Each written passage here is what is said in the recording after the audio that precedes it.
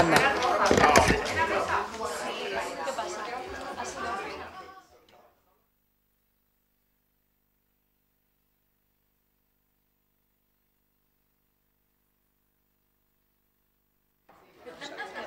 Hasiera emango diogu gaurko udalbatzari, maiatzaren hogeita seiko udalbatza honi, eta lehenengo eta behin, eskatu beharko dizuet e, zuti jartzea, minutu bateko isilunia egiteko,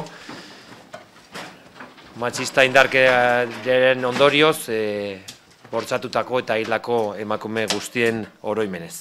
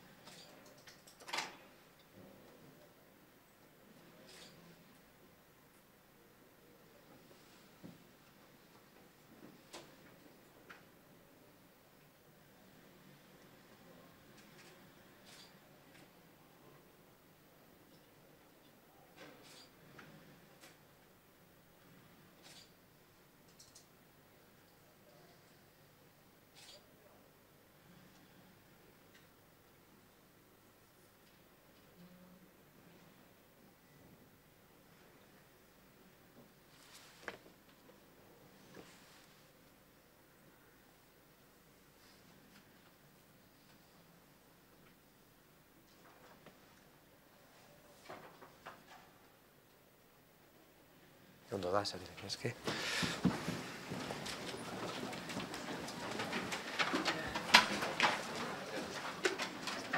Ebatzi beharreko puntuetan, e, lehenengo puntuan dugu, eledunen batzarrati datorren e, akordio bat, Francisco Vitoria Domina ematea, Jacques Delors e, jaunari, idazkari nagusia,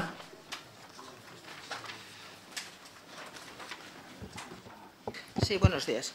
Pues se propone la concesión de la medalla Francisco de Vitoria de Jacques Delors a propuesta de la Junta de Portavoces y en concordancia con la, con la terna que presentó el Comité Científico de los Cursos de Derecho Internacional. Muchas gracias, señora Secretaria General. ¿Alguna intervención al respecto? No procedemos, por lo tanto... Procedemos a su votación. Votos a, votos a favor. Abstenciones. Queda, por lo tanto, aprobado con los votos favorables de los grupos Partido Popular, Partido Nacionalista Vasco, Partido Socialista, Podemos ir a base y la abstención de H. Bildu. Sí, por supuesto. Eh, explicación de voto. ¿Algún grupo desea hacer explicación de voto? Sí. Señora Garrión. Bai, eh, eskerrik asko, alkate jauna, eta egunon guztioi. El, me va a permitir el, el, alcalde, antes de dar la explicación de voto, eh, hoy porque es, va a ser el último día que vamos a estar con Javi, y hoy un egunón especial, le vamos a intentar dar todo el trabajo que podamos en este último pleno, y bueno, un recuerdo especial para él, porque es un día especial para todos. Eh, no, eh, nosotros nos hemos abstenido porque aunque consideramos que es una propuesta adecuada, la universidad había realizado tres propuestas, nosotros éramos partidarios de otra que la Amnistía Internacional, entonces pues eh, por eso nos hemos abstenido. Es que ricasco. Es que ricasco, Suri, Larrión Anderia, señora Comerón. Buenos días a todos y a todas. Bueno, pues efectivamente eh, dentro de las propuestas que se planteaban por parte de, este, en esta terna, pues había el, el nombre de Jacques Delors. Eh, desde nuestro grupo entendíamos que era importante reconocer a una persona en vida, que estamos acostumbrados a hacerlo siempre eh, cuando ya no nos acompañan aquí, eh, y además reconocerlo en el momento en el que estamos, donde el propio Delors eh, recientemente dijo que Europa vuelve a vivir al borde del, del abismo. Eh, simplemente queríamos destacar de, de Jacques Delors su aportación a Europa, al concepto de Europa, al gran proyecto de unir eh, Europa y que tanto nos ha aportado a cada uno de nosotros. Eh, y sí que querría plantear algunas de las ideas que ahora mismo eh, Jacques Delors nos plantea sobre Europa, muy brevemente. La, necesidad de trabajar en, en, hacerla aún más fuerte en el momento en el que estamos y plantear el trabajar en esa misma línea. Simplemente eh, mostrar nuestro, nuestro reconocimiento a Jacques Delors y la ilusión que nos hace que se entregue este reconocimiento de la ciudad de Vitoria-Gasteiz. Muchas gracias, señora Comerón, y también eh, darle las gracias a Javi por el trabajo que ha realizado durante todo este tiempo con nosotros y desearle lo mejor. Bueno, dicho esto, pasamos al siguiente punto del orden del día. Procede de la Comisión de Urbanismo, es una aprobación definitiva del estudio de detalle de la parcela RC23 del sector 5 Aldaya de Zabalgana. ¿Hay intervenciones al respecto? No habiéndolas, pasamos a su votación. ¿Votos a favor? ¿Votos en contra? Abstenciones. Queda, por lo tanto, aprobado con los votos favorables del Grupo Popular, EH Bildu, Nacionalista, Socialista y la abstención del Grupo Podemos e Irabasi. El siguiente punto del orden del día es la aprobación definitiva de la primera modificación del estudio de detalle de la parcela RC13 del sector 6 Mariturri de Zabalgana. Intervenciones. No habiendo intervenciones, procedemos a su votación. ¿Votos a favor? ¿Votos en contra? ¿Abstenciones? Queda aprobada con el mismo resultado de la votación anterior.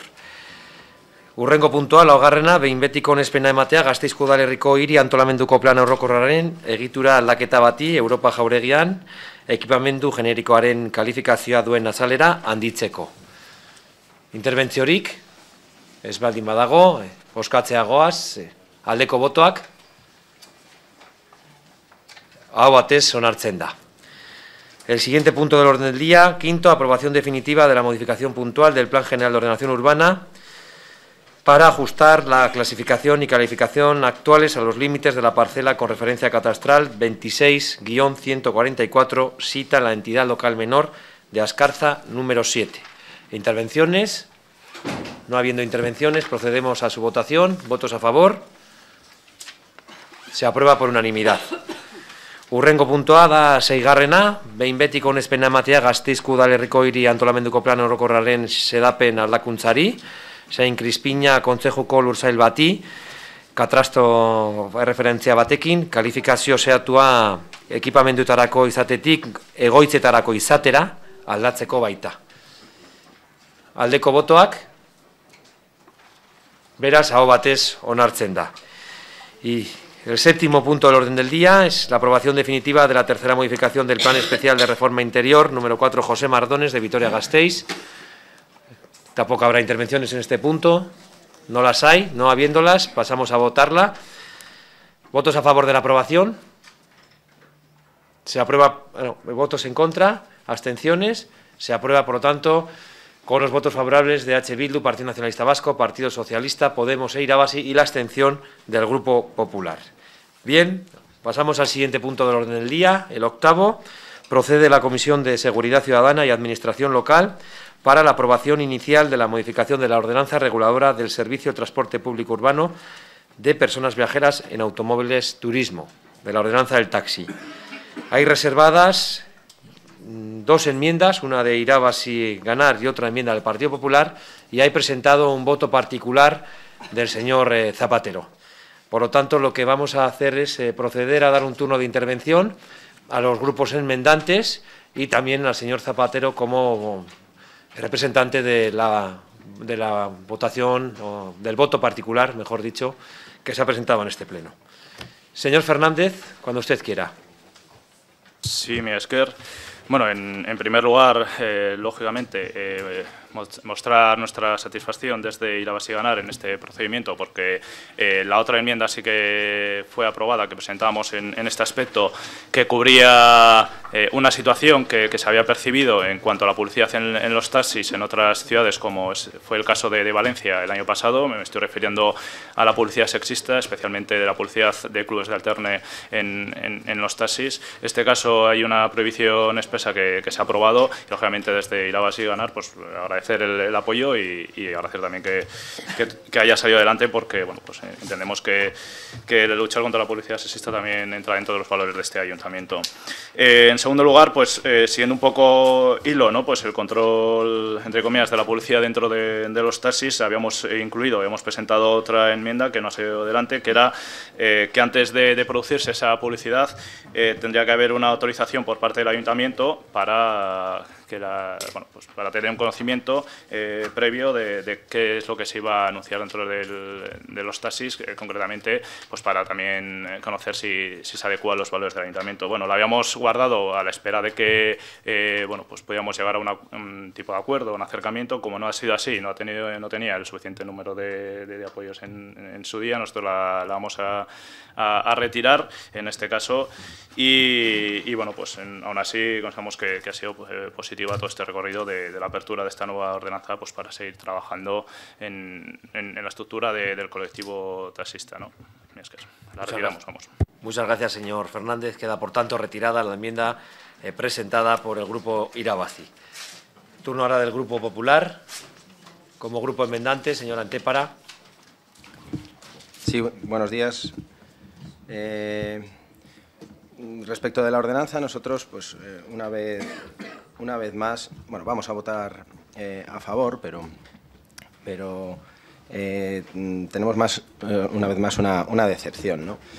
Nos, nos hubiera gustado que abundara más en los verdaderos problemas de los, de los eh, ciudadanos y, de los, y del colectivo de taxistas en este caso. Y creemos que eh, esta vez mm, nos tememos que se va a quedar una vez más corta. Eh, nos parece exactamente igual que, que, la anterior. Las pequeñas modificaciones que se habían hecho, al final las, las, hemos, las hemos mm, cambiado o adaptado a las necesidades del colectivo y las, principales peticiones de ellos eran eh, que no se eh, hiperregulase al sector y básicamente se introduce un punto de publicidad que, me temo, se quedará corto, en el que eh, mm, esta ordenanza, pues, mm, una vez más, demuestra que no era necesaria, que con un, con un simple decreto para introducir el tema de la publicidad eh, habría bastado y eh, aún y todo, pues como no tiene grandes modificaciones, pues vamos a, apoyarla. Después se quedó eh, en la comisión un punto que nosotros habíamos presentado, que era un punto complementario a las posibilidades del, sector en temas de publicidad. Habíamos, que es la que me gustaría volver a exponer y que se votara, y eh, que se trataba de la eh, inclusión de unos paneles LED de doble pantalla eh, colocados encima de, los mm, vehículos totalmente homologados mm, sobre elementos asimismo también homologados normales la vaca normal del coche. Unos elementos que eh, no, no, sobresalen más allá de, de los límites eh, de gálibo, teniendo una vaca eh, encima puesta del coche, que les ofrecen más oportunidades a los, a los taxistas, al, sector, de tener una publicidad más vistosa, de tener una ciudad más moderna, de que el sector se vaya adaptando a los nuevos tiempos y que eh, mm, permitiría, permitiría pues, eh, además una eh, mejor gestión de, la publicidad y un aumento de la visibilidad y sobre todo también de sus ingresos, que es para lo que se ha apoyado. En ese caso, pues mm, me gustaría mm, someter posteriormente a votación eh, la enmienda que nosotros mm, eh, mantenemos. Y después, eh, con arreglo al, voto particular presentado por el, por el señor Zapatero, pues votaremos a favor porque más vuelve a hacer lo mismo que antes, mantener lo que ya se venía recogido en la ordenanza. Muchas gracias. Muchas gracias, señor Antepara. Turno ahora del señor Zapatero.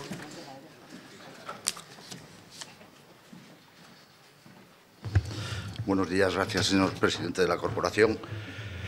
Eh, el voto particular, como, como queda reflejado en la documentación que pasé, tiene un amparo en el 225 bis, eh, eh, apartado 10 de la, reglamentación vigente. la razón estriba básicamente en que eh, lo que propongo ya estaba recogido en la ordenanza, en concreto en la disposición adicional quinta, y también en el antiguo 28, eh, artículo 28 de la, ordenanza.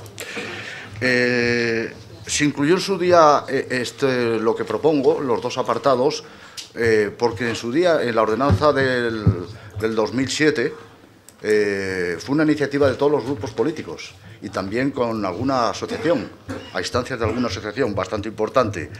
Y entonces eh, nosotros lo aportábamos eh, en la propuesta de, la junta de Gobierno en comisión, lo aportábamos eh, por razones de técnica legislativa, por coherencia legislativa. Lo sacábamos de, eso, de esa disposición adicional y de ese artículo y lo colocábamos ahí porque era coherente con el contenido del mismo.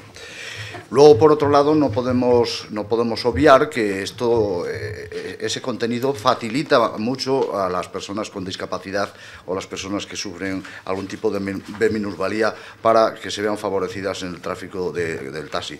Esa es la razón, ese es el, razonamiento y, por tanto, eh, considero que a través de este voto particular merece la pena que se estudie y se apruebe y se coloque por razones de técnica legislativa y porque en su día todos los grupos políticos, yo no estaba en la corporación, evidentemente, lo apoyaron eh, porque se recoge el querer de, alguna, de una asociación muy importante y porque se favorece a las personas con discapacidad. Gracias.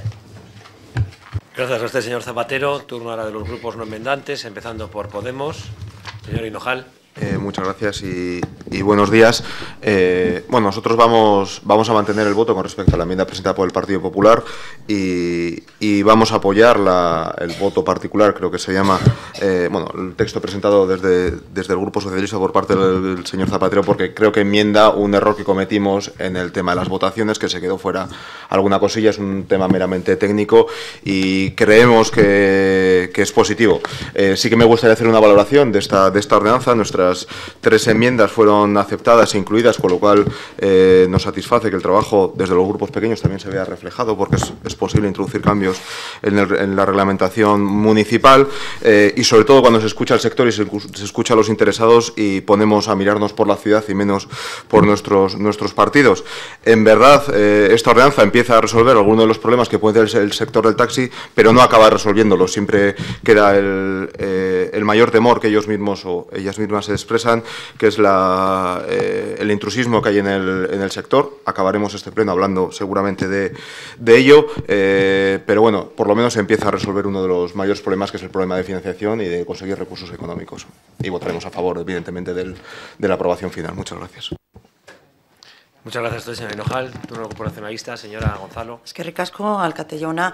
Eh, bueno, pues eh, creo que mm, nosotros, por supuesto, que vamos a votar a favor también de ese voto particular porque entendemos que eh, corrige alguna cuestión que se produjo en el debate y con la que estamos plenamente de acuerdo por las razones que se han expuesto por el señor Zapatero. Mi esker zuri, Gonzalo Andrea, turno del grupo EH Bildu, señora Pedaberresteri. Bai, mi esker alkatellauna, egunon guztioi. Eh, bueno, nosotros vamos a votar obviamente a favor de la, de la ordenanza, entre otras cosas, porque eh, de las eh, enmiendas que presentamos hemos tenido la suerte de ser el grupo que más enmiendas ha sacado adelante, con lo cual estamos absolutamente satisfechos de, cómo ha quedado la ordenanza. Son enmiendas que además acordamos, como yo creo que el resto de los grupos, con las asociaciones, con las diferentes asociaciones de, del sector creo que garantizamos de esta manera una imagen competitiva y atractiva del sector del taxi y, creo que quedó bastante claro en la comisión esa posición mayoritaria a fin de de tomar, de ir tomando medidas, eh, introduciendo medidas para estimular, eh, estimular de alguna manera la competitividad en el sector.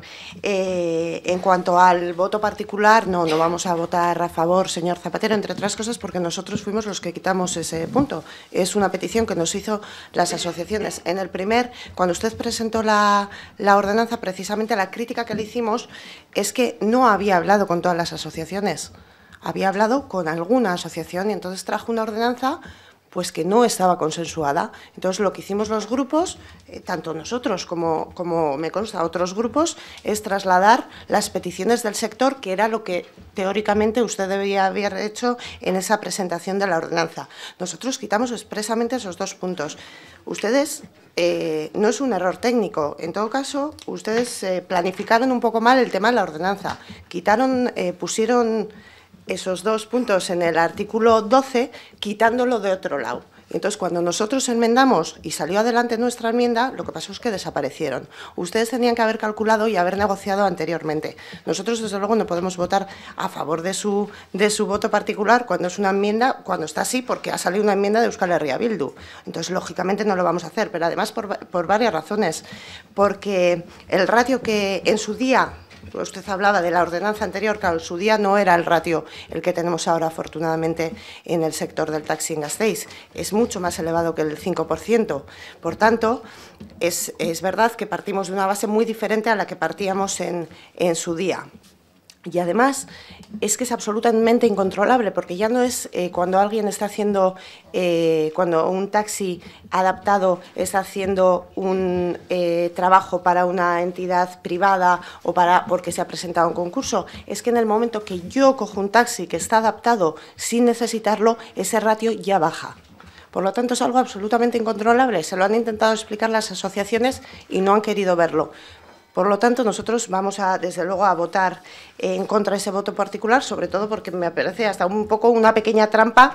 Eh, cuando usted puso una ordenanza encima de la mesa, los grupos tuvimos la oportunidad de, enmendar, salió una enmienda adelante y, por tanto, ese tendría que ser lo que, lo que se votara hoy aquí, la ordenanza según salió en la comisión. Es que ricasco. Es que. López Averaster Anderea. Turno de réplica por parte del señor Fernández, no desea intervenir. Por parte del señor Antepara, tampoco desea intervenir. Señor Zapatero, no desea intervenir. Señor Enojal tampoco. Señora Gonzalo tampoco. Señora López de Verasturi tampoco. Por lo tanto, teniendo en cuenta que el señor Fernández ha retirado su enmienda parcial, corresponde ahora votar en un primer momento la enmienda parcial reservada por el Grupo Popular y presentada por el señor Antepara. ¿Votos a favor? ¿Votos en contra? ¿Abstenciones? Queda, por lo tanto, rechazada con el voto favorable del Grupo Popular, el voto contrario de EH Bildu, Grupo Nacionalista, Partido Socialista e Irabasi y la abstención del Grupo Podemos.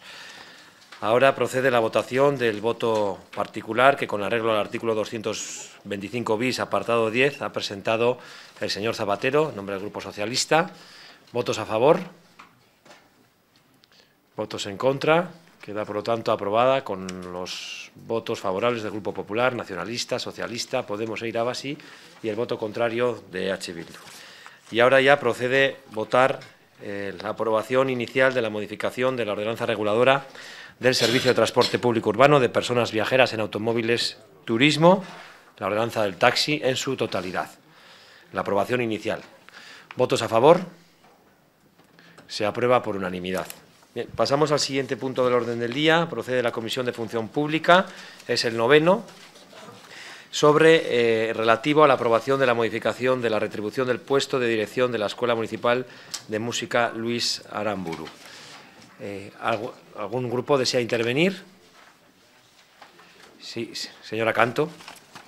Sí, bueno, por explicar simplemente un poco, esto se debe a bueno, la revisión de los estatutos que estamos llevando a cabo y darnos cuenta de que el director de la, de la Escuela de Música Luis Aramburu no estaba nombrado oficialmente y no se había hecho el, el trámite, entonces pues bueno, lo hemos puesto al día y esto va de acorde con, con haber eh, puesto en regla la situación del director de la escuela.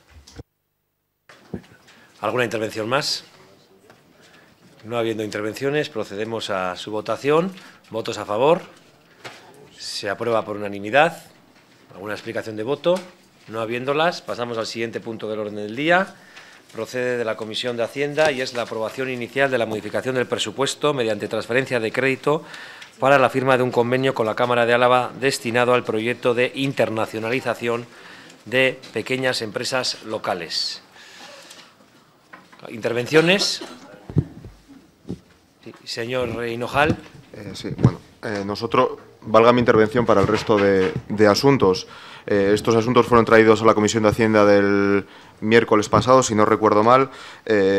nos, nos quieren hacer creer que son acuerdos que, o sea, perdón, eh, aprobaciones únicamente que, responden a temas técnicos, pero tiene que haber por qué es. ¿Por qué se saca el dinero de un lado y por qué se pone en otro? Eh, ya fuimos críticos durante esa, durante esa comisión eh, y creímos, y al igual que al final del año, del año pasado, creemos que no es la, mejor manera, creemos que si hay, hace, falta hacer modificaciones presupuestarias han de ser explicadas en comisión para explicar, en comisión correspondiente, para explicar la, la necesidad. Eh, nosotros, al ser la primera o de las primeras veces que se hace este año, eh, nos abstendremos en aquellos asuntos que no sepamos y no tengamos conocimiento de a qué responden, pero seguramente esta será la última vez que hagamos, que hagamos esto y a partir de ahora, cuando el asunto no sea correctamente eh, tratado en la comisión correspondiente, votaremos, votaremos en contra. Muchas gracias. Gracias a usted, señor Rinojal. Turno del Grupo Socialista. No desea intervenir. Turno del Grupo Nacionalista, señora Gonzalo.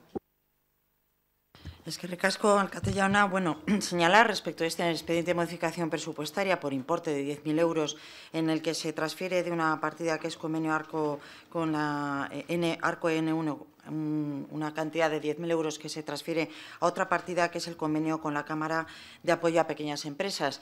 Y el motivo del mismo viene, eh, lógicamente, no estamos buscando ninguna enmienda técnica a través de esto, ninguna transferencia, ninguna cuestión técnica. Esto, evidentemente, responde a una necesidad que surge eh, en, el, presupuesto, en la gestión del presupuesto, como es la de dotar adecuadamente en cantidad suficiente una, un convenio que ya existía y que lo que permite es acompañar a pequeñas empresas eh, que de forma individual eh, tienen serias dificultades para acceder al mercado, al mercado exterior, de alguna forma eh, tener un acompañamiento por parte de la Cámara. Creemos que era necesario apoyar una iniciativa que de hecho ya estaba contemplada en el presupuesto, que ha sido necesaria aumentar en esta cantidad para poder responder a las necesidades reales y a las peticiones que hay para realizar este acompañamiento a las empresas. Está motivada por el Departamento y es por lo que se trae eh, a, Hacienda, como corresponde, el expediente de modificación presupuestaria correspondiente. Gracias. Es que ricasco Gonzalo Andrea, turno del grupo H. Bildu, de la Cortu Jauna. Sí, en la misma línea o en parte en la misma línea que el señor Hinojal, ¿no? Cuando se trae una propuesta y se trae una propuesta exclusivamente de Hacienda, en Hacienda exclusivamente hablamos de dónde quitamos la pasta y dónde ponemos la pasta. Pero lo que no se hace es una argumentación. Y en este expediente, por ejemplo, se quitan 10.000 euros de una asociación que hay en Jundi, que tiene ciertas reivindicaciones sobre intervenciones y cosas que hay que hacer en Jundiz, pues ustedes se la calzan. además se la calzan que es un convenio que ni siquiera lo pusimos nosotros, que lo pusieron ustedes. Todavía recuerdo cuando el alcalde, para sacar adelante el presupuesto, votó un par de veces en el mismo punto. Yo, la verdad. Y eso fue así. Y ahora él mismo se enmienda la plana. Entonces, ¿qué argumentación hay para reducir al 50% el convenio que ustedes mismos proponían, que ustedes mismos proponían, para hacer un convenio con esa asociación de Jundi? ¿Cuál es el argumento? No lo sabemos, no lo sabemos, solamente sabemos que va de un sitio a otro. ¿Y a dónde va el dinero? ¿A dónde va el dinero? Nosotros no tenemos excesivos problemas. ¿Por qué? Porque nosotros el, el apoyo a la internacionalización de pequeñas empresas que no pueden acudir a nuevos mercados solos, ya lo hemos dicho 75 veces y creemos que es importante y además nos parece muy bien que se haga con la Cámara de Comercio. Pero eso sí, el importe, si me pongo, también me parece escaso, 10.000 euros. Creo recordar, y esto lo digo de memoria, y ahí me puedo equivocar, que el año pasado el convenio que se firmó con la Cámara de Comercio fue mayor. Es decir, tenemos un par de recortes en una misma en, una misma, eh, en un mismo expediente. Uno, un convenio que ustedes mismos apoyaron para trabajar junto a una asociación de empresarios de Jundiz, que lo bajan a la mitad, y tenemos también un apoyo a nuestro, a nuestro juicio escaso, porque 10.000 euros, estará usted conmigo para acompañar a las empresas, será ah, para acompañarles hasta Arechavaleta. ¿eh? Aunque no sea chavaleta de Álava y aunque vayamos, ya que hemos hablado de Javi, en el tiburón tuyo, ¿me entiendes? Con 10.000 euros, pero algo más ya, ya, llegaremos, algo más ya llegaremos. Pero es muy escaso, ¿no? Y en este punto y en todos los puntos nosotros vamos a hacer así. Pero sí que es verdad que hay un punto, y en esta intervención eh, espero ya en este punto solucionar todo el asunto, o sea, no, no, hablar en cada uno de ellos, pero es que además hay puntos que para nosotros hay uno que es muy eh, paradigmático. ¿no? Quitamos 72.000 euros de plan de empleo para personas mayores de 45 años, ese nos lo fundimos, sacamos la tijera de recortar, bueno, no, la saca el alcalde la tijera de recortar, bien afilada, 72.000 euros, y quiero decir que son 72.000 euros porque prácticamente representa el 50% del dinero que se van a mover con todos los expedientes. Es decir, casi casi podríamos decir que hemos venido realmente para darle dinero al SEA, hemos venido para darle dinero al SEA y lo vestimos con unas cuantas cosillas más, ¿no? Quitamos dinero para eh, planes de empleo para personas de mayores de 45 años y se lo damos al SEA y recuerdo perfectamente el argumento que viene en el expediente, dice, porque tiene muchos currículum. Joder, pues eso es un gran argumento, un gran argumento, porque tiene muchos currículum, ¿no? Entonces, en definitiva, los expedientes no tienen ninguna argumentación eh, técnica, exclusivamente dicen, lo sacamos de donde hay dinero y lo ponemos ahí. No sabemos si, por ejemplo, este expediente 10.000 euros es el dinero que se necesita, o mejor 20.000.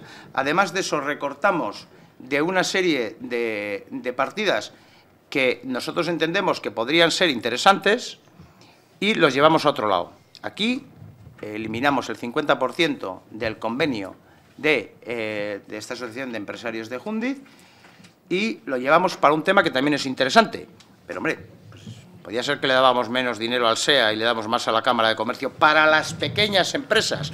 No quitamos en los planes de empleo para personas de más de 45, no quitamos para la Asociación de Empresarios de, de, Jundiz, damos más dinero a eh, este convenio de, con la Cámara de Comercio para que pequeñas empresas afronten nuevos mercados y le recortamos algo al SEA, pero me parece que no. El otro día vi la, votación de quienes votaron a favor de darle dinero al SEA y... Reconocer que tuvo tuvo aceptación su propuesta de dar dinero al PSOE. Ahí no está solo, no va a tener que votar un par de veces. Pero es paradigmático que en todas estas, eh, en, todas estas eh, modificaciones casi el 50% sea para dar dinero al SEA y la otra parte que hacemos es recortar en otra serie de políticas. Es que ricasco la corto jauna, orain alderdi popularraren txanda. No va a intervenir. ¿Alguien necesita una segunda intervención? Sí, señora Gonzalo. Es que ricasco, una. Bueno, creo que por la intervención que ha realizado el señor Cortú nos vamos a ahorrar eh, siguientes intervenciones en los próximos expedientes de modificaciones presupuestarias, porque creo que ya ha aludido a todos. Pero bueno, sí me gustaría señalar, en primer lugar, que lo que está diciendo eh, no es cierto. Es decir, este, este eh, convenio ya contaba con una partida en el presupuesto 2017 con una dotación de 22.000 euros. Es decir, no se crea una partida de convenio nuevo con 10.000 euros para acompañarles a Arechavaleta sino que es mucho más ambicioso el proyecto. El proyecto alcanza tiene un importe de 40.000 euros, de los cuales lo que se ha hecho es aumentar en 10.000 euros más para efectivamente cubrir mejor la necesidad y alcanzar el importe necesario que precisa este proyecto de acompañamiento. Eh, la verdad es que me, sorprende la fijación que tiene con, bueno, pues con estas organizaciones eh, que no dejan de ser agentes económicos, que también contribuyen a potenciar el tejido económico y productivo del municipio. Y me gustaría también eh, señalar, cuando hace referencia a ese plan de empleo, ya que hay un expediente de modificación presupuestaria del cual se traslada una cantidad, del plan de mayores de 45 años, se traslada una cantidad para eh, articular, un, eh, mejorar un convenio que, existe con el SEA y que tiene que ver precisamente con la insertabilidad en el mercado laboral de personas mayores de 45 años que eh, están identificadas, que están, mm, digamos, de alguna forma, mm, ya tienen el perfil, la Cámara de, perdón, la Cámara de Comercio no, en este caso empresarios alaveses tiene también las herramientas para facilitar a estas personas eh, los recursos necesarios que les permitan, eh, de alguna forma, tener un mayor recorrido e insertarse realmente en el mercado laboral, en lugar de hacer contrataciones directas por parte del ayuntamiento para una temporada que tengan que volver estas personas a la calle ¿eh? porque no nos da para cubrir eh, mucho más tiempo. De esta forma, lo que pretendemos buscar son condiciones de empleo más dignas, más estables para estas personas y, además, mejorando la formación y las herramientas de que disponen para mejorar su insertabilidad en el mercado laboral. Eh, por ello, creo que las bueno, las afirmaciones que se han realizado por el señor Belacortú pues no son ciertas y me gustaría señalar además que esto ya se aprobó en la Junta de Gobierno local. Ustedes conocen qué asuntos se llevan a la Junta de Gobierno local y hay las comisiones correspondientes. Si a ustedes les suscita alguna inquietud, alguna duda, pues formúlenla al respecto en la comisión correspondiente. Muchas gracias. Gracias, señora Gonzalo. Señor Belacortú. Bueno, señora Gonzalo, ya veré si intervengo en el resto de los puntos. Es curioso cómo ha empezado la intervención. Dice, no es cierto lo que dice el señor Belacortu. Y yo me pregunto, ¿es cierto que usted recorta al 50% el convenio que usted misma introdujo en el presupuesto con los empresarios de Jundiz? ¿Es cierto o no es cierto? Yo se lo resuelvo. Es cierto. Siguiendo cosas que según usted... Yo no, es que no es cierto lo que dice. ¿Es cierto que ustedes recortan 72.000 euros de los planes de empleo para personas de mayores de 45 años? Es cierto. Y luego está otra cosa que usted ha dicho. No es cierto que hagamos una partida nueva para una Cámara con la Cámara de Comercio. Entonces, ¿para qué la traemos al Pleno? ¿Me lo puede explicar? Porque si la partida no sería nueva, estaría usted conmigo que eh, no tendría que venir a Pleno. ¿Me entiende usted? Con lo cual, el no es cierto se la apunta a usted, porque es usted la que ha dicho cosas que no son ciertas. Y luego es curioso, me dice, parece que tiene obsesión cada vez que traen algo del SEA. Digo, es que cada vez que viene aquí algo del SEA nos tenemos que echar la mano a la cartera. Si no estamos atentos, cada vez que viene algo del SEA es o me bajas los impuestos o me firmas un convenio, me recortas de los planes de empleo de personas de más de 45 años y me lo das a mí. Que yo no tengo obsesión con el SEA, pero el SEA tiene obsesión con el ayuntamiento. Lo que me, me sorprende es que todavía haya gente que le ríe las gracias. Que le ríe las gracias. Porque, señora, señora Gonzalo, ¿Usted se cree que para eh, trabajar planes de empleo de personas de más de 45 años hay que trabajar con el SEA o hay otra forma de trabajar? Porque lo de trabajar con el SEA, este asunto se lo ha inventado usted, ha dicho que es mejor que el SEA. Pero no solamente lo digo yo, sino usted misma hace un par de meses decía, si lo mejor es tener este dinero en el plan de empleo para personas de más de 45 años. Pero si lo decía hasta usted misma. Y ahora mismo se desdice. ¿Por qué se desdice? Pues hombre, no sé si es porque no han podido darle las bonificaciones o por qué. Y, este es el asunto, y sí que se puede preguntar en, las comisiones, sí, se puede preguntar en las comisiones, y se puede denunciar aquí. Ustedes están recortando dinero para dárselo al sindicato empresarial a la vez, sin ningún criterio y eh, desde mi punto de vista, pero eso tampoco es cierto. O sea, ni siquiera puedo decir que ustedes están recortando del plan de empleo de personas mayores de 45 años para dárselo al SEA. Pues retiren el expediente. Recién el expediente. Fíjese usted, señora Gonzalo, la señora Melgosa está indignada. Ahora mismo está indignada. Está, está totalmente en contra de esto. Totalmente en contra. Ya no quiere recortar los planes de empleo de personas mayores de 45. No quiere. Pues hablen más entre ustedes. De cualquier forma, nosotros vamos a abstenernos en todos los expedientes y en, este en el expediente, en el expediente 13 y 17, en el que se recorta para estos planes de empleo, vamos a votar en contra. Y también quiero decir, venimos prácticamente a esto, porque la mitad del dinero que hoy se mueve es para dárselo al sindicato empresarial a la vez. Venimos a esto. De hecho, no tenemos más que ver cómo ha sido el debate. Aquí hemos venido para hablar de, eh, este expediente, del del SEA, y el resto viene para vestirlos. Muchas gracias, señor Belacortu. Terminado el debate, procedemos a la votación del punto décimo del orden del día para aprobar, si procede, inicialmente la modificación del presupuesto mediante transferencia de crédito para la firma de un convenio como en la Cámara de Álava, destinado al proyecto de internacionalización de pequeñas empresas locales. ¿Votos a favor? ¿Votos en contra? ¿Abstenciones? Queda, por lo tanto, aprobado con los votos favorables del Grupo Nacionalista Socialista Irabasi y la abstención del resto de grupos de la corporación. Explicación de voto, señor Uriarte. Sí, eh, muchas gracias, señor presidente. Yo brevemente, para explicar el por qué nos hemos abstenido, es porque después de haber aprobado esto en la, en en la Comisión de Hacienda, hemos tenido conocimiento de que la asociación a la cual se le está reduciendo la aportación y que es una asociación dedicada a la gestión y, o a la colaboración para el mantenimiento de los polígonos industriales no tiene ningún conocimiento de esto. Entonces, nosotros, eh, a pesar de que, por supuesto, entendemos que es necesario hacer una inversión en por la internacionalización de nuestras empresas, entendiendo la propuesta, nos vamos a abstener porque creemos que también son importantes los polígonos industriales y nos parece que estas no son formas de tratar a una asociación que sin ningún interés y por el interés común está trabajando para mejorar los polígonos industriales de nuestra ciudad. Gracias, señor Uriarte. Pasamos al siguiente punto del orden del día, es la aprobación inicial de la modificación del presupuesto mediante transferencia de crédito para la firma de un convenio con la Escuela de Arte y Superior de Diseño en aras a promocionar y dinamizar el diseño. Intervenciones. Señora Gonzalo.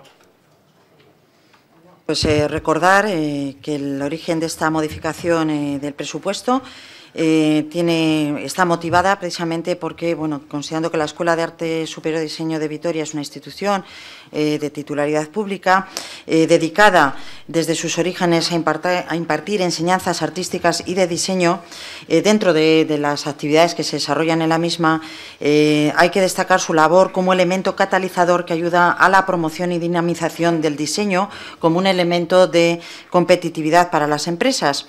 Un avance donde el diseño, en vez de ser un recurso aislado, pasa a desempeñar un papel central y estructural en nuestras empresas y organizaciones, con el fin de construir visiones totalmente innovadoras. Es una forma de ir incorporando el know-how a, nuestras, a la actividad. Con este objetivo, la Escuela de Arte y Superior de Diseño está desarrollando un proyecto de soluciones a retos empresariales que requieren respuestas vinculadas, como estamos señalando, al diseño. Es por ello que solicita la colaboración del Ayuntamiento, que ha sido analizada eh, desde el Departamento de mm, Desarrollo Económico, eh, con el objetivo de visibilizar la profesión del diseño y creación en la sociedad y, al mismo tiempo, facilitar a las empresas la identificación del talento y la inclusión de perfiles adecuados en sus organizaciones. Es por ello que este expediente de modificación presupuestaria lo que conlleva es una eh, transferencia de partida de colaboración, ayudas, eventos, ciudad, a el convenio Escuela de Arte Superior de Diseño por importe de 20.000 euros. Gracias. señor Gonzalo. ¿Más intervenciones? No habiendo, procedemos a la votación de este punto. ¿Votos a favor? ¿Votos en contra? ¿Abstenciones? Queda, por lo tanto, aprobado con los votos favorables del Grupo Popular, Nacionalista, Socialista e Irabasi y las abstenciones de eh, Podemos y EH Bildu.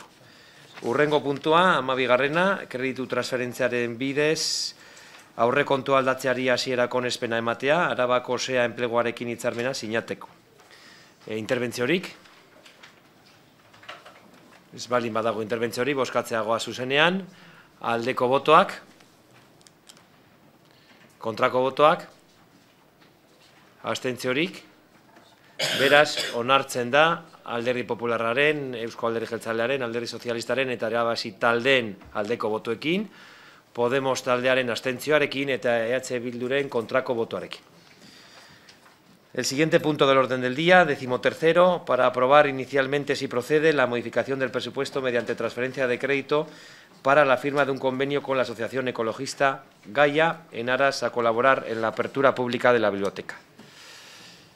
Intervenciones. No hay intervenciones. Procedemos a la votación de este punto. ¿Votos a favor?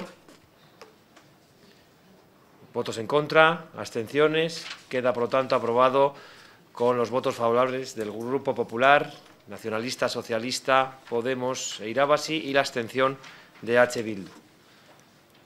Si no hay explicación de voto, pasamos al siguiente punto del orden del día, el decimocuarto, para aprobar si procede de forma inicial la modificación del presupuesto mediante transferencia de crédito para la firma de un convenio con Araberri.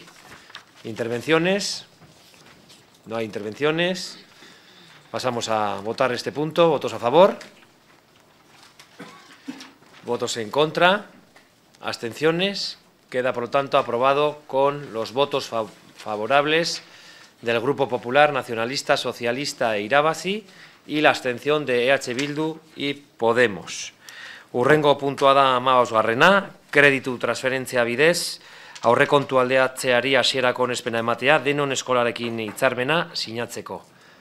Interbentziorik, ez baldin badago, boskatzeagoa zuzenean, aldeko botoak, kontrako botoak, astentziorik, bai, beraz, onartzen da, alder, alderdi popularraren, Eusko Alderdi Jeltzalearen, alderdi sozialistaren, Podemos eta irabaziren taldeen aldeko botoekin, eta EH Bilduren kontrako, oi, astentzioarekin. Urrengo puntua, amasei garrena, kreditu transferentzia bidez, aurrekontu aldatzeari hasierako onespena matea, Gorbeia kalearen inguruko merkatarien elkartearekin hitzarmena sinatzeko.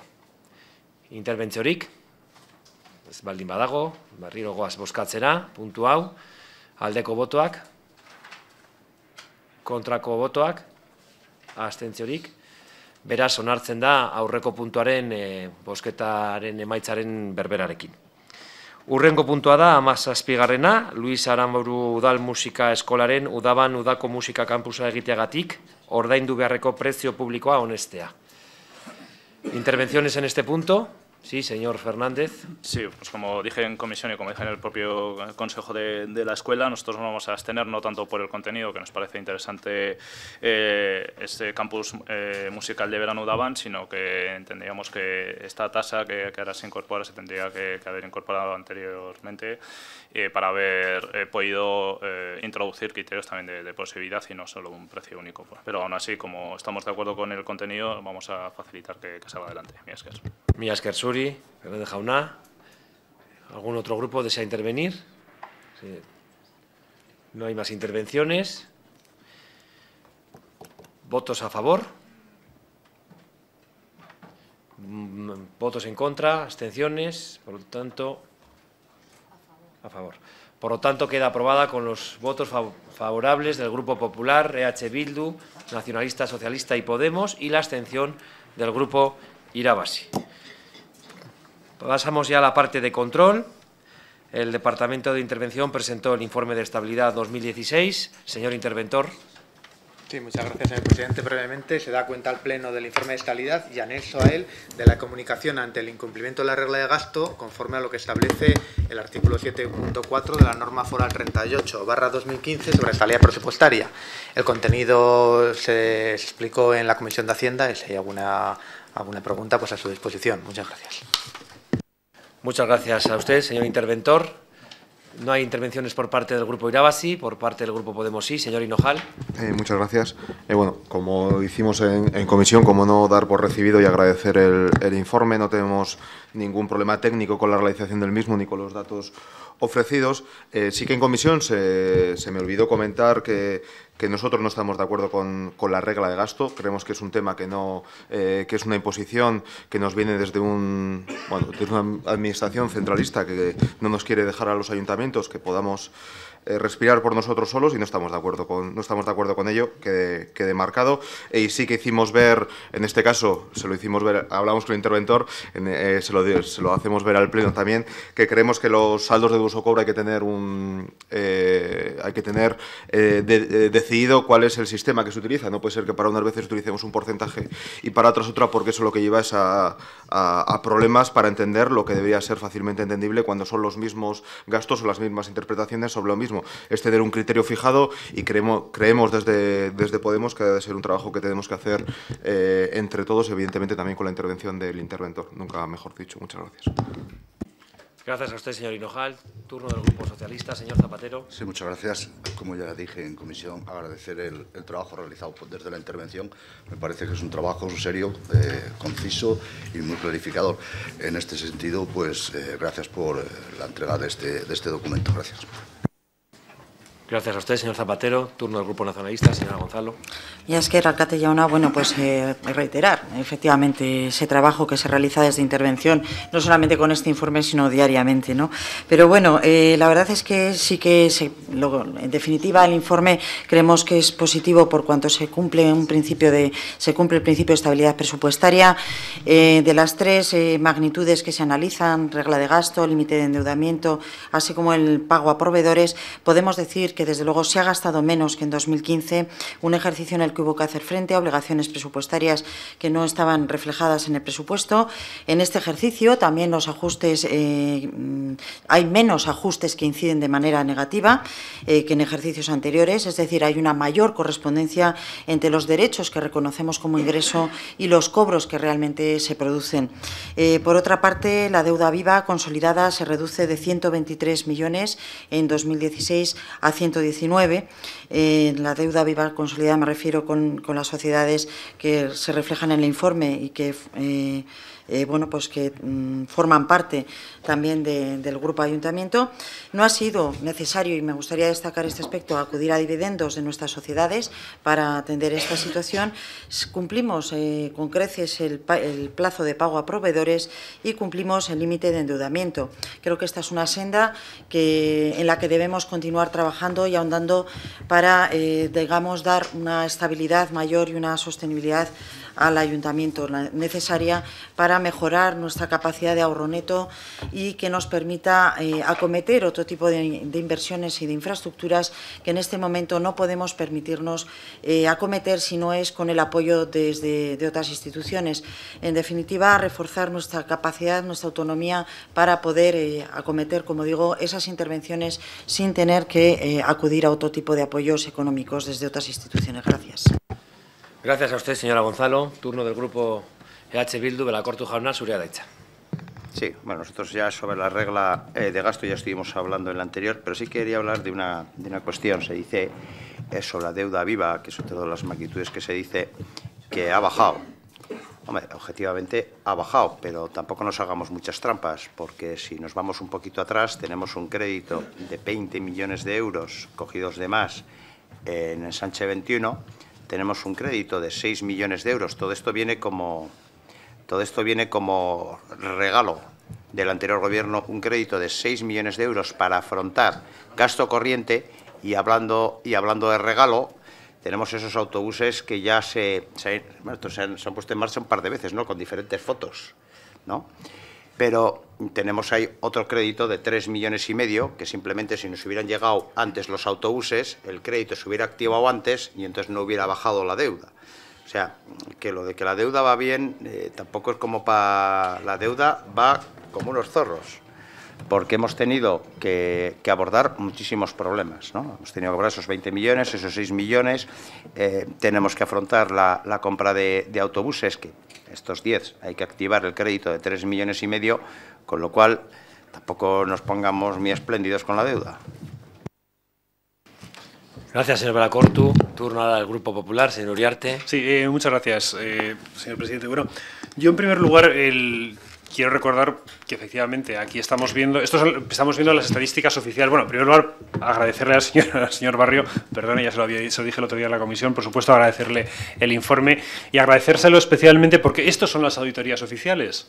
Estas son las auditorías oficiales, no las que nos sacamos de la manga un día tras otro, sino que aquí tenemos la auditoría del ayuntamiento. ¿Y cuál es mi sorpresa cuando escucho que aquellos que están constantemente diciendo que no, yo quiero hacer una auditoría de aquí, quiero hacer una auditoría de allá, cuando le llega la auditoría oficial dice, no, yo no creo en esta auditoría, esta auditoría no es la que me gusta, yo creo que hay un principio en esta auditoría que no comparto. Oiga, las auditorías son las auditorías, nos gusten o no nos gusten, o es que queremos hacer unas auditorías diferentes en función de lo que nos interesa.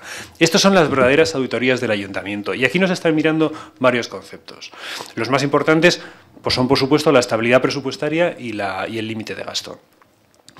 En la estabilidad presupuestaria hemos cumplido, efectivamente, pero en la regla de gasto no. La regla de gasto no.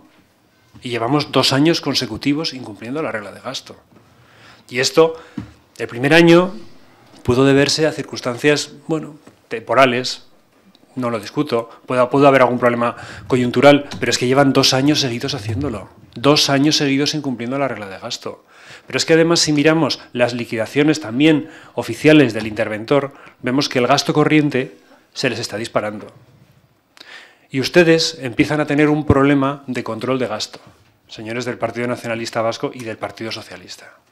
Ustedes empiezan a tener un problema de control del gasto corriente en esta ciudad. Porque ustedes en sus cuentas no están controlando el gasto corriente y de hecho estamos incrementándolo a niveles del 2010.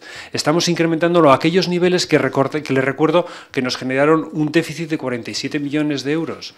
Por lo tanto, ustedes están incrementando de forma descontrolada el gasto corriente y no están haciendo nada. No están haciendo nada. Y yo ya sé que es muy tentador para ustedes decir, no, estamos, es que eh, estamos supliendo las necesidades de la ciudad. No, ustedes no están invirtiendo nada y el problema que generan con el gasto corriente es que como incrementan el gasto corriente y no realizan inversiones, este gasto corriente lo que va a hacer es incapacitar a esta ciudad para poder desarrollar inversiones futuras. Porque además las inversiones que realizan ustedes las están haciendo en buena medida con, con, cargo a deuda. Yo solamente quiero recordarles una cosa. Aparte de los 20 millones de ensanche 21 que que ha nombrado el señor Belacurtu y que entiendo que están en buena parte vienen motivadas, vienen originadas por los planes Renove y por, los, por, las compras que tuvimos que, que se tuvieron que hacer desde Sánchez 21, que bueno, habría que hablar largo y tendido sobre esto, pero si nos centramos en las cuentas del ayuntamiento, oiga, es que solamente en lo que llevamos de legislatura, en lo que llevamos de legislatura, ustedes han endeudado al ayuntamiento en 22 millones de euros. Ustedes han endeudado a este ayuntamiento en 22,68 millones de euros. El ayuntamiento en esta legislatura, que es un 70% más de, lo que, de la deuda que se contrajo en toda la legislatura pasada. En toda la legislatura pasada. Por tanto, ustedes tienen un exceso de gasto. Ustedes tienen un crecimiento que empieza a estar descontrolado del gasto corriente. Ustedes han incrementado las peticiones de deuda en dos años un 70% más de lo que se pidió en toda la legislatura pasada. Ustedes están generando un problema de incremento del gasto corriente y esto no se va a poder recurrir permanentemente a subidas de impuestos. Es muy fácil decir, voy a subir el impuesto y que me lo paguen los ciudadanos, pero este ayuntamiento tendrá que ponerse manos en la obra y tendrá que intentar hacer algo para controlar el gasto corriente. Y en estos momentos yo creo que en ese aspecto ustedes todavía no están haciendo nada. Gracias, señor Uriarte. Veo que a usted tampoco le ha gustado la auditoría del señor interventor y ha hecho la suya propia. Vamos, turno de réplica. Esa intervención es... Intervenciones, turno de réplica. Sí, señor, señora Gonzalo. Gracias, eh, señor alcalde Yauna. Bueno, la verdad es que eh, me gustaría señalar alguna de las cosas que eh, se, han, se, han, afirmado aquí, porque indudablemente hemos incumplido la regla de gasto y la incumplimos también el año pasado, por una razón además muy clara, porque usted se compara con un ejercicio 2014 en el que sabe que sociedades como Ensanche 21 o sociedades como Gilsa no pasaban a formar parte o no se incorporaban al cálculo eh, de esta regla de gasto. En consecuencia, eh, no son datos comparables, no son datos comparables, con lo cual usted parte de una premisa que es totalmente incierta. Eh, además, lo que sí refleja este año, este informe, es que esa senda de regla de gasto se ha reducido de forma importante, de 47 millones en el ejercicio pasado pasamos a 22. Sigue siendo una cantidad que evidentemente hay que reducir. Eh, por otra parte, me gustaría también eh, señalar, cuando habla de endeudamiento, que no, señor, nosotros lo que hemos, eh, cuando hemos aprobado el presupuesto, estamos hablando las mismas cantidades, las mismas cantidades de eh, contratar un, préstamo por importe de, de, 12 millones de euros, no, no ni más ni menos que en ejercicios anteriores, incluso creo que, que podríamos hacer comparativas y retrotraernos a otros momentos en los que ese endeudamiento ha sido superior. Y lo importante para reducir la deuda no es tanto en cuánto nos endeudamos, sino cuánto vamos amortizando. En la medida en que vamos amortizando más préstamo del endeudamiento que vamos concertando, lógicamente vamos a eh, ir reduciendo ese eh, límite de deuda. Por otra parte, habla de impuestos. Claro, ustedes eh, no subieron impuestos en un montón de tiempo y nosotros lo que tuvimos que afrontar es una situación que ustedes no afrontaron como y nos llevó a nosotros a tener que tomar medidas en el IBI porque había, por ejemplo, una ponencia de valores que suponía que tuvieron que tenían que haber afrontado ustedes en su época, en su época ¿eh? Eh, ponencia de valores que les hubiera afectado al IBI y que lógicamente hubieran tenido que, en su caso, incrementar el tipo. Pero además nosotros lo hemos hecho muy bien y, no lo, hemos, y lo hemos hecho muy bien porque hemos conseguido que eh, para la gran mayoría de las viviendas, para la gran mayoría de las economías familiares, vean reducido el pago por este impuesto. En definitiva, creo que hemos hecho una política fiscal eh, que había que afrontar, que ustedes eh, dejaron pasar, mejor no afrontar ese tipo de situaciones y nosotros sí lo hemos hecho. Y lo hemos hecho no solamente con el IBI, sino con, eh, en general con la tributación y con la política fiscal de, este ayuntamiento. Por eso, señor Belacortu, cuando habla del, tema del endeudamiento, eh, los autobuses han llegado precisamente cuando tenían que llegar y han cumplido muy bien el plazo de contratación que estaba establecido eh, han, llegado en el momento oportuno. Y nada tiene que ver con lo que está señalando eh, usted, porque, como le he dicho, en el presupuesto se, contratan 12 millones, como en ejercicios anteriores, y lo importante es la cantidad que amorticemos, no tanto eh, la cantidad con la que nos endeudamos, que además vemos perfectamente que estamos dentro de los límites que nos permite el principio de estabilidad presupuestaria. Muchas gracias, señora Gonzalo. Señor Belacortu. Los autobuses llegaron cuando estaban eh, previstos, más allá de las fotos, y se contrataron para que el crédito no caería en el 2016 y no tener un problema. No quiere decir que yo considere que la deuda es un problema, es una herramienta, pero vamos a decir las cosas como son. Es decir, hacía falta autobuses desde el minuto uno. ¿Por qué no se contrataron? Para que no caería el crédito en el 2016. ¿Por qué le han bajado a ustedes la deuda viva? Porque vencieron dos créditos que había, uno en enero y otro en diciembre, quiero recordar, de Tuvisa, es uno de los motivos. Yo no he dicho que la deuda sea un problema. Y luego que lo importante no es lo que te endeudes, sino lo que amortices. Yo, sin ser un gran economista, a mí lo que me importa es el saldo, entre lo que amortice y lo que pido de más. Yo, por ser práctico, yo soy mucho de la cuenta la vieja. ¿Mm? Entonces, lo importante es el saldo. De cualquier forma, y a veces cuando se habla, eh, algunos quieren hacer una auditoría y luego no les gusta. Hacemos una auditoría con unos eh, márgenes que nos deja la ley de estabilidad presupuestaria. Y una de las, de las cosas que dice la ley de estabilidad presupuestaria es la porquería esta, la regla de gasto. Y lo dije en la comisión. Aunque yo incumpla la regla de gasto, dije 50 años, 5.000 años la incumpla. Si no caigo en déficit ningún año no tengo ningún problema. Por lo tanto, ¿qué es lo que está detrás de todo esto que le explica con mucha gracia el señor Uriarte? Porque cuando dice que incumple la regla de gasto, usted que dice, tiene el gasto corriente desbocado. ¿Qué quiere usted? Adelgazar lo público. Es lo que está detrás de las políticas neoliberal de austericidio. Pero si lo explica, yo no, no puedo explicarlo, lo explica mucho mejor usted.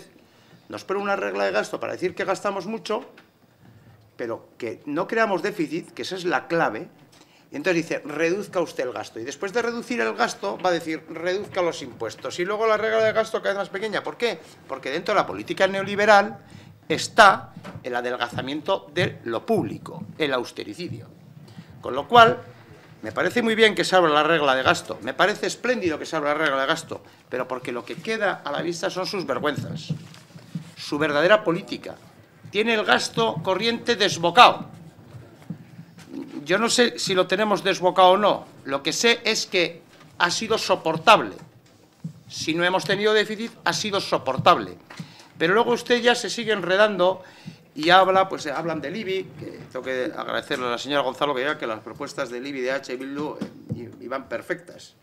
Ya lo sabíamos, pero bueno, iban bien y eso es así. Con lo cual, esto es lo que está detrás. ¿Hacer una auditoría? Sí.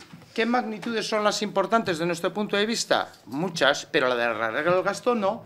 La regla del gasto no aporta nada sobre la situación como, como cuenta o como empresa del grupo ayuntamiento. No aporta nada. Es decir, económicamente el ayuntamiento estaría mejor si hubiéramos cumplido la regla de gasto si tendríamos el mismo superávit. No, estaríamos igual. Estaríamos igual. Con lo cual, no se preocupe que en cuanto dejen ustedes... Bueno, y claro, ¿por qué está la regla de gasto? Es porque eh, el estado este que, que tenemos... No, eh, no, no, no, déjalo. Es que tenemos un estado fallido. Pero es que es la consecuencia esa, es decir, esa ley de estabilidad presupuestaria está por los problemas que tiene el Estado español, que está en bancarrota absoluta. Y nos pone esto. ¿eh? Gracias, señor Belacortu. Para finalizar el debate, señor Uriarte. Muchas gracias, señor presidente. Pues también no lo he debido explicar, señor Belacorto, también no lo he debido explicar porque no me he entendido nada.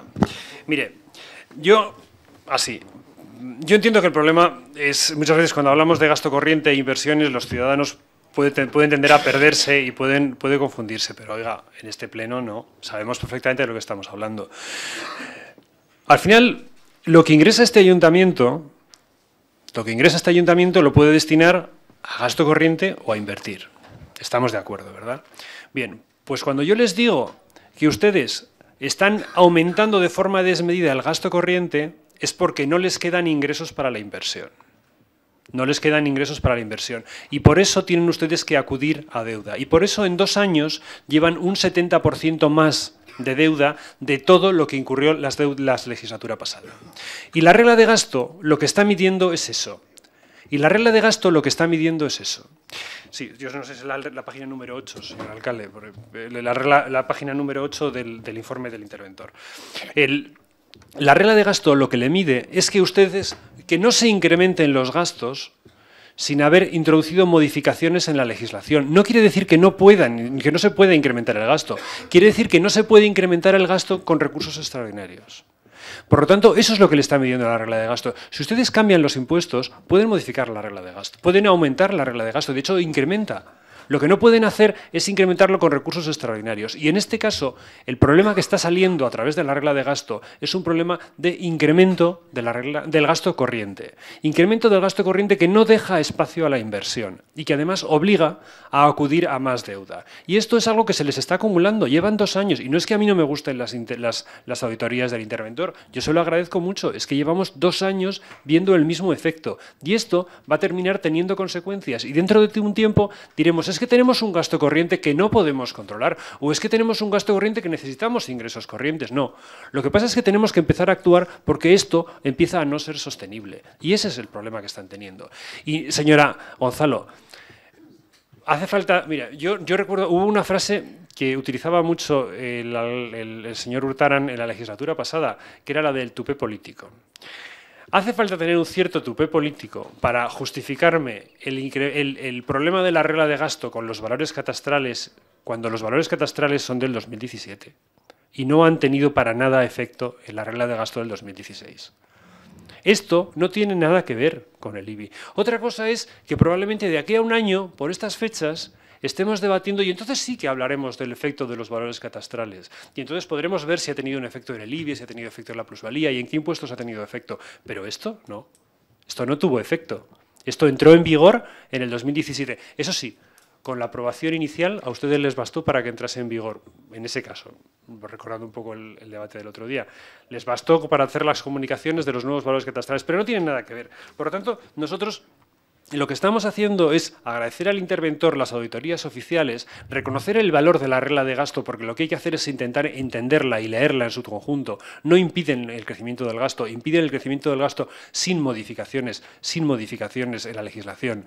Y en este caso lo que estamos es advirtiendo de que, señores, llevan ustedes dos años consecutivos excediéndose en la regla de gasto. Llevan ustedes un 70% más de endeudamiento de todo el endeudamiento que se, que que se acudió en la legislación pasada. Esto va a generar un problema, va a generar un problema a largo plazo. Señores del Gobierno, controlen el gasto corriente que en este momento lo tienen desbocado. Gracias, señor Uriarte. Damos por finalizado el debate y también el Pleno se da por informado y conocedor del informe de estabilidad 2016 realizado por la Intervención General. Pasamos al siguiente punto del orden del día, declaraciones institucionales. En primer lugar, tenemos una declaración institucional de adhesión a Alcaldes por la Paz que, dice así. Dado que Mayors for Peace trabaja para conseguir un mundo en paz libre de armas nucleares, el Pleno Municipal adopta los acuerdos siguientes. Uno, manifestar el apoyo a los objetivos de Mayors for Peace y solidarizarse con el objetivo de lograr la eliminación total de las armas nucleares. B. Medios for Peace nazioarteko sareari atxikitzeko behar diren tramite guztiak egingo ditugu. 3. Promover el conocimiento de la red y contribuir a la concienciación de la ciudadanía sobre la amenaza que representan las armas de destrucción masiva. Eta azkenik, laugarrena, Medios for Peace zareak Hiroshiman duen nazioarteko idazkaritzari akordio hauen berri emango diogu, bai eta Granollers iriari, Espainiako estatuko bakearen aldeko alkateak sareko nagusia den aldetik. Vitoria Gasteizen, 2008ko maiatzaren hogeita zeian. Bien, el siguiente punto del orden del día es eh, la ratificación de una declaración institucional con motivo del 17 de mayo de 2017 por una ciudad en donde la heterosexualidad no sea la norma.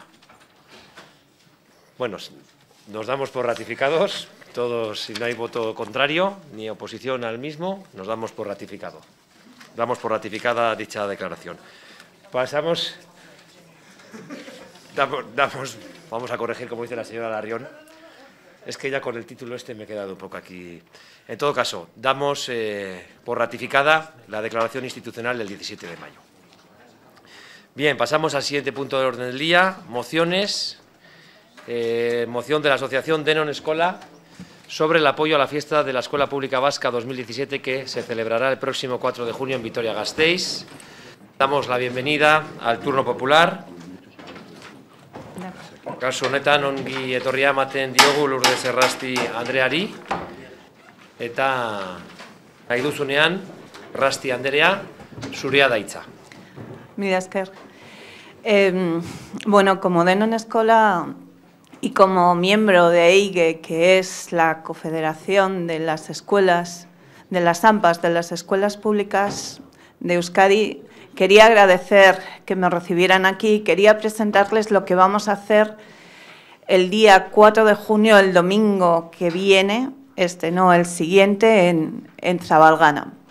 Todos los años, desde, desde 1992, se celebra lo que es la fiesta de la Escuela Pública Vasca. Con ello queremos hacer referencia y festejar un poco lo que somos, el orgullo que somos de ser la escuela pública, el orgullo que tenemos a favor de la, de la educación plural, de calidad, pública, euskaldún, y eh, en este caso, y siempre, intentamos reivindicar un poco los grandes retos que tenemos en la educación de, nuestras, de nuestros niños y, de nuestras niñas. Nosotros somos padres, madres de, nuestros, de la enseñanza, somos padres, madres que acompañamos a nuestros hijos en todo el proceso de la educación y queremos también participar en lo que es la educación reglada. Estamos viendo que cada vez tenemos retos, tenemos grandes retos. Este año, pues bueno, hay un montón de cosas pendientes y una de las cosas que vamos a meter dentro de esta fiesta y siempre con un espíritu positivo y constructivo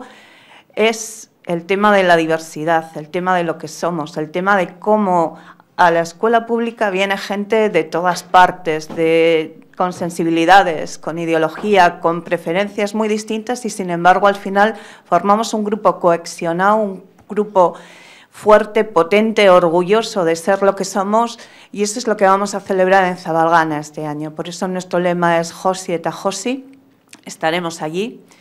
Están invitados a estar y esperamos que acudan todos, que participen de nuestra fiesta, que participen de nuestras reivindicaciones y también que vengan a disfrutar de lo que somos.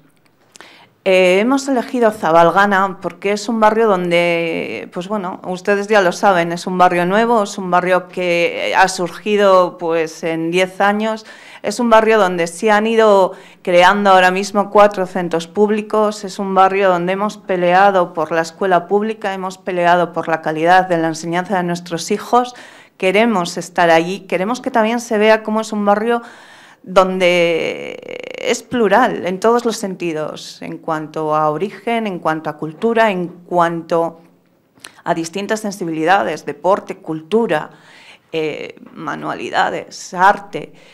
Y sin embargo somos públicos y estamos a favor de los públicos. Queremos celebrarlo allí como AIGE, porque representamos al final a las zampas de más de 450 centros de todo Euskadi. Vamos a estar allí. Es la primera vez, bueno, desde hace 17 años que se hace en Gasteiz esa fiesta. Queremos celebrarla a lo grande. Hace siete años que no se celebra en ninguna de las grandes ciudades de, Euskadi. Queremos estar, queremos que salga bien, queremos, pues eso, presumir de lo que somos. Y por eso les, les pedimos lo siguiente. En primer lugar, que el Pleno del Ayuntamiento de Vitoria-Gasteiz muestre su total apoyo a la fiesta de la Escuela Pública Vasca que se celebrará el 4 de junio en Zabalgana, en Vitoria-Gasteiz. En segundo lugar, que el Pleno del Ayuntamiento de Vitoria-Gasteiz autorice la colocación de una pancarta de apoyo y difusión de la fiesta de la Escuela Pública Vasca 2017 en la balconada del edificio consistorial durante la semana previa a la celebración de la misma. Y, en tercer lugar, que el Pleno del Ayuntamiento de Vitoria-Gasteiz inste a que desde el Ayuntamiento se difunda la fiesta de la Escuela Pública Vasca que se celebrará el 4 de junio en Zabalgana, a través de todos aquellos medios con lo que cuente a su alcance. Y eso es todo. Es que recasco, Errasti Andrea. Orain alderdi politikoa entzanda, irabaziren aldetik, Fernández Jauna. Sí, mi esker, a un Torri Lourdes. Eh, la verdad es que, bueno, en primer lugar queremos agradecer a nuestro grupo que hayan traído esta, este, esta moción eh, para este turno popular, para explicarnos eh, bueno, pues la, fiesta de la Escuela Pública Vasca que, se va a hacer en nuestra, en nuestra ciudad, en, Vitoria-Gasteiz, básicamente porque, bueno, los que estamos en Edmonton tampoco somos padres en este caso, ni madres y no, no conocíamos esta que se iba a celebrar aquí. Entonces, también agradecer para, para esta, este anuncio, también eh, agradecer el trabajo que, estoy haciendo dentro de, de, una escuela eh, a favor ¿no? de, de, esa escuela pública vasca, que sea de pública y de, calidad, por la, redundancia. Y como has comentado, pues el, trabajo que, que, vais a hacer, o que en este caso os concentréis dentro de, esta diversidad, diversidad de origen, diversidad sexual, diversidad en todos los, aspectos que, que, ya van teniendo los propios alumnos y, y alumnas. Y en este caso, pues eh, estando a a, favor de los puntos que, que proponéis, pues eh, votaremos a favor y bueno, ya intentaré mirar el tema de, de la agenda a ver si, si me puedo pasar el, el domingo 4. Mila esker. Mila esker zuri, Fernández Jauna. Orain Podemos alderdiaren txanda, Cerezuela Jana, zurea daitza. Gracias, señor alcalde, y gracias a ti por venir y a explicar en el pleno quiénes sois y lo que hacéis.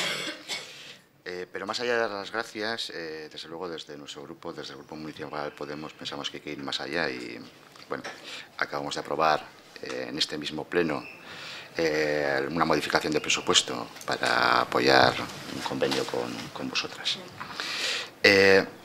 Nos parece absolutamente fundamental potenciar la escuela pública. Es, es, uno de los mantras de mi partido. Lo vamos a seguir haciendo, vamos a intentar seguir colaborando y atendiendo a aquello que nos planteéis.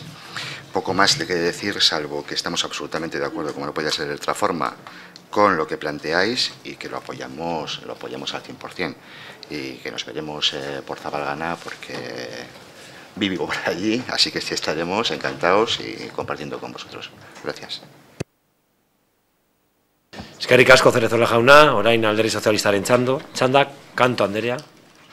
Vale, eskerrik asko alkate jauna, eh, bueno, desde mi grupo y también eh, desde el gobierno como concejal eh, de educación me gustaría darle la bienvenida a este pleno y decirle que, bueno, que por supuesto que vamos eh, a apoyar eh, lo que ustedes nos, nos trasladan. No es la primera vez que nos reunimos para hablar de este tema. Eh, toda la difusión que se le pueda dar y todo el apoyo que podamos prestar desde el ayuntamiento ya os trasladamos que sería factible. Eh, además, bueno, para mí es en cierta manera especial porque fue casi la primera reunión que tuve. Una vez accedí al gobierno con Denon Escola y en esa reunión Carlos me trasladó que, intentaría que este año fuera la, la, celebración de esta fiesta en Vitoria, cosa que me hizo bastante ilusión porque eh, bueno, yo siempre me he considerado una eh, ardua defensora de la escuela pública frente a otro tipo de modelos que bueno, pueden tener más o menos aceptación porque bueno, desde el Partido Socialista en particular eh, consideramos que la, que la defensa de la escuela pública ayuda a la integración, ayuda al desarrollo personal de las, de las personas y sobre todo eh, genera un clima de justicia, de justicia social y equidad que de otra forma sería eh, imposible, porque si no hay una educación pública es muy difícil que la barrera, que los obstáculos que se encuentran las personas a lo largo de su vida se puedan superar. Eh, simplemente decir eso, que por supuesto cuenta con, con nuestro apoyo, con todas las reuniones que, que hemos ido teniendo. Y por eh, terminar mi intervención con una cita de una feminista del siglo XIX que Concepción Arenal, que dijo que eh, se abran las escuelas y se cerraran las cárceles. Nada más. Muchas gracias. Muchas gracias a usted, señora Canto. Turno del Grupo Nacionalista, señor Prusilla. Bai, eskerrik asko alkate jauna, ongi etorri denoskonaren eh, ordezkariari, Errasti Andrea, eta, bueno, ba, nola ez, baita ere gure taldetik e, e, mozio hau e, onartuko, onartuko dugu, e, e, gero esango du gauza bat e, mozio honi buruz, baina e, orokorrean onartuko dugu eta e, esan behar dut e, gainera e, gutxi esango du, ala, zeren azken finean zuek zarete protagonistak e, e, mozio honekin, eta ekainaren lauan e, protagonistak izango zarete nola ez, edo izango gara. Azken finean, e, uste dut e, Euskal, Euskal Herriko gizarte osoaren e, eguna izango dela, ez da, baita ere, e, nola ez.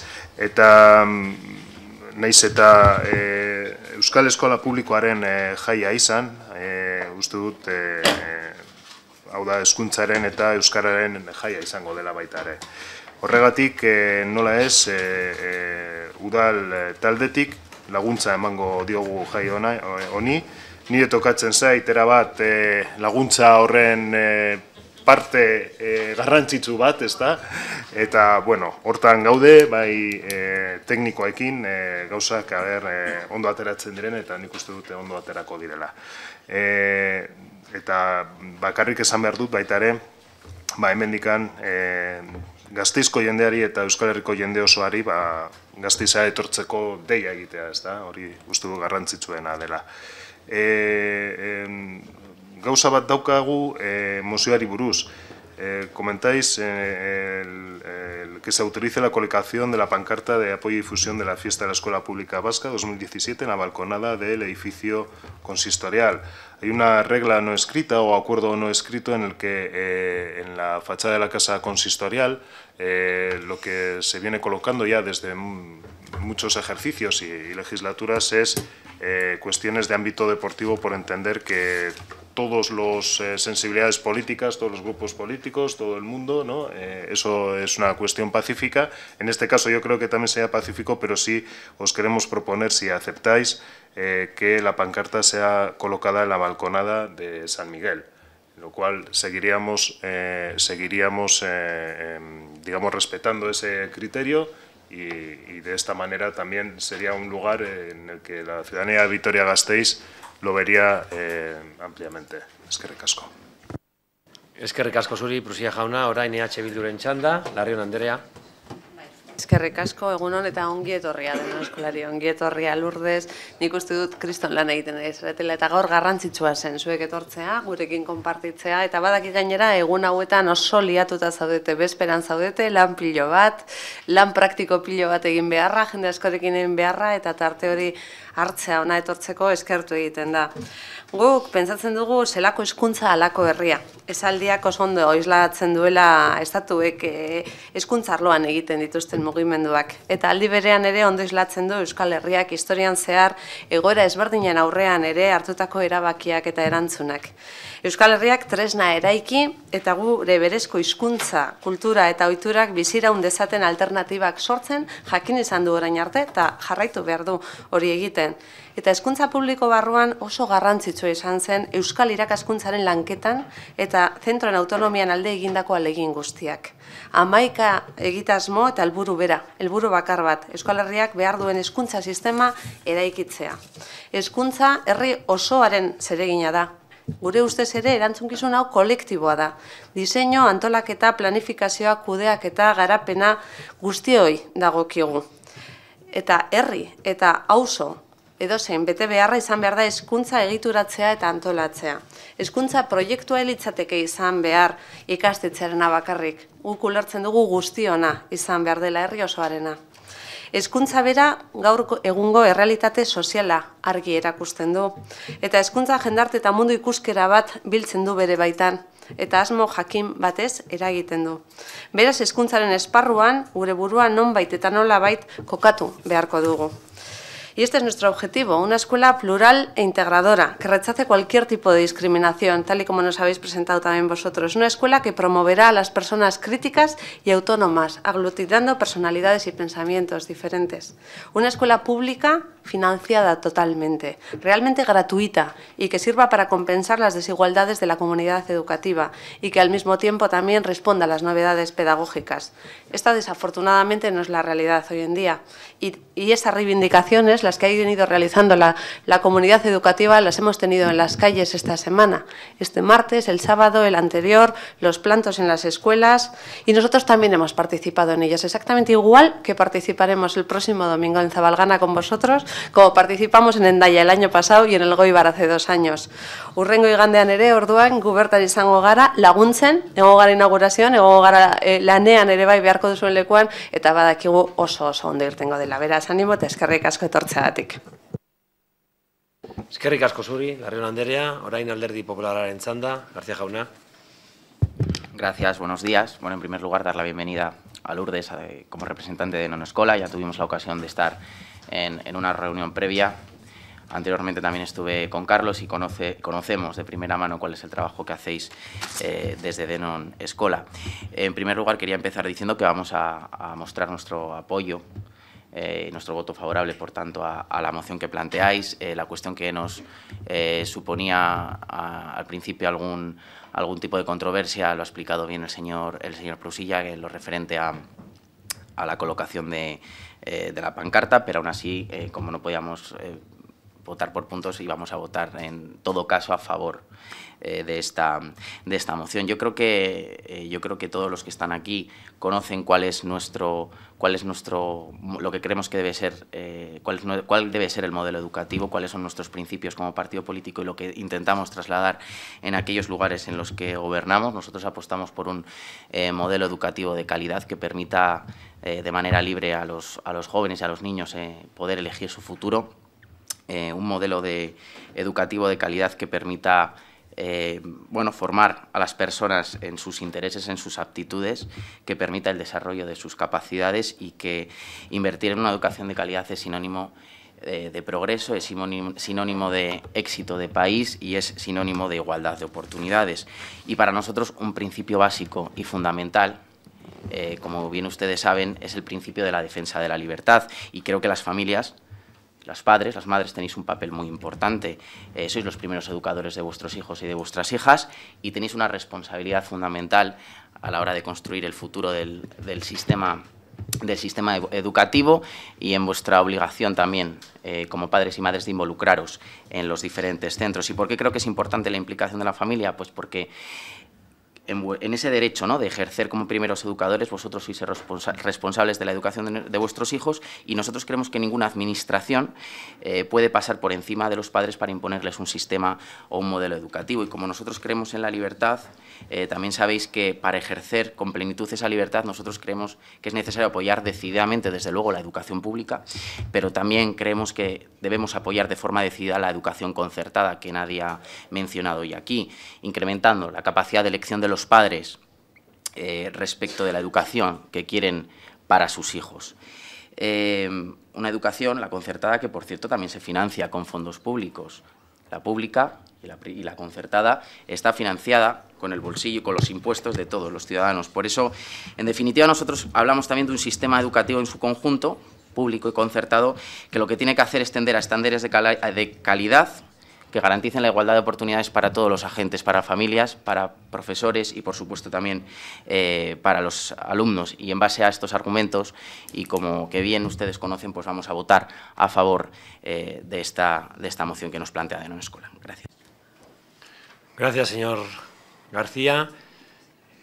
El señora Errasti tiene un segundo turno, si quiere hacer algún otro tipo de réplica o Pues, comentario. Aceptamos la propuesta de la colocación de la, de la pancarta en la balconada de San Miguel. Nosotros somos de la escuela pública y defendemos lo que defendemos y es la escuela pública. Ahora no es el momento de entrar en otro debate, es el momento de celebrar lo que somos, celebrar el reto que tenemos entre todos, que es a favor de la educación Estamos viviendo tiempos difíciles, tiempos compulsos, tiempos donde todos vamos a tener que reivindicar y trabajar por lo que todos tenemos y vamos a tener que llegar a acuerdos. Y el acuerdo es conseguir un mejor futuro para nuestros niños, que son el futuro. La educación es eso. Nosotros somos padres, madres, estamos implicados y en la escuela ha habido siempre, en la escuela pública ha sido ha habido siempre una trayectoria muy potente de implicación de las familias y por eso estamos aquí agradecerle, pues eso, la fiesta es momento de integración, es momento de celebrarlo entre todos, es momento de estar todos allí. La escuela pública es eso y es la grandeza que tenemos. Discutimos mucho también entre nosotros, lo saben, todo es difícil, pero sin más, de verdad, muchísimas gracias por recibirme, muchísimas gracias por escucharme, muchísimas gracias por apoyar nuestras peticiones y a su disposición. Nos vemos el domingo. Eskerrik asko zuri, erraste Anderea, zure parte hartzeagatik eta zuen lanagatik egunero. No sé si procede un segundo turno por grupos, entiendo que sí, señor Brusilla. Es... Perdón, señor Cerezuela. Señor Cerezuela. Eh, no hay problema, señor alcalde. Muy, muy brevemente. Eh, más allá de las defensas numantinas de otros modelos, que no es lo que toca, eh, simplemente recalcar dos cosas. Los discursos están muy bien, pero los hechos son los hechos. escuchar a padres y madres de la escuela pública de la escuela pública es absolutamente fundamental por una sencilla razón, porque son quienes mejores conocen los problemas que pasan. Es que es así de sencillo. Además, dotar de medios para que esas posibilidades crezcan me parece también tan sencillo, tan fundamental y tan básico que eh, creo que más allá de cualquier tipo de discurso o de otras cosas, es lo que toca hoy y para eso se va a hacer la fiesta. Gracias. Que ricasco Cerezola Jauna, turno del Grupo Socialista, señora Canto. Bueno, agradecer que haya aceptado nuestra nuestra propuesta de trasladar eh, la pancarta a la, a la, balcona de San Miguel. Y simplemente eh, añadir que desde el Servicio de Educación, en el programa de Ciudad Educadora, vamos a seguir trabajando. Creo que este año, este año y medio, hemos avanzado bastante, tanto con su, con su asociación, con Denon Escola, como con el resto de, agentes educativos, y vamos a seguir, a seguir en esa línea. Y además es que yo no lo puedo evitar, porque cuando eh, hablamos de, escuela pública, a mí es que me gusta mucho el tema. Me gusta muchísimo el tema, además... Eh, porque yo he estudiado en la pública, en la universidad y tal, y a mí me parece que es eh, básico defenderlo. Y a mí no me van a encontrar en un debate de esto sí y esto también. Yo tengo muy claro lo que defiendo. Yo defiendo la escuela pública y para nosotros es un honor, tanto, como, tanto para el Gobierno en general, para el Servicio de Educación y para mi partido en particular, que la celebración de esta fiesta venga aquí a Vitoria y vamos a continuar apoyándole. Nos vamos a seguir viendo y muchísimas gracias. Eskerrik asko zuri, kanto Anderea. Orain, eh, bai, eskerrik asko alkate jauna. Eh, bakarrik gauzatxo bat, eskerrik asko eh, Errasti Andrea eh, gure proposamena eh, onartzeagatik, baina eh, bakarrik, bueno, ba ez bada neukan prestatu edo geneukan prestaturik eh, olako eh, idatzita, ze idatzita egon behar da. Eh, decía que tiene que estar escrito el cambio en, en respecto a, simplemente en el párrafo 2 se cambia, eh, eh, lo diré bien, balconada del edificio consistorial por balconada de San Miguel, pero eh, con total respeto a la señora Errasti, si le, me gustaría que diese el escrito para ver si, si le parece bien así y así la secretaria que tenga... Es de cara al acta, evidentemente, como... ¿De acuerdo? ¿Hondo? Vale. Pues entonces, secretaria, es que recasco, sin más. Hori eta beste gauzei buruz, hemen esan diren beste gauzei buruz, nik ez dut ez esango, zen azken finan lehen esan dudan bezala e, e, kainaren laua gure eguna izango da, ez da, guztion eguna, zegoen eguna zueko antolatzen duzue, eta e, e, Euskal Eskola Publikoa izango da protagonista. Besterik ez, hori da helburua eta hortan egongo gara. Eskerrik asko. Eskerrik asko zuri, Prusia jauna. Eh, EH Bilduk ez du parte hartuko, bigarren txanda honetan. Aderi Popular Raquerés. Por lo tanto, procede la votación. Si pueden ustedes, si quieren, ocupar sus escaños. Y vamos a proceder eh, a votar la propuesta que trae el turno popular, la propuesta de Denon Escola, con este pequeño cambio que se hace en el punto segundo en cuanto a la ubicación de la pancarta y que queda registrado. Eh, ¿Votos a favor? Se aprueba por unanimidad.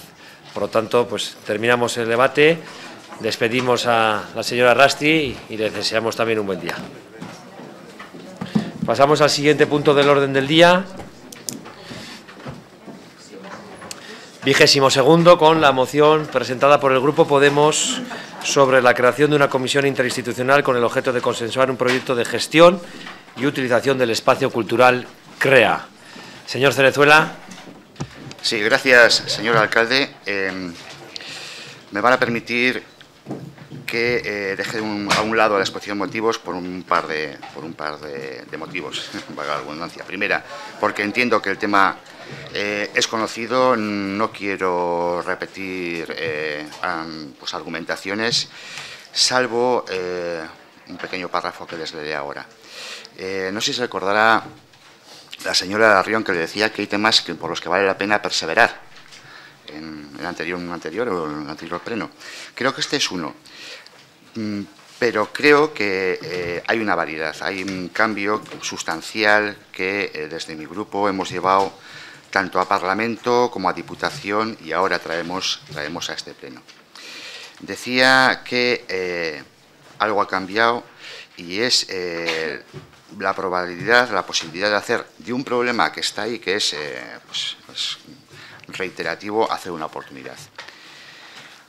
Han cambiado las cosas, aquella universidad que se iba a instalar no se va a instalar, y lo que sí es cierto, y es lo que les voy a leer ahora, es que eh, dentro de ese edificio, en su proyecto original, se contaba o se quería llevar a cabo ocho talleres artísticos, dos salas de grabación de música, locales de ensayo para danza y artes escénicas, dos salas de edición de vídeo, dos laboratorios de fotografía, un estudio radiofónico y dos talleres dedicados a las nuevas tecnologías además de nueve espacios de residencia para artistas, almacenes y dependencias dedicadas a las instalaciones propias del edificio como espacios de ocio y encuentro, así como la cafetería y el restaurante. Eso es lo que es CREA. Así está CREA. Eso es lo que se quería hacer. Sin más, ¿qué es lo que ha cambiado? Lo que ha cambiado es eh, la idea de hacer una comisión institucional donde mm, de alguna forma invitar a todo el mundo a que se baje de, sus, de las defensas numantinas de máximos y vayamos a acuerdos, a acuerdos para hacer de ese espacio, por fin, todo esto que les he contado, que era para lo que estaba diseñado, e incluso a aquello que se aporte.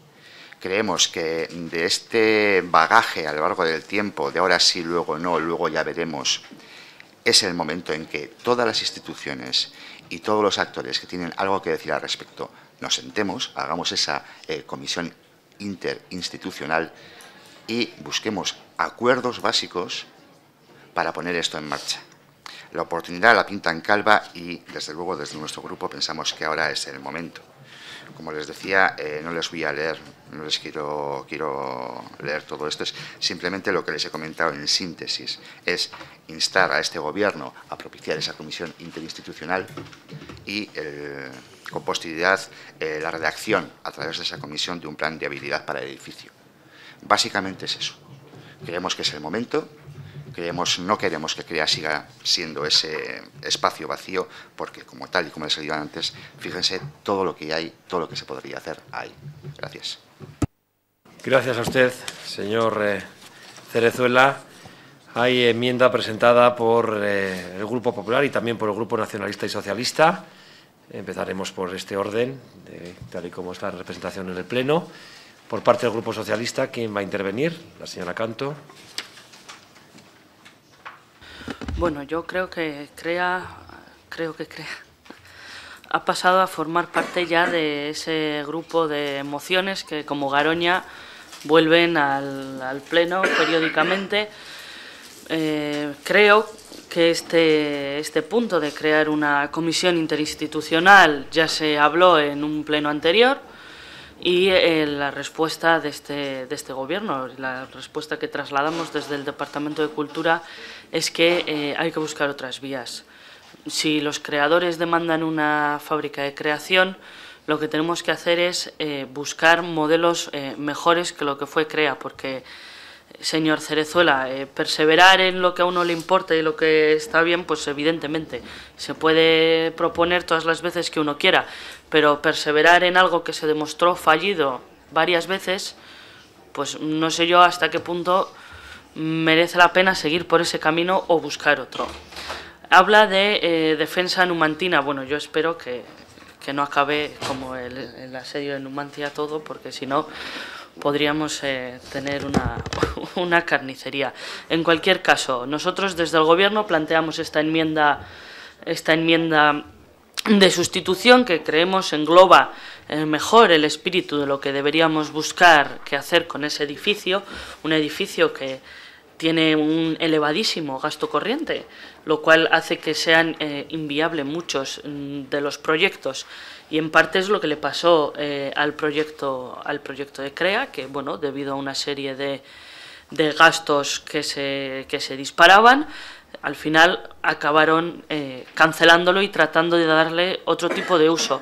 Nosotros sí que estamos de acuerdo en que tiene que ser un uso que esté abierto a la ciudadanía, un uso que tenga algún beneficio social para la gran parte de la población y es por eso que presentamos esta enmienda y bueno, sin más, para un segundo turno me, me reservo. Eskerrik asko kanto Andrea, orain Prusiare, Prusia jaunaren txanda. Bai, eskerrik asko, berriro alkate jauna. Bien, la señora Canto ha comentado eh, básicamente cuál es la posición del equipo de gobierno en este sentido. Eh, la verdad es que lo hemos comentado en varias ocasiones. Eh, eh, se intenta por todos los medios que el Ayuntamiento de Vitoria-Gasteiz participe en, en un proyecto que realmente está en un, estaría en un edificio que no es suyo, que no, no, no es nuestro. No sabemos eh, en qué es, cómo quieren que participemos. Eh, aquí a veces se- habla de ese edificio como si fuese municipal. Tenemos otros edificios municipales en los que se proponen eh, actuaciones relacionadas con la cultura, actuaciones novedosas, como pueda ser Ignacio Aldecoa con el proyecto Eratzen. No les oigo eh, proponer cuestiones sobre este asunto en un edificio que sí es municipal, pero sí quieren y, continúan además hablando de, de partir de la idea original en el ámbito de CREA, con lo que todos sabemos que la idea original eh, no era viable. No era viable en un momento dado, eh, se vio que no era viable precisamente eh, por el gasto corriente, entre otras cosas, que suponía esa, esa idea original. Y si quieren ir a la idea original y que el ayuntamiento participe en un gasto corriente de, dos millones de euros al año, pues la verdad, lo digo en serio, bastantes problemas tenemos en el ámbito municipal como para meternos ya también en otras cuestiones casi por, eh, por eh, digamos, una cuestión eh, em, más de, de postura política que de otra cosa. Eh, nosotros, eh, por eso presentamos eh, la, la enmienda que, que ha comentado la señora Canto, es decir, a quien animamos es al propietario del edificio, a la Fundación Vital. De eso se trata. Eh, y sí podemos eh, estar de acuerdo también en que podemos colaborar, como dice el Partido Popular en su enmienda, eh, con la Fundación Vital para, hablar de la actividad que, puede ir ahí. Pero una comisión interinstitucional en la que esté el Gobierno vasco, la Diputación Foral de Álava, el Ayuntamiento, eh, la Fundación, eh, em, no sé quién más, el tejido cultural a la vez. Nosotros colaboraremos con la Fundación en, eh, evidentemente en todo lo que nuestra competencia nos deje y evidentemente en, todo aquello que, pueda ser beneficioso para la ciudad eh, o para el municipio de Vitoria-Gasteiz. Pero lo que no estamos dispuestos es a que al ayuntamiento vaya más allá de lo que realmente le corresponde, teniendo, teniendo como, como digo, equipamientos eh, y edificios a los cuales eh, todos estamos de acuerdo que algún día habrá que dar una vuelta respecto al uso que se realiza e incluso proyectos para el ámbito de la creación y el ámbito eh, de la, eh, digamos, innovación cultural. Por tanto, eh, lo que sí eh, entiendo es que podría ser perfectamente plausible una enmienda transaccional con, con la del Partido Popular en el sentido de eh, unir los dos, los dos puntos. Es que recasco. Eskerrik asko zuri, Prusia jauna. Turno ahora del Grupo Popular como enmendante, señor Garnica. Sí, buenos días. Bueno, es estas mociones que se traen un poco para enredar, ¿no?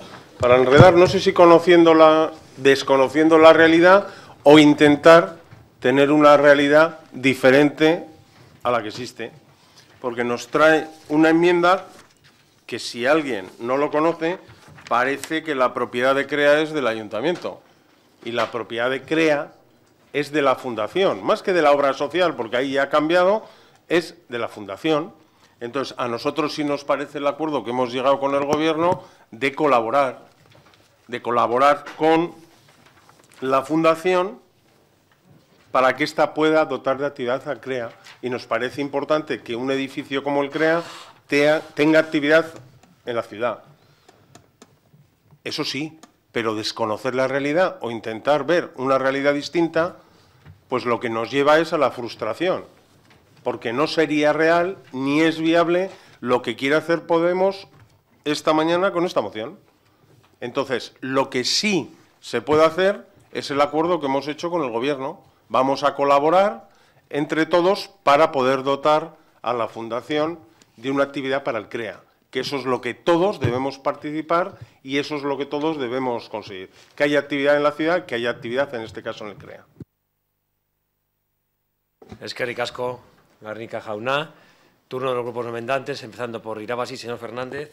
Sí, mira, es que también voy a ser breve porque ya hemos hablado en, otros plenos sobre este tema. Desde Irabasi, los grupos que lo componen, tanto Scanicha como ECUO, siempre hemos defendido que este espacio que ahora está abandonado en desuso eh, tiene que volver a, su, bueno, pues a su origen, ¿no? a sus funciones de, origen.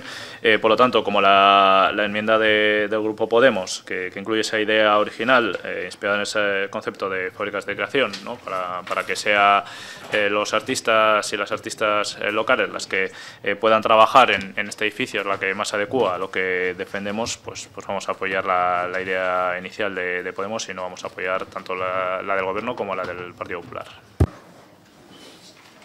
Gracias, señor Fernández. Ahora en EH Bildu Chanda, la Anderea. Vale, es que recasco.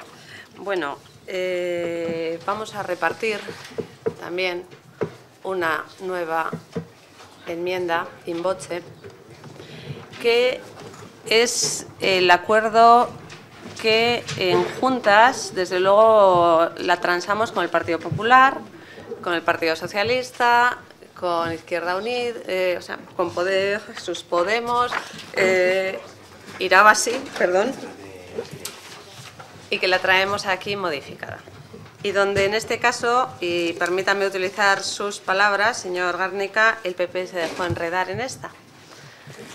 Y además, pero sí, sí creo que hay una modificación y entonces también eh, es importante explicar las cosas.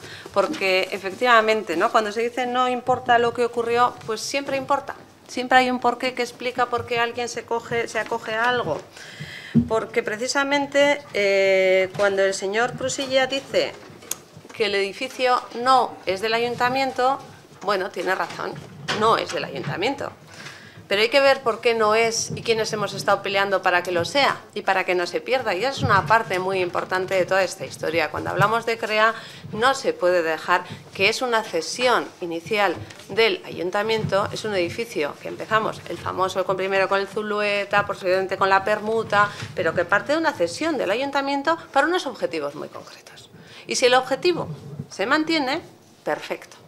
Pero que cuando se, lo que se cambia es el objeto para el que es, y en un momento dado se plantea que se va a hacer eh, o se va a obtener un beneficio de esa permuta, desde luego eso es lo que nosotros desde, desde lo público no lo podemos permitir. Y toda esa discusión y toda esa pelea que Euskal Herria Bildu está llevando en los tribunales para defender eso es pertinente, porque afecta al final a lo que discutimos. Porque cuando el señor Prusilla también dice que no es viable, no podemos dejar de estar tampoco en parte de acuerdo. Por eso, precisamente, en el primer punto de esta transada, de lo que transamos en juntas y que traemos aquí, de lo que se habla precisamente es de estudiar la viabilidad. Claro que sí. Dices, lo que se planteó en su momento, en unas condiciones, en un año, no es la misma que en 2017. Si ahí también estamos de acuerdo. Por eso a veces es importante ver la historia, no solo para corregirla, sino para aprender de ella. Y eso es el primero que traemos. Sí creemos que desde luego es importante que esto efectivamente no sea algo que asuma únicamente el gobierno municipal, las arcas tampoco están para ese momento. Creemos que es muchísimo más interesante que el trabajo se haga entre las grandes instituciones y, desde luego, también, por supuesto, que con la Vital, por supuesto. Pero hay una cuestión, señores del Partido Popular, a los que yo sí les animaría. Y yo creo que efectivamente, y es el segundo punto, y creo que ese es el motivo por el que nosotros acordamos esto, es el trato que se le da a Álava frente al resto de territorios históricos. Lo que queremos que se haga es ni más ni menos que lo que ya se está haciendo en Guipúzcoa y en Vizcaya, porque allí sí se está invirtiendo, allí sí hay un acuerdo del gobierno vasco con las diputaciones y con el ayuntamiento y se han desarrollado diferentes proyectos, desde tabacalera hasta otro tipo de proyectos, hasta el Dancharti. Y la cuestión también que decimos es, resulta que aquí tenemos un continente que parte de un origen de, un edificio público, que parte también de un desarrollo que tiene que ver con la Fundación eh, Vital, que debería de redundar en el beneficio de absolutamente todos y que ahora mismo el peligro es que esto no ocurra. Hombre, yo creo que es el momento de decirles al resto de instituciones y fundamentalmente al Gobierno vasco que quizás también tiene que empezar a mirar a Álava en las mismas condiciones que ha mirado a Guipúzcoa y a Vizcaya. No pedimos más, pero no pedimos desde luego nada de menos. Y que además, en ese sentido, eh, creemos que tenemos un potencial muy grande en cuestiones de artistas, incluso en la parte de la Comisión de Hacienda, cuando la señora Gonzalo ha defendido precisamente una subvención a la escuela, dices, porque tenemos una base de diseño y de desarrollo a la que habrá que sacar partido. Tendremos que plantear también un futuro a esos estudiantes de esas escuelas y de eso se trata también aquí. Lo que se trata es de poner el énfasis en las cuestiones de fabricación, también de creación y promocionar la idea, las ideas y sí una pequeña también eh, cuestión, señor Cerezuela, le voy a decir esta idea no es nueva, es el 18 del 9 del 15 nos la planteaban ya los representantes del mundo de la cultura. Está, precisamente solicitamos la creación de un grupo al Consistorio, Diputación y Vital para trabajar en el proyecto. Una cosa es que nosotros la llevábamos defendiendo, la volvamos a defender, la traigamos y hay un hecho que ha cambiado y que sí que es radical, lo decíamos en la cuestión anterior, pero lo que ha cambiado es que el proyecto, que desde luego nosotros no poníamos pega al, proyecto que se iba a desarrollar allí, eh, si estaba regulado, ha caído ahora mismo eh, CREA no es un continente que tenga ningún contenido. Y la cuestión es, ¿vamos a dejar que eso siga así? ¿Vamos a dejar más años? ¿O nos ponemos todos manos a la obra para sacar algo de ese edificio? Y esa es la propuesta. Y además, con el, el Gobierno vasco. Es que... Es que ricasco Suri, la reina Andrea, Zanda. Empezamos por el grupo proponente, señor Cerezuela. Por partes. Por supuesto que esto es una propuesta que nació donde nació y mm, creo que más de un partido se ha hecho eco de ella. La presentamos nosotros, sin más. Creo que estamos perfectamente capacitados y citados para hacerlo. Eh, vamos a ver. ¿Qué es lo que ha cambiado? Mm, pues permítanme ustedes, no hay que ser la quinta esencia de la inteligencia para ver qué es lo que ha cambiado. Que es que los intereses de cierta entidad sobre ese edificio no se han cumplido. Cuando hablo de problemas y oportunidades, a lo que me refiero es precisamente a eso. Si quieren lo explico por extenso, pero creo que no hace falta, porque está bien clarito, pero bien clarito. Tenemos un maravilloso continente, como dice la señora Larrión, que tenemos la oportunidad de llenarlo de contenido. Y no es que el ayuntamiento tenga que asumir todo, esto también es un tema recurrente, porque no es cierto porque no es cierto. No hay que mirar mucho más para allá, hay que irse a Bilbao, hay que irse a Donosti, ya se pueden ir a otros sitios también, donde las instituciones se implican en el desarrollo cultural de su territorio. Qué cosa más rara. Qué cosa más rara. Y por supuesto que hay modelos, y por supuesto que hay razones, pero también hay oportunidades. De lo que estamos hablando, llámenlo ustedes comisión institucional, llámenlo ustedes como quieran. De lo que estamos hablando, y repetimos hasta la saciedad desde este partido, es, oiga, estamos ante una oportunidad. ¿Qué tal si nos sentamos y vemos qué probabilidades hay entre todos los actores? ¿Qué es lo que no se entiende de eso? Que no cuesta dinero, que sentarse a hablar. Que parece que nos enrocamos, cada uno en sus posiciones, cada uno en sus legítimos intereses, y nos olvidamos o obviamos la posibilidad de un pacto por la cultura, por CREA, por lo que sea, aquí. Nos alocamos en razones. Dice el señor Ganica que venimos a enredar. Pues me parece que el que se enreda usted, porque su grupo, en juntas, apoyó esto. Mm, Leanse ustedes lo que ustedes mismos aprueban. es problema de ustedes, no el nuestro. Francamente, yo pensaba que si en juntas el Grupo Popular no había tenido ningún tipo de problema en transar esto, pues que por la misma regla de tres aquí no iba a haber problemas. O es que esto es diferente, o es que el Partido Popular en Diputación es diferente al Partido Popular aquí. O persiguen distintas cosas. No sé, mm, sin más. Insisto, y por cerrar el tema, eh, la propuesta de enmienda transaccional, por supuesto, por supuesto, para adelante. Invitamos al resto de los partidos a sumarse. No se trata, no se trata de imponer absolutamente nada. Insisto, se trata de ponerse a hablar con el actual propietario del edificio, eh, las instituciones y las personas que de esto saben más que nosotros, en el mundo cultural, de las probabilidades reales, eh, mediante un plan de viabilidad de la cultura aquí en Álava. Se trata simplemente de eso. Gracias. Es que ricasco, Cerezuela Jauna, turno del Grupo Socialista, señora Canto. Sí, bueno, vale. Muchas gracias, señor alcalde. Eh, bueno, señor Cerezuela, evidentemente sentarse a hablar no cuesta dinero, es cuestión de voluntad. Pero es que eh, lo plantea como si fuera un sentarse a hablar por vamos a hablar un rato y no dice así la moción. Dice sentarse a hablar, reduciendo dos frases, para que se redacte un plan de viabilidad. Eso no es sentarse a hablar, ya está, eso es sentarse a hablar con el fin de redactar un plan de viabilidad que costará dinero. Con lo cual, eh, no, pues no, vamos, no haga esa trampa. Entonces, nosotros ya le hemos dicho, el edificio no es, no es del ayuntamiento. El edificio tiene un alto coste de mantenimiento, rondando el millón al año se demostró un proyecto fallido. ¿Por qué perseverar en el error? Si fue un error, ¿por qué perseverar en él? ¿No será mejor buscarle otro uso público? Instar a la fundación a que le busque otro uso público, a que haga de ello, haga con ello otra cosa. Nosotros recogemos el guante de que las eh, asociaciones colectivos culturales demandan espacios de creación Claro que les recogemos el, guante y de hecho estamos trabajando en, el, con el proyecto del edificio Ignacio Aldecoa. Con unos, mm, tenemos dudas sobre el modelo de gestión, etcétera, etcétera, pero se está trabajando en ello con los agentes culturales. ¿Qué, necesidad de perseverar en el error, que, de, en, en la no viabilidad de CREA?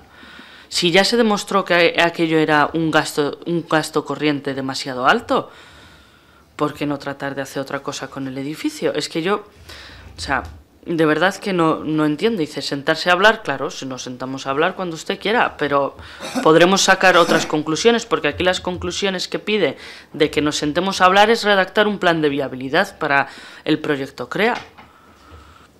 Y, nosotros decimos que, bueno, que será la fundación quien diga qué uso o qué uso no debe tener, pero por supuesto siempre un uso social de carácter público. Eso es lo que nosotros le queremos instar a la eh, fundación que haga con ese edificio. Y por supuesto que nosotros eh, seguiremos apoyando a los creadores locales, recogiendo sus guantes de las necesidades que tienen, como bien se ha visto en el diagnóstico que hemos elaborado del Plan Estratégico de Cultura de Vitoria-Gasteiz, que sí, que demandan espacios de creación y en ello estamos. Muchas gracias. Gracias a usted, señora Canto. Turno del Grupo Nacionalista. es que recasco. Bien, eh, creemos que con la enmienda transaccional entre los tres grupos, entre Partido Nacionalista Vasco, Partido Socialista y Partido Popular, eh, las cosas eh, se aclaran bastante. se pone de manifiesto quién es el propietario del edificio CREA, que es la Fundación Vital. Eh, se pone de manifiesto que el Ayuntamiento eh, eh, tiene voluntad de colaborar con la Fundación Vital en, buscar contenidos, pero también hay una cuestión que a mí me llama la atención, porque aquí pasamos una vez más al discurso genérico y, de alguna manera distorsionado en el que se pierden por el camino todas las eh, importantes cuestiones al respecto. ¿no? Eh, uno es lo que comentaba la señora Canto, es decir, el, proyecto anterior del cual parece que se quiere partir eh, no era viable y por tanto mm, volveríamos a, a, retrotraernos a un ámbito que ya está demostrado, a esa eh, esa inviabilidad. Eh, por otro lado, mm, me llama la atención que se hace, se hace un llamamiento a, a, la colaboración interinstitucional en el ámbito de la creación, de la cultura, etcétera, pero se vota abstención cuando realmente hay que retratarse hay que retratarse en los aspectos resolutivos de este Pleno más que en las mociones. Se vota abstención en la modificación presupuestaria eh, eh, para un convenio con la Escuela de Diseño, tanto Podemos como EH Bildu, lo he apuntado antes eh, y, así ha sido la votación. Entonces, mm, vamos a ver, se reclama a los demás partidos cosas, pero cuando realmente hay que levantar la mano para llevar a cabo eh, algo ya resolutivo, es decir, tomar la decisión, pues se abstienen con las causas que sea. ¿eh? No, no voy a entrar en el fondo, pero el resultado de la votación es el que es. Y en cambio, a los que se nos pide esa responsabilidad, pues hemos votado a favor de, esa, de, eh, ese acuerdo resolutivo, en, en este caso, con una cuestión de creación también en el ámbito de la cultura. Es curioso, ¿verdad? Bien. Eso como un ejemplo, sin más. Y no quiero alargarme más porque eh, creo que las posiciones han quedado claras. Se nos quiere, eh, se nos ha traído eh, desde Bildu una, una, cuestión que sabe perfectamente que en Juntas Generales tampoco nosotros no, no, no, aprobamos en su totalidad y por tanto entendemos que desde, desde el Ayuntamiento somos también soberanos, tenemos autonomía local para eh, aprobar lo que consideremos oportuno de cara a nuestra institución y la implicación que nuestra institución tiene que tener con otras eh, entidades. Es que ricasco. Es que ricasco, Suri Prusia Jauna. Turno del Grupo Popular, señor Garnica. Sí, aquí podemos, dice, a ver si podemos llegar a un acuerdo, pero si toda la exposición de motivos es para criticar, como hacen siempre, en este caso al Partido Popular y a lo que se ha hecho en el pasado que además lo que se hizo en el pasado es, si hay un proyecto, intentar llevarlo a la práctica. Pero ustedes, yo creo que, que en ningún momento han querido buscar el acuerdo, porque si no hubieran hecho otra exposición de motivos y se hubieran sentado a hablar. Por lo tanto, en este caso, nosotros además nos parece que es más práctico lo que estamos haciendo, que es llegar a un acuerdo para colaborar, porque si no, por mucho que digamos otras cuestiones, la Fundación tiene plena independencia para generar la actividad que crea oportuna o llevar a cabo proyectos. Por lo tanto, nos parece más práctico que puede, que podemos llevarlo a cabo, si es necesario, también desde Bildu, que haya aportaciones del Gobierno vasco, colaboraciones con el Gobierno vasco, también es útil pero no podemos empezar la casa por el tejado. ¿Por dónde lo empezamos? No, ¿por dónde lo empezamos? Porque está muy bien, pero ¿por dónde? Intentamos colaborar con la, con la fundación que es la propietaria del edificio Creo, Crea, nos sentamos y de verdad queremos llevar a cabo y que haya actividad. ¿O nos quedamos en mociones en el Pleno para que al final no pase nada? ¿Vale? Pues lo que tendremos que hacer desde el ayuntamiento que se puede llevar a cabo. Vamos a verlo, vamos a colaborar y vamos a hablar con la fundación. Vamos a ser prácticos, no nos quedemos en mociones que al final son papel mojado, que es lo que yo he interpretado con lo que ha presentado en este caso Podemos. ¿Vale? ¿Nos ponemos a trabajar? ¿Nos ponemos a colaborar? ¿Podemos hablar con la fundación? Que al final es la propietaria? ¿O intentamos hacer cuestiones que después no se pueden llevar a cabo? Pues por nosotros hoy lo que hemos decidido es ser prácticos, podamos colaborar y al final que se genere actividad en el edificio CREA. Es en lo que deberíamos estar todos, generar actividad. Y por lo tanto es lo que a nosotros nos parece hoy más oportuno y por lo tanto es el acuerdo que hemos llegado esta mañana. Muchas gracias, señor Garnica. Turno ahora de los grupos no enmendantes. En este caso, señor Fernández Graba, si no desea intervenir. Por lo tanto, cierra el debate la señora Larrión. Vale, es que ricasco. Bueno, empezando por el final, eh, bueno, señor Garnica, pues creo que efectivamente em, se han dado tarde y creo que hubiera sido posible acordar con ustedes esta, porque de hecho la firmaron en juntas. Pero en un momento dado yo creo que todavía tenemos opción de que ustedes aprueben estas, porque ¿va a abandonar ustedes cuando siempre enarbolan que defienden a los y las gastistarras? ¿Les van a abandonar frente al resto de territorios? Porque esa es la parte que queremos que colaboren. ¿Eso es lo que van a hacer ustedes?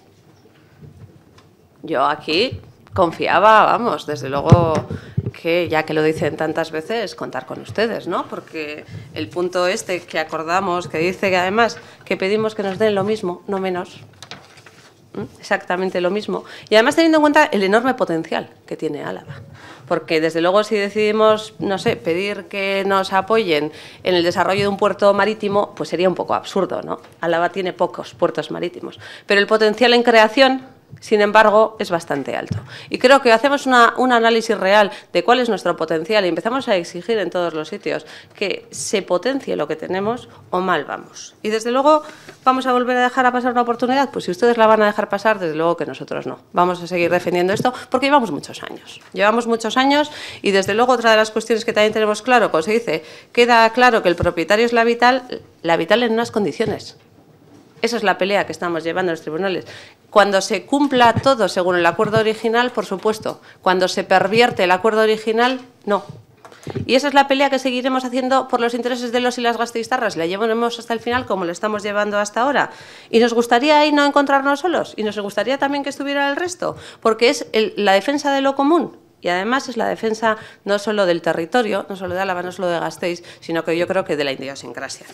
Pero en cualquier caso, eh, pues eso, una vez que se abandona, una que tenemos plena independencia, el señor Prusilla, ustedes no lo votaron en juntas, yo no esperaba que ustedes lo voten aquí. Yo, precisamente, a los que no les he pedido, no les he recordado esto, eran a ustedes. El acuerdo había sido con el Partido Socialista, que también lo firmó, y había sido con el Partido Popular, que también lo firmó. A ustedes, a, eso, a los que les hacía referencia, a que aquí pedamos exactamente lo mismo, porque desde luego, si en juntas pedimos un acuerdo con, con, con el Gobierno vasco y con el Ayuntamiento, pero el Ayuntamiento ya nos lo pedimos, algo raro tienen. Algo raro tiene en medio. Y miren, en cambio, el potencial que tendríamos. O sea, si las principales instituciones alavesas lo pedimos. Evidentemente que de acuerdo con la Vital, pero ¿quién está en contra de que la Vital también se alinee con lo que inicialmente era el origen del proyecto? Por supuesto, todos a una. Esta es la magnitud de ese edificio que necesita una cooperación entre todos. ¿Ustedes creen de verdad, pero de verdad, sinceramente, que la Vital va a tener cualquier otra opción? ¿Vamos a seguir dejando que ese edificio esté vacío? ¿Lo creen? Pero sinceramente creen que ese enorme edificio, esos miles de metros cuadrados, se pueden llenar de algo que no sea una cooperación con lo público? Porque yo estoy convencida de que no. Con lo cual vamos a dejar que todavía decaiga más la propia situación del edificio y vamos a seguir retrasando lo que se podría hacer. Estamos en una etapa de subida en lo económico, estamos en unos momentos donde el resto de territorios están planteando alternativas. Oímos día sí y día no que en Guipúzcoa se está planteando un centro de ciberseguridad, que en Vizcaya se están avanzando en cuestiones también de, de desarrollo, de cuestiones además culturales. ¿Qué estamos haciendo nosotros? Poca defensa hacemos. Y no se traslada solo, señor Prusilla, en qué se vota en, un, cambio de partida presupuestaria, donde además precisamente la abstención es permitir que ustedes hagan ese cambio. Pero precisamente cuando vamos a votar en contra, ¿eh? y es como hemos votado, es en cuestiones que tiene que ver muy poquito con los intereses de lo común y mucho con los intereses de lo particular llamado sea. Ahí es donde no nos vamos a encontrar. Pero la otra cuestión, precisamente la abstención, es que esas cosas ocurran. Sin embargo, aquí pues vamos a volver a tener un problema con CREA y eso es lo que queremos. En lugar de trabajar, y además este planteamiento, estas mociones, eh, no obliga a, y precisamente recogería todo lo que ustedes han planteado, que se estudie la viabilidad, que se estudie, porque una falta de viabilidad, no estamos en el 2008, estamos en el 2017, habría que ver en, este, en las actuales condiciones cuál es el mejor de los proyectos. Pero como sigan planteando que la Fundación Vital sola puede hacerse cargo de eso, mal vamos flaco favor hacemos a nadie y desde luego como no defendamos conjuntamente el territorio, el resto va a seguir adelante y nosotros no. Es que ricasco la reunión Andrea. Corresponde ahora votar las enmiendas eh, in voce transaccionales presentadas por los grupos en orden de presentación. Primero por la presentada por el Grupo Popular, PNV y PSE. Posteriormente, en el caso de que no prosperara, se votaría la enmienda transaccional in voce presentada por el Grupo EH Bildu y si ninguna de ellas prosperara ya iríamos a las enmiendas de sustitución presentadas eh, inicialmente y por último la moción original presentada por el grupo proponente. Bueno, por lo tanto, procede ahora la votación de la enmienda transaccional que presentan los grupos PP, PNV y PSE a la moción del Grupo Podemos sobre la creación de una comisión interinstitucional con el objeto de consensuar un proyecto de gestión y utilización del espacio cultural CREA. ¿Votos a favor? ¿Votos en contra? Queda, por lo tanto, aprobada con los votos favorables del Grupo Popular, Nacionalista Socialista y el voto contrario del Grupo de H. Bildu, Podemos e Irabasi. Y, por lo tanto, seguimos el pleno y el orden del día, el punto vigésimo tercero, es una moción del Grupo de H. Bildu para la puesta en marcha de una auditoría sobre la contrata de limpieza municipal. Señor Miguel, cuando usted quiera. Bai, eskerrik. Eh, bueno, eh, llevamos una semana hablando mucho sobre, sobre las normas mínimas que hay que cumplir para vivir en sociedad, para la convivencia, también eh, normas que deberían atender a la ética. Llevamos una semana en la que estamos escuchando hablar demasiado de que nadie debe vivir de los demás, que no se debe vivir a cuenta de los demás. Llevamos una semana hablando también demasiado sobre la seguridad y sobre una falsa inseguridad de las personas. Llevamos también una semana hablando demasiado de, violencia. Y llevamos también una semana hablando de que no se puede negociar con gente y comunidades que pretenden chantajear al ayuntamiento. También hemos oído, desgraciadamente, de que hay gente en esta ciudad que si las cosas no se hacen como ellos y ellas quieren, luego la preparan. Y si todos estos argumentos nos han dado esta semana para crear un escándalo social en nuestra ciudad y para crear una innecesaria alarma social, en el grupo de H. Bildu creemos que los mismos argumentos nos deberían servir para abordar los problemas de la mayor contrata del ayuntamiento, contrata que, a la que pagamos 23 millones de euros, quizá en el futuro tengamos que pagar más, y que tiene más de 400 trabajadores. Y tengo una serie de preguntas.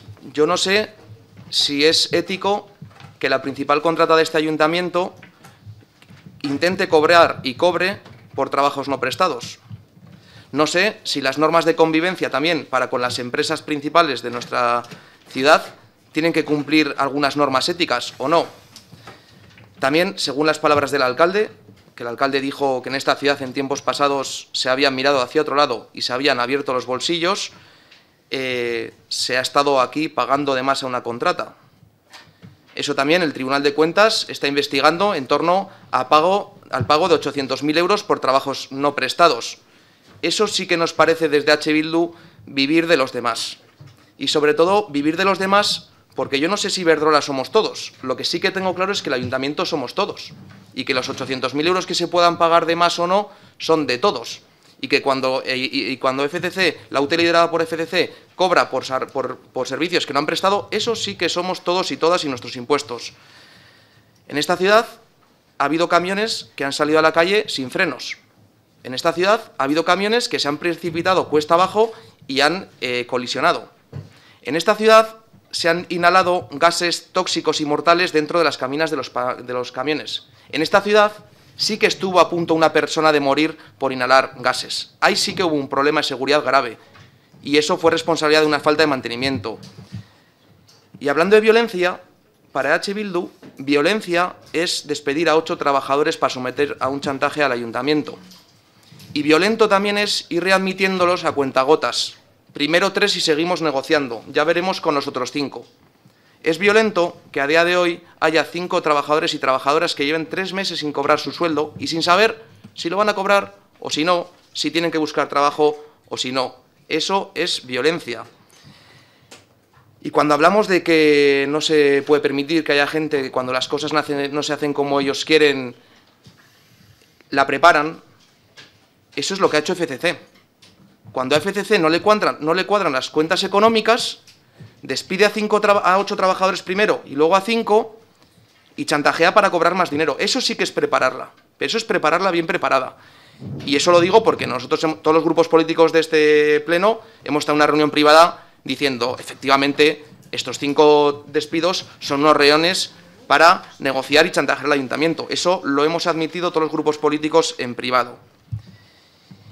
Y estos son los verdaderos fraudes en nuestra ciudad, en Gasteiz. Y esto sí que es robar. Y esto es eh, robar con, las manos en los bolsillos. Y es por eso que desde H. Bildu creemos que qué menos que eh, hacer una auditoría a esta contrata para ver lo que ha pasado en los últimos años con esta contrata y lo que está pasando, y no solo para que los concejales y concejalas de esta ciudad tengamos claro cómo eh, afrontar este problema, sino para que toda la ciudadanía sepa lo que pasa con su dinero. Porque esto sí que es robar.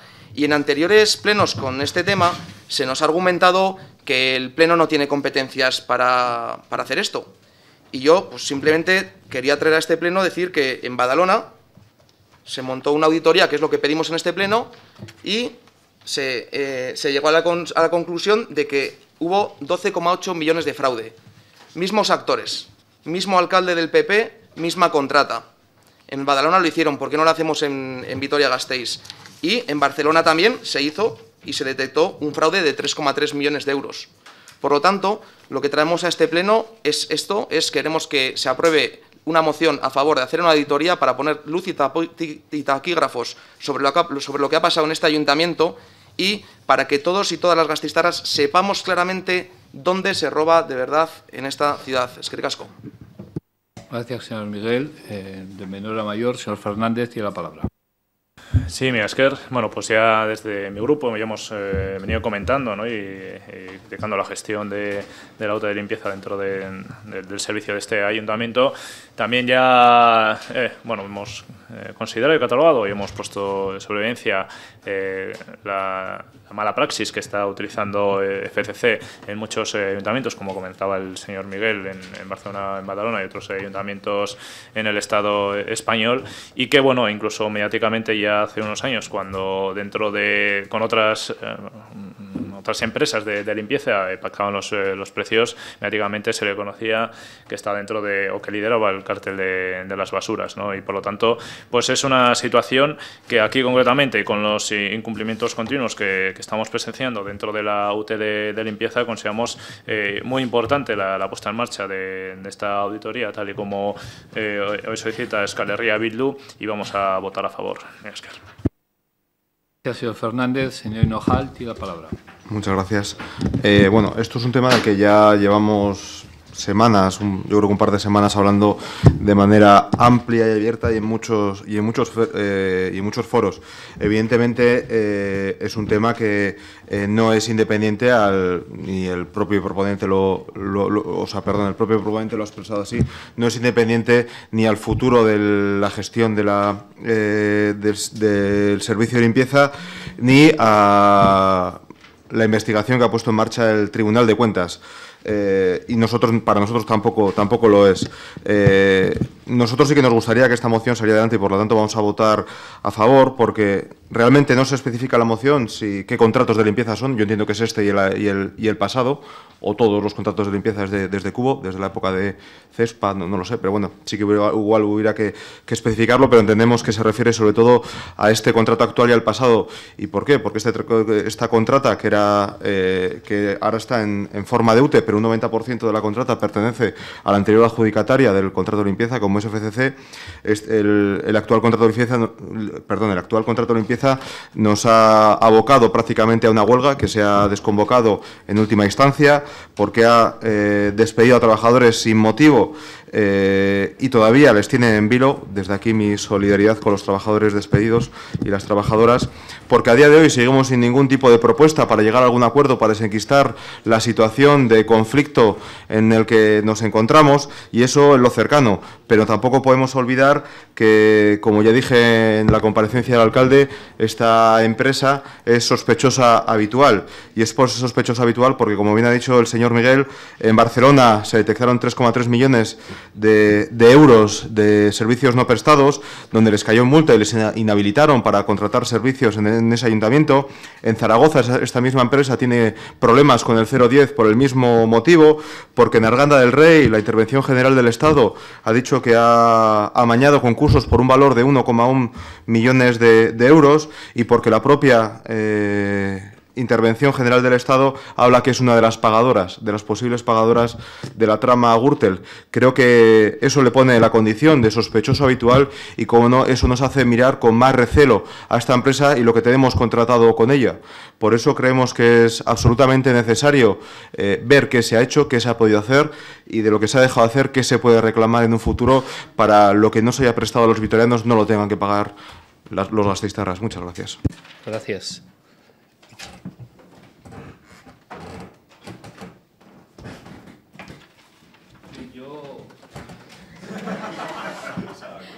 Bueno, me das la palabra.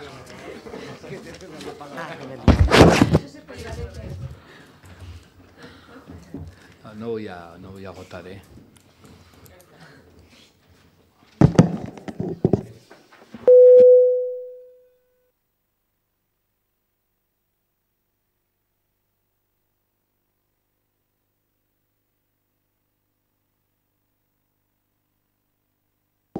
Pues tiene la palabra el señor eh, López de Munain. Del Grupo Gracias. Socialista. Bueno, nosotros, mi grupo, creemos que no es necesario lo que se está planteando en esta, en esta moción. Primero, no es necesario porque lo que se pretende hacer, como bien dicen usted, dice usted, señor eh, Miguel, ya está el Tribunal de Cuentas. Desde luego, lo que haga el Tribunal de Cuentas y lo que diga y lo que concluya tendrá mucho más peso y mucho más rigor y mucho más que lo que podamos hacer en una auditoría, sin lugar a dudas. Por lo tanto, no vemos sentido dos eh, actuaciones paralelas con, lo con el mismo tema. Eso por una parte. Por otra parte, creemos que en este momento, precisamente en este momento, es cuando más controlada está la UTE, cuando más ha control- se lo está controlando, cuando más expedientes bien informativos o sancionadores se ha abierto sobre, sobre, esta, sobre esta empresa, con lo cual no cabe decir que hay que hacer una auditoría porque no sabemos lo que está pasando, no hacemos un seguimiento. ¿Qué nos aportaría la auditoría? Pues nada diferente a lo que vaya a aportar lo que vaya a hacer el Tribunal de Cuentas. Eh, no nos abriría ninguna luz nueva. Nosotros entendemos que el Tribunal de Cuentas tiene suficiente capacidad y suficiente credibilidad como para hacerlo. Nos atrasaría porque, claro, no vamos a decidir hacer una auditoría y tomar unas decisiones después. Habrá que esperar. Y, desde luego, en las circunstancias en las que estamos con los con las personas sancionadas o, o despedidas, como queramos decirlo, sin ser readmitidas, no podemos estar esperando seis meses, siete meses, ocho, que puede costar una auditoría excesivo. Nos parece que no es momento de meternos en una historia de este tipo. Si en todo caso hay que eh, implicarse, pues habrá que hablar con las partes, negociar o no negociar y, al final tomar una decisión. No esperar algo que vayamos a, porque también si no vamos a esperar, ¿para qué lo vamos a encargar o para qué lo vamos a hacer? O sea que si decidimos hacerla será porque queremos ver sus resultados y esperar a ellos para así hay que tomar decisiones. No, no nos parece que esta medida en este momento, ¿eh? no estamos en contra de las auditorías, si hay que hacerlas, si, efectivamente hay sospechas, etcétera, etcétera, pero en este momento de- del, del proceso, de, la situación, del conflicto en el que tenemos con la empresa de limpieza y con los despidos y los trabajadores y aquella amenaza de huelga que se paró, etcétera, ustedes saben perfectamente de qué estamos hablando, no es el momento de encargar una auditoría que, como les digo, no va a aportar nada, nada nuevo, eh, nada nuevo que no nos pueda aportar el Tribunal de Cuentas que está ya sobre eso y que nos dirá lo que hay o no hay, o si no hay absolutamente nada. Nos va a ralentizar.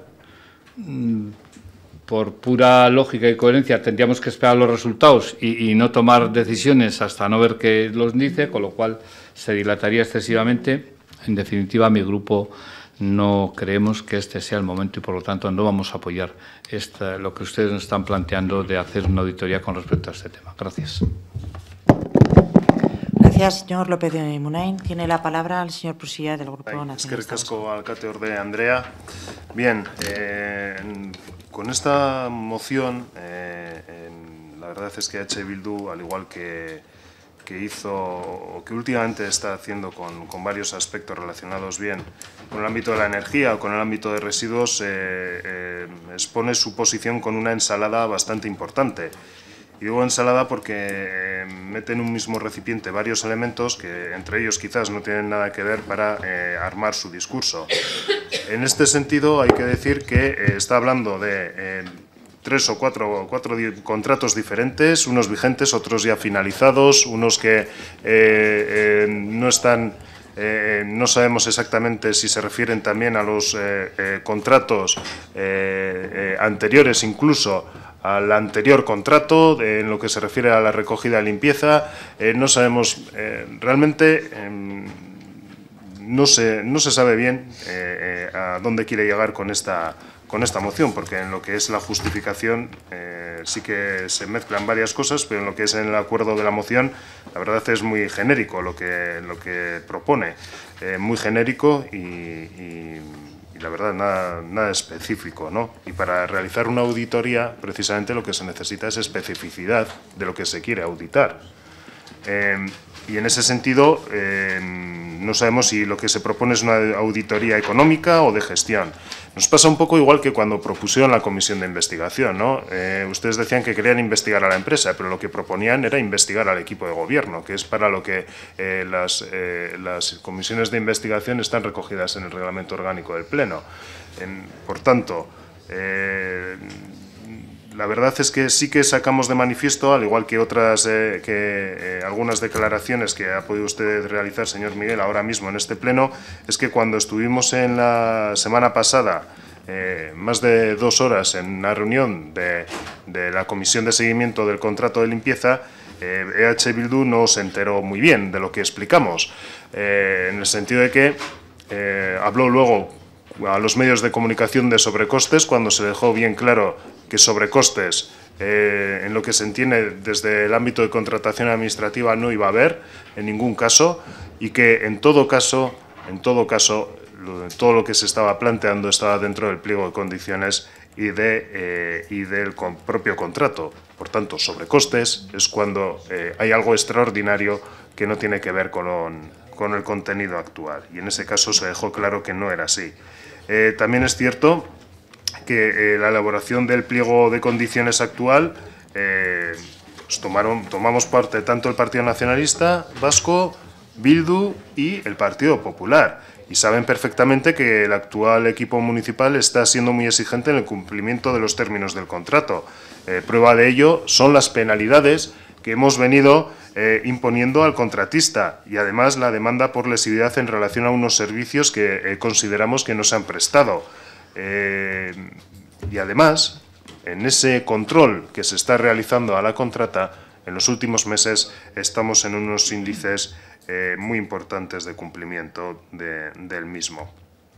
Por tanto, evidentemente, el actual equipo de gobierno también ha manifestado desde hace eh, tiempo ya, o desde hace meses, que evidentemente los despidos eh, eh, deben, o esas personas de- despedidas deben ser readmitidas por la, por la UTE, bien si ésta decide continuar el contrato y, o, o si se optase también por la resolución del mismo. Usted ha comentado cuestiones que pueden ser muy interesantes desde el punto de vista periodístico sobre Badalona o Barcelona, pero que eh, aquí no hemos recibido en ningún momento ninguna cuestión que, que se investigue por otras instancias en lo que se refiere a los contratos eh, eh, del ayuntamiento, salvo el Tribunal de Cuentas, como se comentaba, y que está en un proceso de diligencias preliminares, no está en el ámbito de instrucción, y además en lo que se, en ese caso lo que se está dilucidando es el hecho de que existen o de que no hay constancia en el expediente de contratación de documentos que justifiquen las prestaciones realizadas por la empresa por un importe de 820.000 euros. No se dice que, eh, eh, que no esté justificado, sino que eh, falta esa documentación. Y por otro lado, también decirles que hablan de robar, lo ha dicho varias veces, de que nos roban. Yo, si realmente considera que nos están robando firmemente, por favor, eh, denúncielo, denúncielo de una vez, porque eh, ya empiezo, eh, empieza a ser un poco mm, eh, reincidente en, expresar palabras que son consideradas delitos y, y ya está. Pero bueno, si, si realmente lo consideran o tienen constancia de ello, denúncielo. Saben que tienen todos los expedientes a su disposición y si han visto algo en ellos que puede ser constitutivo de delito, denúncielo. No hay, eh, me parecería perfecto y, sé que lo harían además eh, por el interés general, ¿no? Entonces, háganlo si así les consta.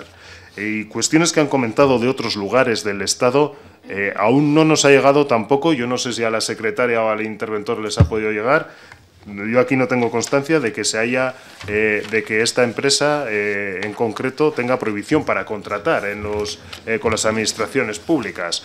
Eso sería importante, si realmente ha incurrido en todo lo que ustedes dicen, si está demostrado, porque me imagino que se estará investigando esas cuestiones, si ya hay sentencias, etcétera, me imagino que habrá incurrido en, una, en, un caso de prohibición de contratar y, por tanto, evidentemente, sería eh, esa cuestión. Y termino ya, porque creo que ha agotado el tiempo, en el sentido de que eh, simplemente vamos a votar en contra de esta, de esta moción, porque, como decía, estamos realizando un control exhaustivo del actual contrato. Entendemos que el Tribunal de Cuentas del Estado está analizando el anterior contrato y, en todo caso, si viésemos o si en algún momento hubiese que, eh, que, investigar algo más, porque alguna otra instancia así nos lo solicita, o, el propio Tribunal de Cuentas, pues evidentemente colaboraríamos con ellos. Es que recasco.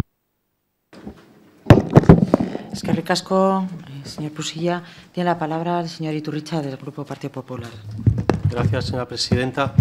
Señor Miguel, es que no disimula, no es que enseñe la patita, es que enseña la, la zarpa usted, ¿no? Mezcla todo ha hecho una exposición de motivos donde habla de la calidad del servicio, de las quejas ciudadanas, aspectos laborales, habla de temas de seguridad, del anterior contrato, del actual, de otros contratos, todo eso con la mala intención de crear un clima de, confusión. Eh, además de mezclar todo, el lenguaje también le delata en su exposición.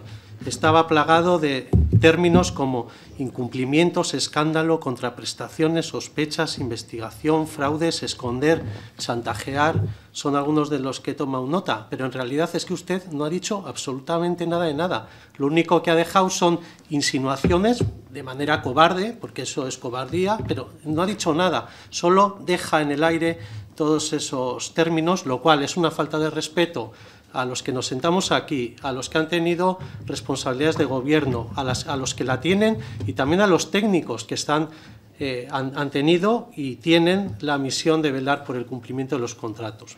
Eh, lo cual, pues creo que eh, la exposición que ha hecho no, no, es para que usted se sienta orgulloso, a no ser que lo que pretenda, que es lo que yo realmente creo, no es saber cuál es la verdad, porque eso vemos que no es lo que a usted le importa, sino lo que es es un ataque al anterior equipo de gobierno, al actual, eh, con la intención, como digo, de hacer daño por eh, suerte o por desgracia ya nos conocemos y esto no es nuevo de su grupo.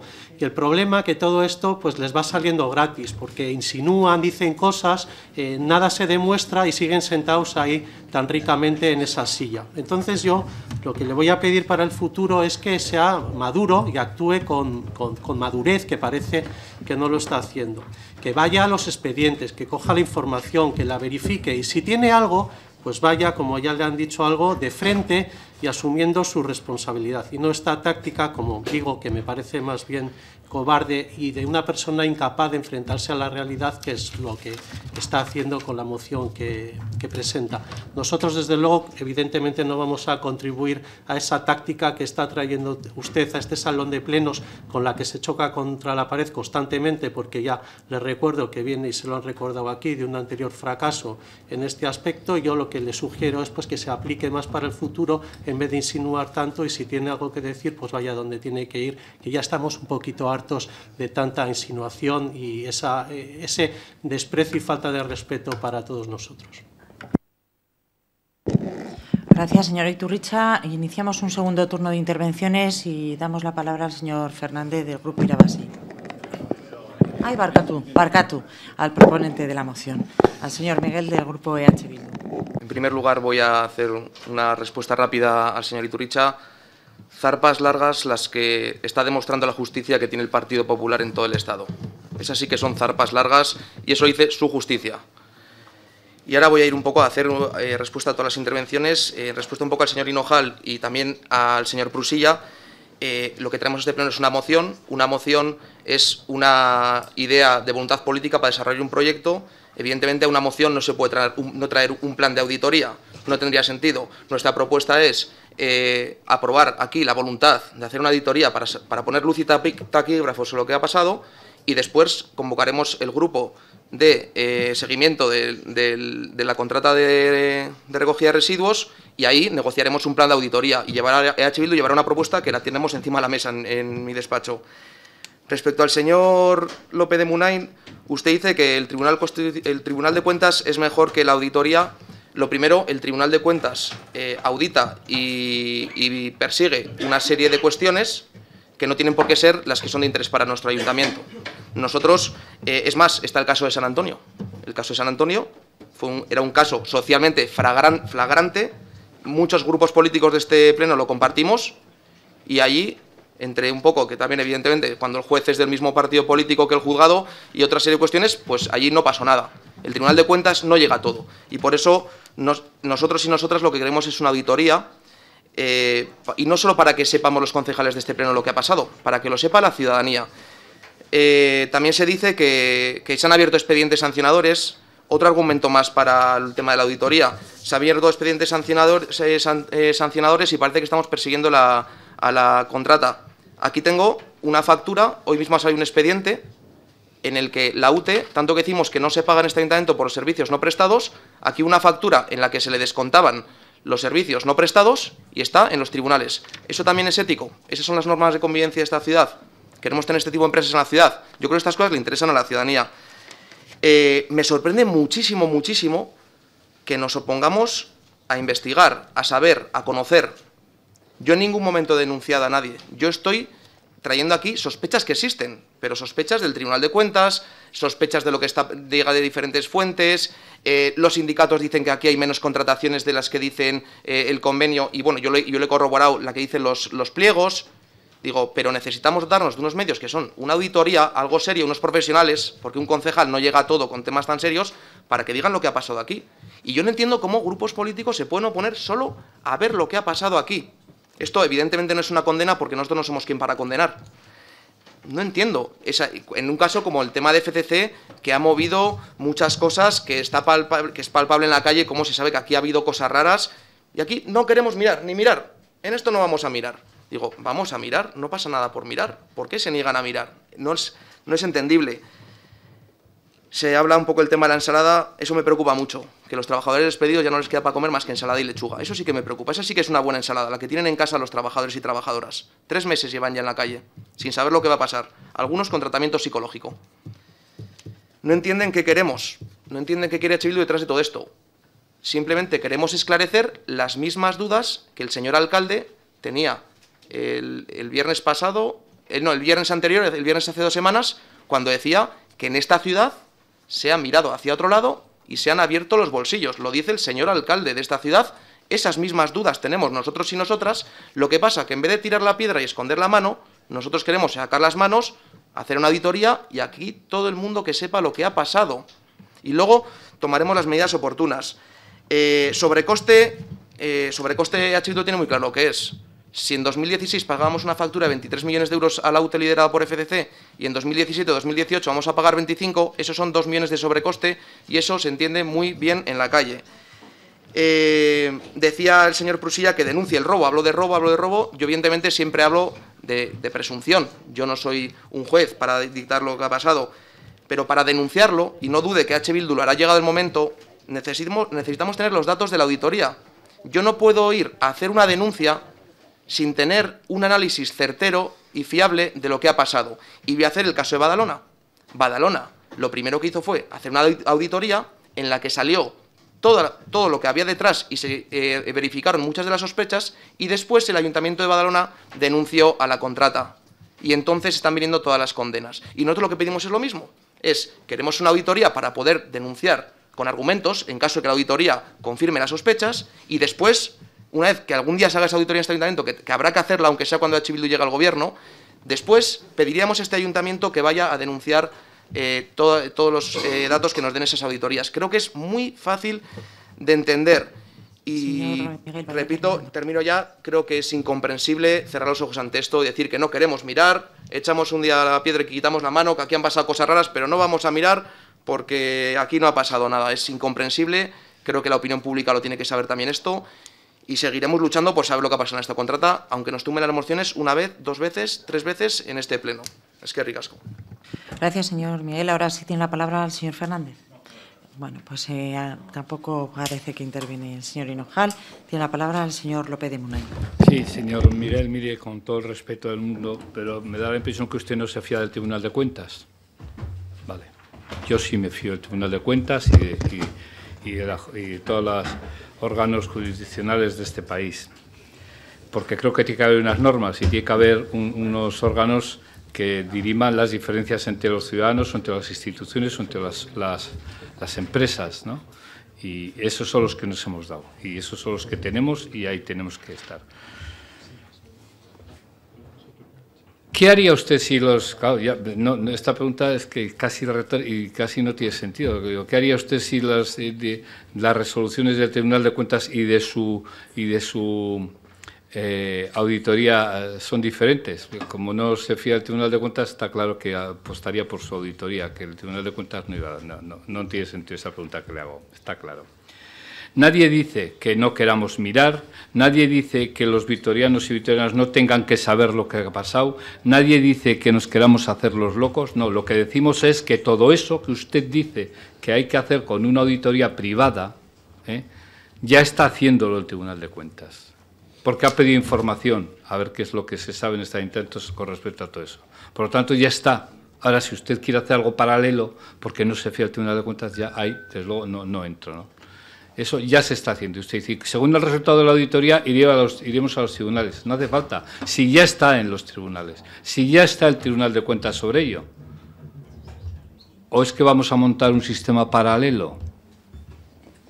Puede ser que usted pretenda eso, porque como no se fía del sistema oficial del Tribunal de Cuentas, que quiera montar un sistema paralelo. Pero desde luego no va a tener ni más peso, ni más credibilidad, ni más autoridad esa auditoría que el Tribunal de Cuentas. Por lo tanto, y lo único que va a conseguir es dilatar más este momento, este proceso, porque claro, una auditoría cuesta tiempo, no cree usted que eso es chascar los dedos y ya está aquí, cuesta tiempo y mientras tanto, como usted decía, hay personas, hay familias que están sufriendo, que están en la calle, entonces no dilatemos más ese sufrimiento con una medida que no nos aporta, como he dicho al principio, nada nuevo ni nada diferente a lo que nos pueda aportar lo que ya está haciendo el órgano competente en este tema, en este asunto, que es el Tribunal de Cuentas. Gracias.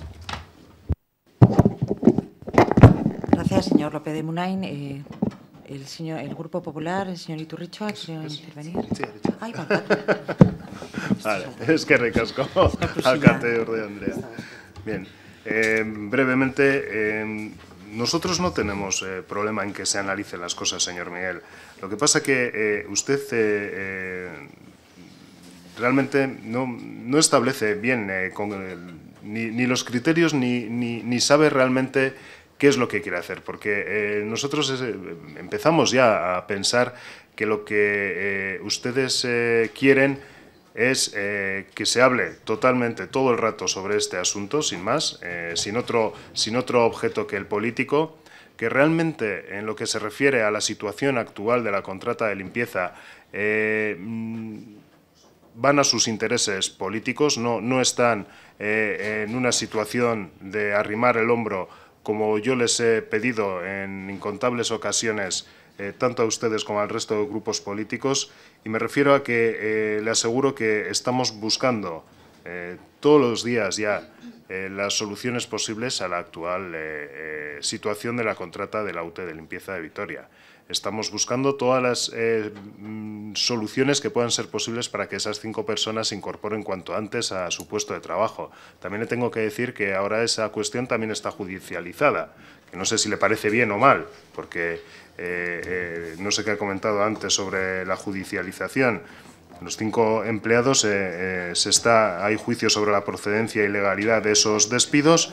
Lo que pasa es que ahora mismo están suspendidos, además, por acuerdo de ambas partes, lo cual es algo curioso también, ¿no?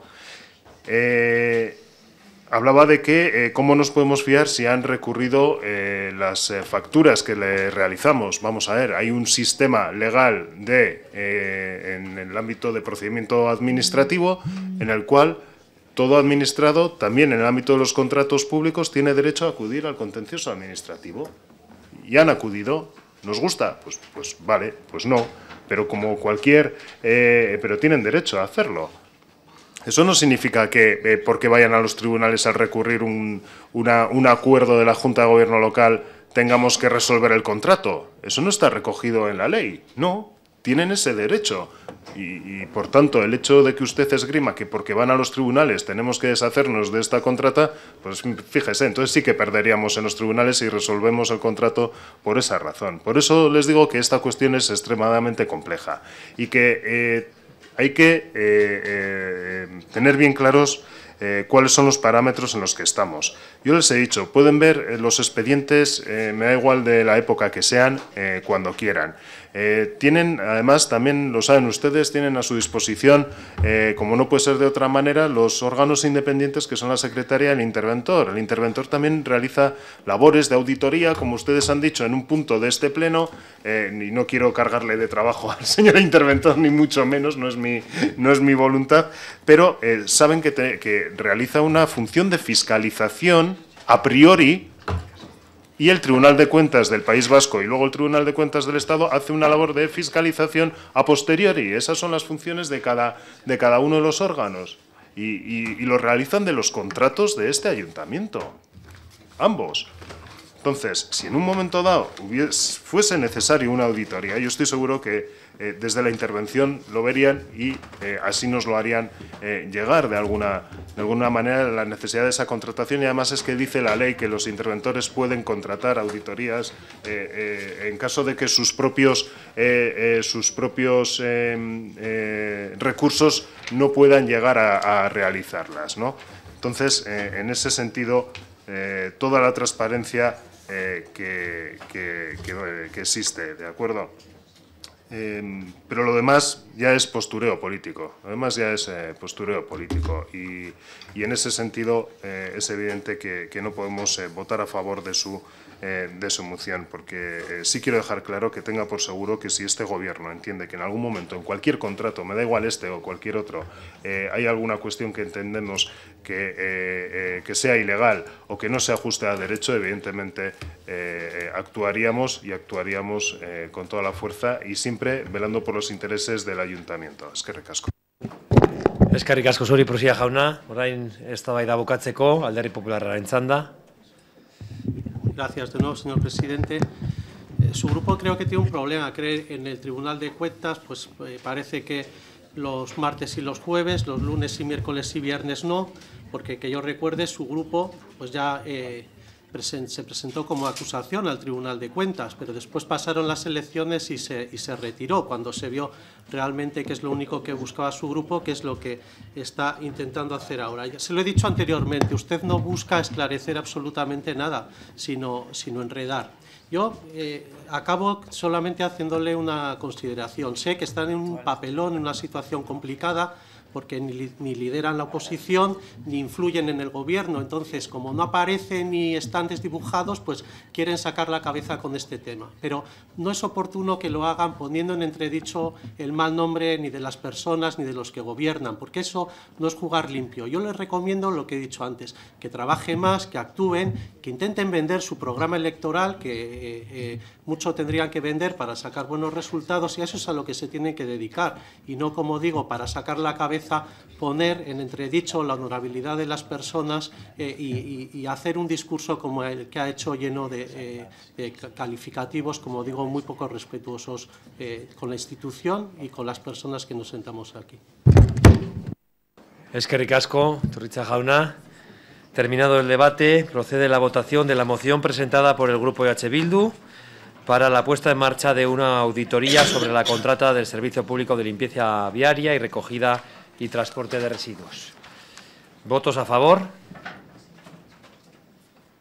¿Votos en contra? Queda, por lo tanto, rechazada con el voto favorable del Grupo EH Bildu Podemos e Irabasi y el voto contrario del Grupo Popular, Nacionalista y Socialista. Pasamos al siguiente punto del orden del día, que hace el vigésimo cuarto, una moción presentada por el Grupo de H. Bildu sobre el cierre definitivo de Garoña, que cuenta con una enmienda del Grupo Nacionalista y Socialista. Sí, señor González.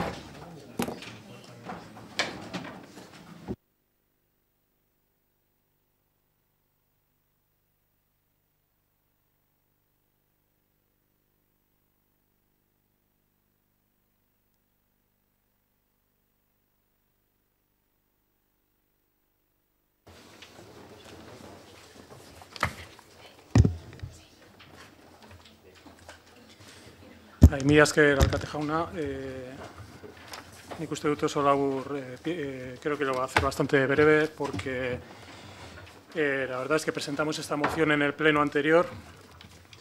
Una vez más una moción sobre el cierre de la central nuclear de Garoña y tristemente me, mucho me temo que no va a ser la, la, última moción que vamos a tener que presentar sobre este tema, ya sea nuestro grupo o, o el resto de grupos.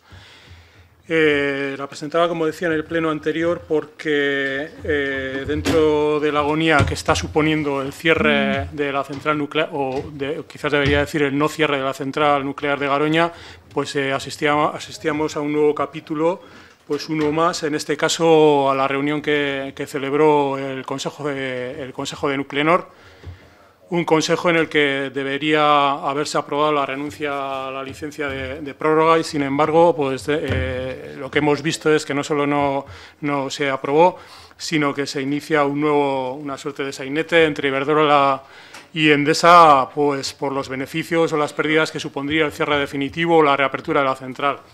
Aunque suponemos que la trastienda Estarán hablando de otras cuestiones, estarán hablando del resto de las centrales nucleares y estarán hablando de que cuando llegue su turno pues, eh, podrán eh, solicitar el, el, abono de lucro cesante, que suponemos que es, es realmente la intención, eh, una de las intenciones que tienen es reclamar ese de lucro cesante cuando se vayan cerrando una, una tras otras todas las eh, centrales nucleares de este parque de centrales nucleares que hay en el Estado realmente de una vejez muy grande. Y como decía, pues eso, asistimos en definitiva a una discusión entre avaros, algo muy capitalista, por cierto, por sus beneficios, por su cartera. Y nosotros, en cambio, llevamos, nosotros, y diría que este pleno, en cambio, eh, llevamos eh, durante años solicitando que la discusión, que el debate se realice precisamente no en términos de dinero, sino en términos de seguridad y de interés general. Eh, ellos, en definitiva, también lo tienen claro. Ellos piensan en sus beneficios para ellos los beneficios, para nosotros los riesgos, en definitiva. Y la pelota pasa de, una mano a otra. Ahora mismo la pelota ha vuelto otra vez, una vez más al Gobierno, al Ministerio eh, del Gobierno del Reino de España. Vuelve a estar en, el tejado del CSN y por eso, en definitiva, pues, eh, volvemos a, tener que presentar por enésima vez una moción sobre la central nuclear de Garoña. Eh, a este respecto, pues bueno, en su momento había la moción que había presentado H. Bildu, la, eh, enmienda que habían presentado eh, PSOE y PNV, y lo que hemos hecho es, eh, eh, como el contenido en principio de la, sustitución nos parecía interesante, lo que hemos hecho al final es buscar una transacción que eh, quería repartir. Gracias. Una transacción entre, entre PNV, PSOE, Irabas y Podemos y nosotros mismos y H. Bildu Gasteiz eh, que básicamente que básicamente recoge eh, el texto presentado en la, en la, enmienda de sustitución de PNV-PSE y que básicamente modificamos el, punto 6. Eh, en definitiva, lo que estamos haciendo es, pues, una vez más, reiterar, reiterar la declaración por la inmediata clausura de la central nuclear, en base precisamente a términos de riesgo de la ciudadanía, eh, pedimos a Nuclenor que desista de, su intención de reabrir la, central. Eh, pedimos el desmantelamiento eh, con la garantía de la seguridad y, la transparencia informativa necesarias, que se tomen medidas de reactivación económica y de empleo para, los municipios y las comarcas afectadas. A Enresa y a, Nuclean, y a Nuclenor desistir de emplear, el, eh, de emplear la central como almacén temporal de, de, de residuos. Y en el punto sexto lo que pedimos es eh, una comisión interinstitucional para hacer un seguimiento de, lo que sería el cierre y desmantelamiento de Garoña, en el que estén, eh, estén o tomen parte todas las instituciones afectadas, incluidas las, entidades locales, juntas generales, ayuntamientos, cuadrillas, concejos, y además pues que se establezcan los cauces oportunos de participación para colectivos sociales, medioambientales, sindicales, económicos, etcétera. Y por nuestra parte, nada más. Escari Cascosuri, González Jauna. Turno ahora de los grupos enmendantes, si bien han hecho una presentar luego una enmienda transaccional, por lo tanto entendemos que se puede respetar el orden de menor a mayor que habitualmente eh, respetamos en el Pleno. Señor Fernández. Bueno, en primer lugar, lógicamente agradecer al, grupo oponente ¿no? una enmienda transaccional porque entendemos también que esta también da más, más empaque ¿no? a, la declaración de, de, este tema que, como como ya se ha comentado, pues parece el, día de la marmota, el tema de, Garoña, porque una vez otra vez pues, pues viene a colación y que encima esta misma ah, semana no solo ya eh, podemos hablar de ese cierre definitivo, ¿no? Por, por, cuestiones de sostenibilidad, sino también por cuestiones de, seguridad. ¿no? Y uno de los nuevos incidentes que, hemos conocido esta nueva semana a través de, informes del CSN ha sido eh, pues la caída de, un bidón y del derrame de, un bidón radiactivo, de líquido radiactivo en, en, la propia central. ¿no? Pero lo, más preocupante de todo fue que en el mismo informe del CSN se apuntaba que ni siquiera existía un manual en, en, la instalación de la central nuclear de, de Garoña eh, para hacer frente, ¿no? Un manual de instrucciones para hacer frente de, ante este tipo de, peligros, ¿no? Esto es una muestra más del peligro que, que, tenemos eh, cerca de nuestra ciudad, de, nuestra provincia, de nuestro territorio y también de, la, de los municipios y concejos que, están alrededor de esta central nuclear de, Garoña. Y una vez más, lógicamente, nuestro lo que desde Irabas y los pueblos que lo componen, tanto Scanicha como Ecuverdea, que lo que queremos es que se produzca ese cierre definitivo, que es inadmisible este tipo de, accidentes, que, se tienen que acabar con ese cierre definitivo de la central de, Garoña y seguir eh, abordando ¿no? ese, nuevo panorama energético eh, con la instalación cada vez más de, energías renovables y energías limpias, energías verdes. Miesker. Miesker Suri, dejar un turno del Grupo Podemos. Señor Muchas gracias.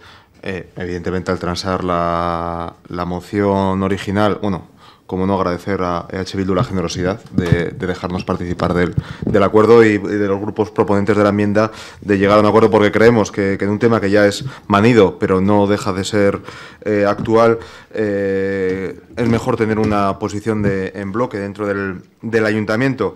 Eh, nosotros, desde Podemos, nos hubiera gustado que la central nuclear de Santa María Garoña se hubiera cerrado por voluntad política. No queremos centrales nucleares, no por una falta de beneficio o, por otro tipo de causa, que hubiera sido lo ideal, eh, abordar una transición energética dentro del Estado e intentar tener una obtención de energía limpia, sostenible y que no perjudique ni el entorno ni, ni ponga en riesgo nuestra, nuestra seguridad no puede ser, a día de hoy no puede ser, pero no por ello vamos a dejar de, intentar que no, únicamente eh, Garoña se cierre, sino que Garoña se, desmantele. Por eso creemos que esta propuesta, yo espero, deseo y ojalá pase que sea la última vez que tratamos esto, pero no porque nos olvidemos de ello, sino porque realmente mañana se, se desmantele. Sería una de las mejores noticias que puede pasar seguramente durante este, durante este mandato que tenemos. Eh, pero bueno, no ha podido ser de la otra manera, que sea así, que, Garoña se desmantele y evidentemente votaremos a favor y siempre nos encontraremos en este, en este camino. Muchas gracias.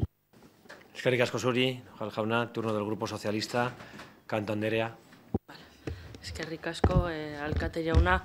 Bueno, Garoña forma parte de ese grupo de emociones que comentaba antes, que vuelven con cierta recurrencia a este pleno y cambian los términos, cambian un poco los puntos de la moción, pero en el fondo creo que estamos hablando siempre de lo mismo.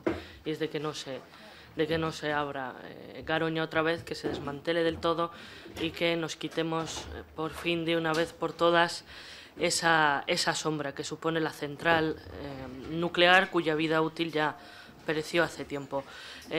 yo siempre he mantenido que la perseverancia por parte de, de, algunos grupos políticos o de algún tipo de, de ideología, ¿no? de mantener abierta, de mantener este modelo de, energía nuclear responde a, un concepto ideológico que no se quiere eh, perder que no se quiere perder y por eso se, bueno, pues se aferra muchas veces a esa posible reapertura y a eh, negarse en rotundo hacer un, plan de transición, de transición energética. Comentado el, el señor eh, González. Sí, Perdón, no, es que no, solemos eh, tratar mucho en comisión ni en pleno, entonces me, me lío, perdone. Eh, que ha vuelto la, pelota al tejado del CSN, simplemente recordar que allí, eh, bueno, la representación, una de las representaciones por parte del Partido Socialista, que es Cristina Narbona, ex ministra de Medio Ambiente, siempre ha mantenido su no a esta, a esta reapertura. Y manifestar un poco mi, bueno, mi pena, la pena de mi grupo, porque el debate, porque hayan aceptado que tal vez hay que cerrarla del todo y desmantelarla, sea única y exclusivamente ligado a intereses económicos, que se considera eh, ya falto de, falta de rentabilidad, y no de un cambio de modelo energético. Entonces, pues bueno, si eh, la razón es económica y no la reabren y la desmantelan, pues será bienvenida también, por supuesto, ese desmantelamiento, pero eh, siempre nos quedará, por lo menos a mi grupo, la espina clavada de que no ha sido eh, por un cambio en la mentalidad y una apuesta por un modelo de transición energética alejado del modelo nuclear, pero bueno, como he dicho, bienvenido será, porque bueno, nosotros consideramos que el riesgo eh, es tal, tan inasumible que por mucha rentabilidad económica que haya no merece la pena nunca aceptarlo. Y pues bueno, manifestar el, el acuerdo ¿no? que hemos llegado y ojalá se mantenga la unanimidad por, en este, que siempre ha habido en este ayuntamiento, eh, se siga manteniendo en este pleno. Muchas gracias. Eskerrik asko zuri, kanto Anderea, orain Euskal Herri Jeltzalearen txanda. Bai. Eskerrik asko alkate jauna, egun guztioi. Bueno, pues yo la verdad es que no quería tampoco incidir demasiado porque yo creo que el tema de Garoña ha venido ya reiteradas ocasiones también al Pleno Municipal, pero por, ello no es menos importante. Yo creo que al, final tener esa, bomba atómica casi eh, cerca de nuestra 45 kilómetros pues, de Vitoria-Gasteiz, pues la verdad que nos empaña cualquier ilusión o sueño que podamos tener dentro de la ciudad. Eh, Garoña abrió en el año 1971 y al principio es la, central nuclear más antigua del Estado español y la que en principio ya saben ustedes que era gemela de Fukushima. Yo no voy a hablar aquí porque hemos hablado en reiteradas ocasiones en diferentes eh, plenos sobre el tema de la importancia de cerrar eh, la, central de Garoña.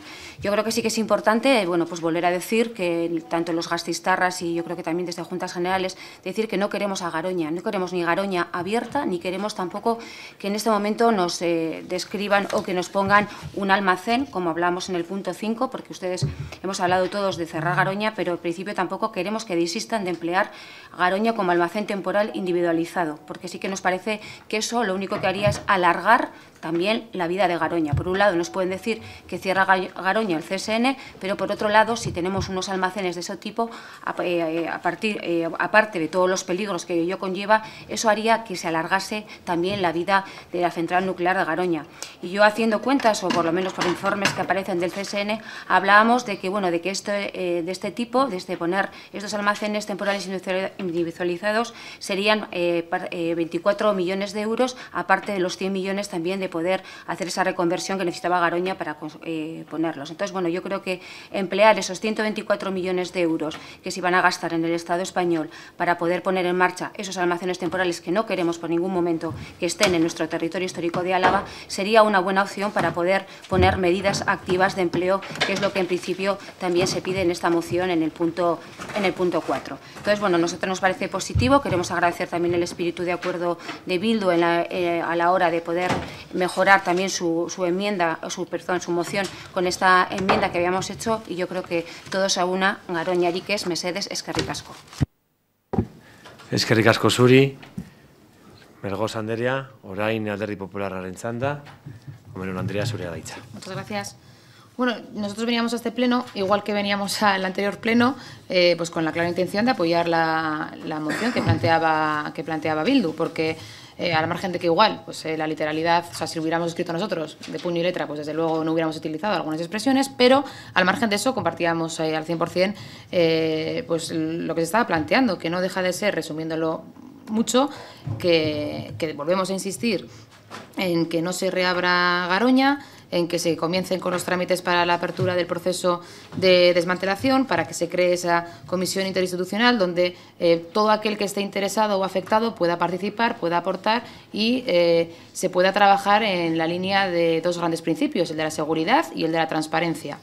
Mm, totalmente de acuerdo con, ese, con todo ese planteamiento de la moción original. Nos han planteado ahora una moción eh, transaccional de- del resto de grupos. Aquí no me resisto a, exponer que, bueno, no sé por qué no se quiere contar con el Partido Popular para eh, plantear este, pues, este tipo de transaccionales. Eh, igual podríamos llegar a un acuerdo o no, pero por lo menos que, se nos comunique, porque, señor Hinojal, se hace, mucha, se hace referencia a usted, y yo lo comparto, que muchas veces abusamos de, propuestas eh, in voce y que, no dan margen para, posicionarse a los grupos. Eh, y hoy pues me encuentro un poco en esa situación yo. No sé si esta la eh, transaccional estaba ya desde el pleno anterior o es del día de ayer, me da igual. En todo caso, nos eh, pone en una situación un poco más delicada el Partido Popular eh, y no porque tengamos diferencias en cuanto a al grosso de, la moción, sino que todo lo contrario, estamos absolutamente de acuerdo con todo lo que se plantea en, el- en la transaccional que se presenta por parte del resto de los grupos. La única duda que me surge, y como no tengo capacidad ahora de analizarla, porque se me ha entregado eh, ahora esta propuesta, es el punto 5, eh, donde se anuncia de un modo muy contundente, desde nuestro punto de vista, el desistir de emplear el almacén temporal individualizado en las instalaciones actuales. Cuando yo, permítanme que sea clara, yo no sé hasta qué punto es posible hacerlo ahora o no, porque yo lo que tengo de oídas, insisto, porque no he tenido tiempo para poder analizarlo, es que es necesario ahora, en un primer momento, eh, eh, hacer uso de este, de, este, de este almacén de esta manera, pero no por una cuestión de que sea un objetivo en sí finalizar eh, como un almacén individualizado, sino temporal, como bien dice su nombre. Por lo tanto, se ha apelado aquí a la unidad, al consenso, vamos a lanzar el mensaje de, de unidad por parte del, del Ayuntamiento de Vitoria-Gasteiz. No les voy a pedir que retiren ese punto en el que nosotros no estamos de acuerdo, sino les voy a pedir que dejen eh, votar la, la enmienda transaccional en dos bloques, eh, todos los puntos y el punto 5 en el que nosotros nos abstendríamos y creo que bueno que es un posicionamiento lógico dado que nos falta esa, esa información que nos gustaría contrastar eh, actualmente. Así que les eh, solicito que, que atiendan esta petición por parte del Grupo del Partido Popular. Muchas gracias. Gracias a usted, señora Comerón. Turno de réplica para el grupo proponente. González Jauná. Bueno, muy brevemente. Eh, señora Comerón, sí sabe, sí sabe por qué en principio no hemos contado con su grupo para eh, transar esta, esta moción. O sea, nosotros conocemos perfectamente que a lo largo de, de esta legislatura, la anterior, las anteriores, su grupo se está posicionando una y otra vez por el cierre de Garoña.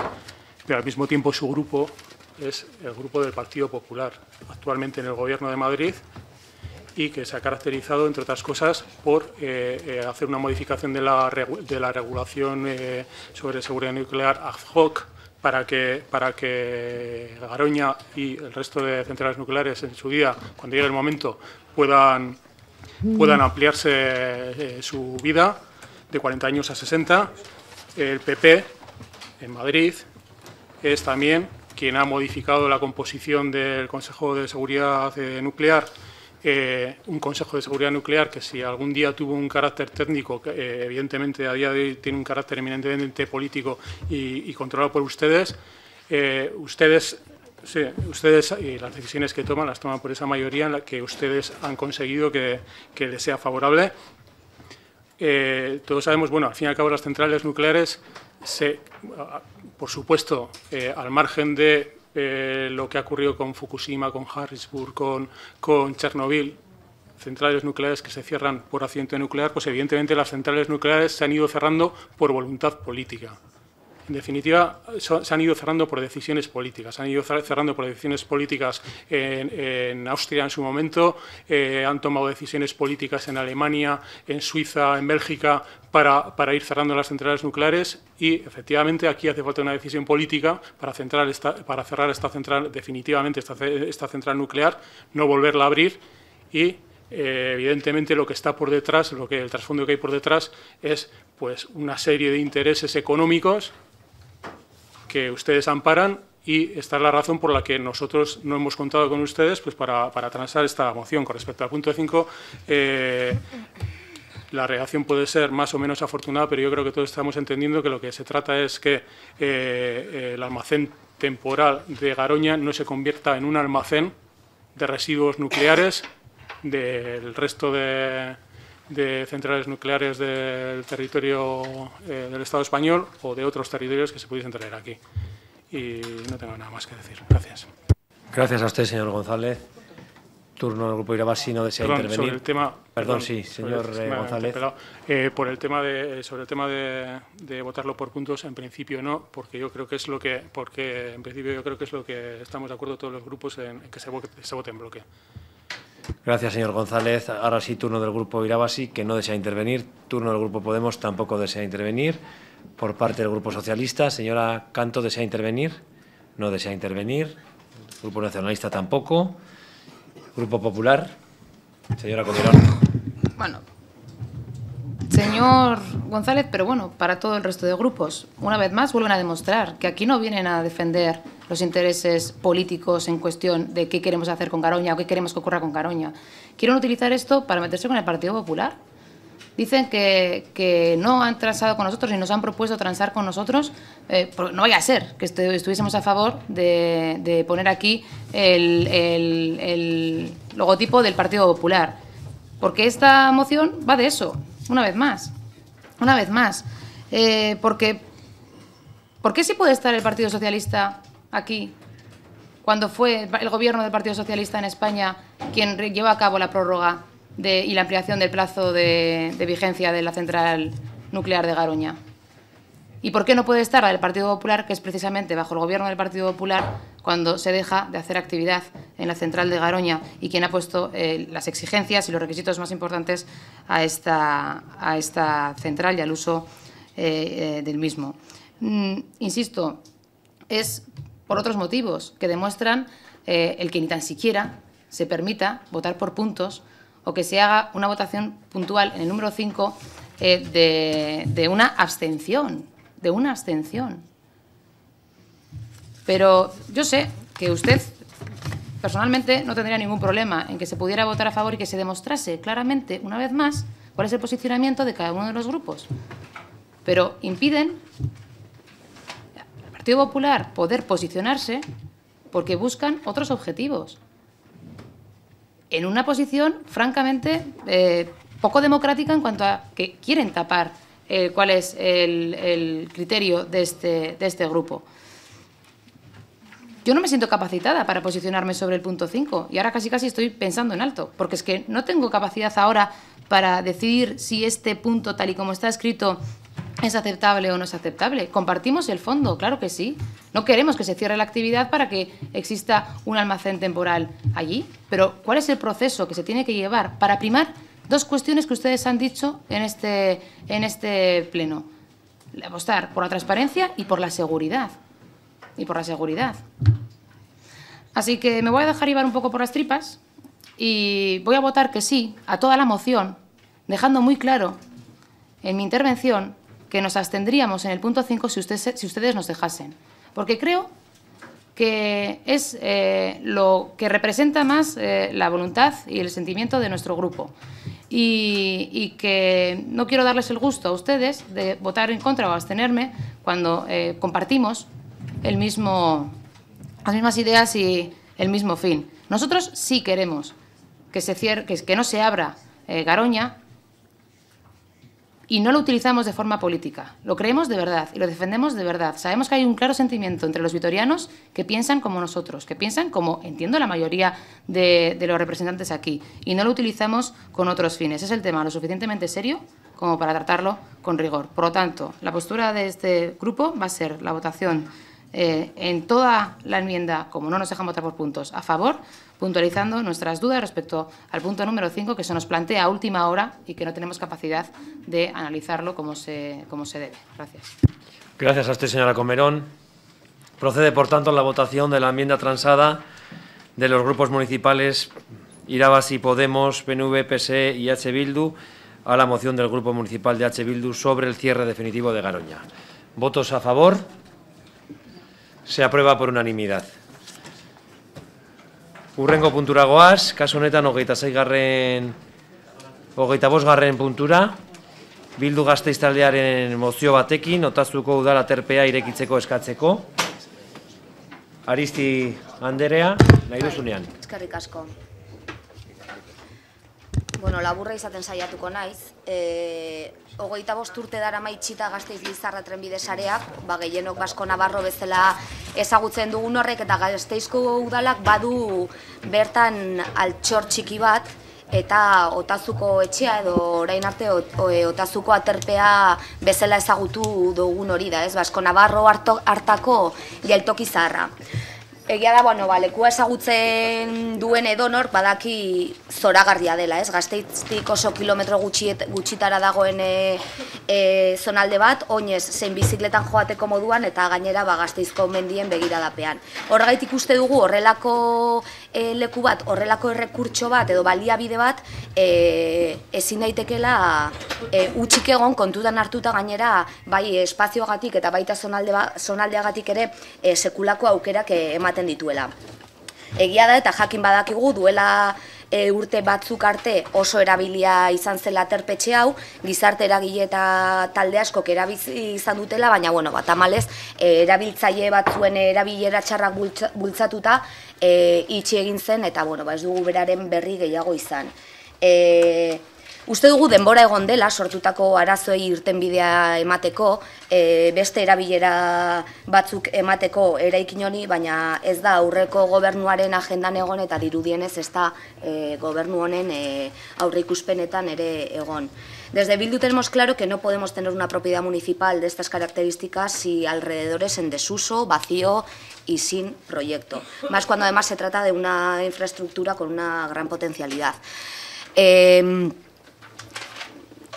creemos que, que como Green Capital, incluso la, anterior, el anterior pleno se hablaba aquí de, turismo verde, turismo sostenible, incluso, incluso eh, llegando a esos conceptos, eh, creemos que da la posibilidad eh, de volver a abrirlo, de ofertarlo, como decía, dentro del turismo verde, al tratarse pues bueno, de un albergue que se encuentra en los montes de Vitoria y en pleno trazado vasco-navarro, con acceso a diferentes rutas y muy cerca de Vitoria.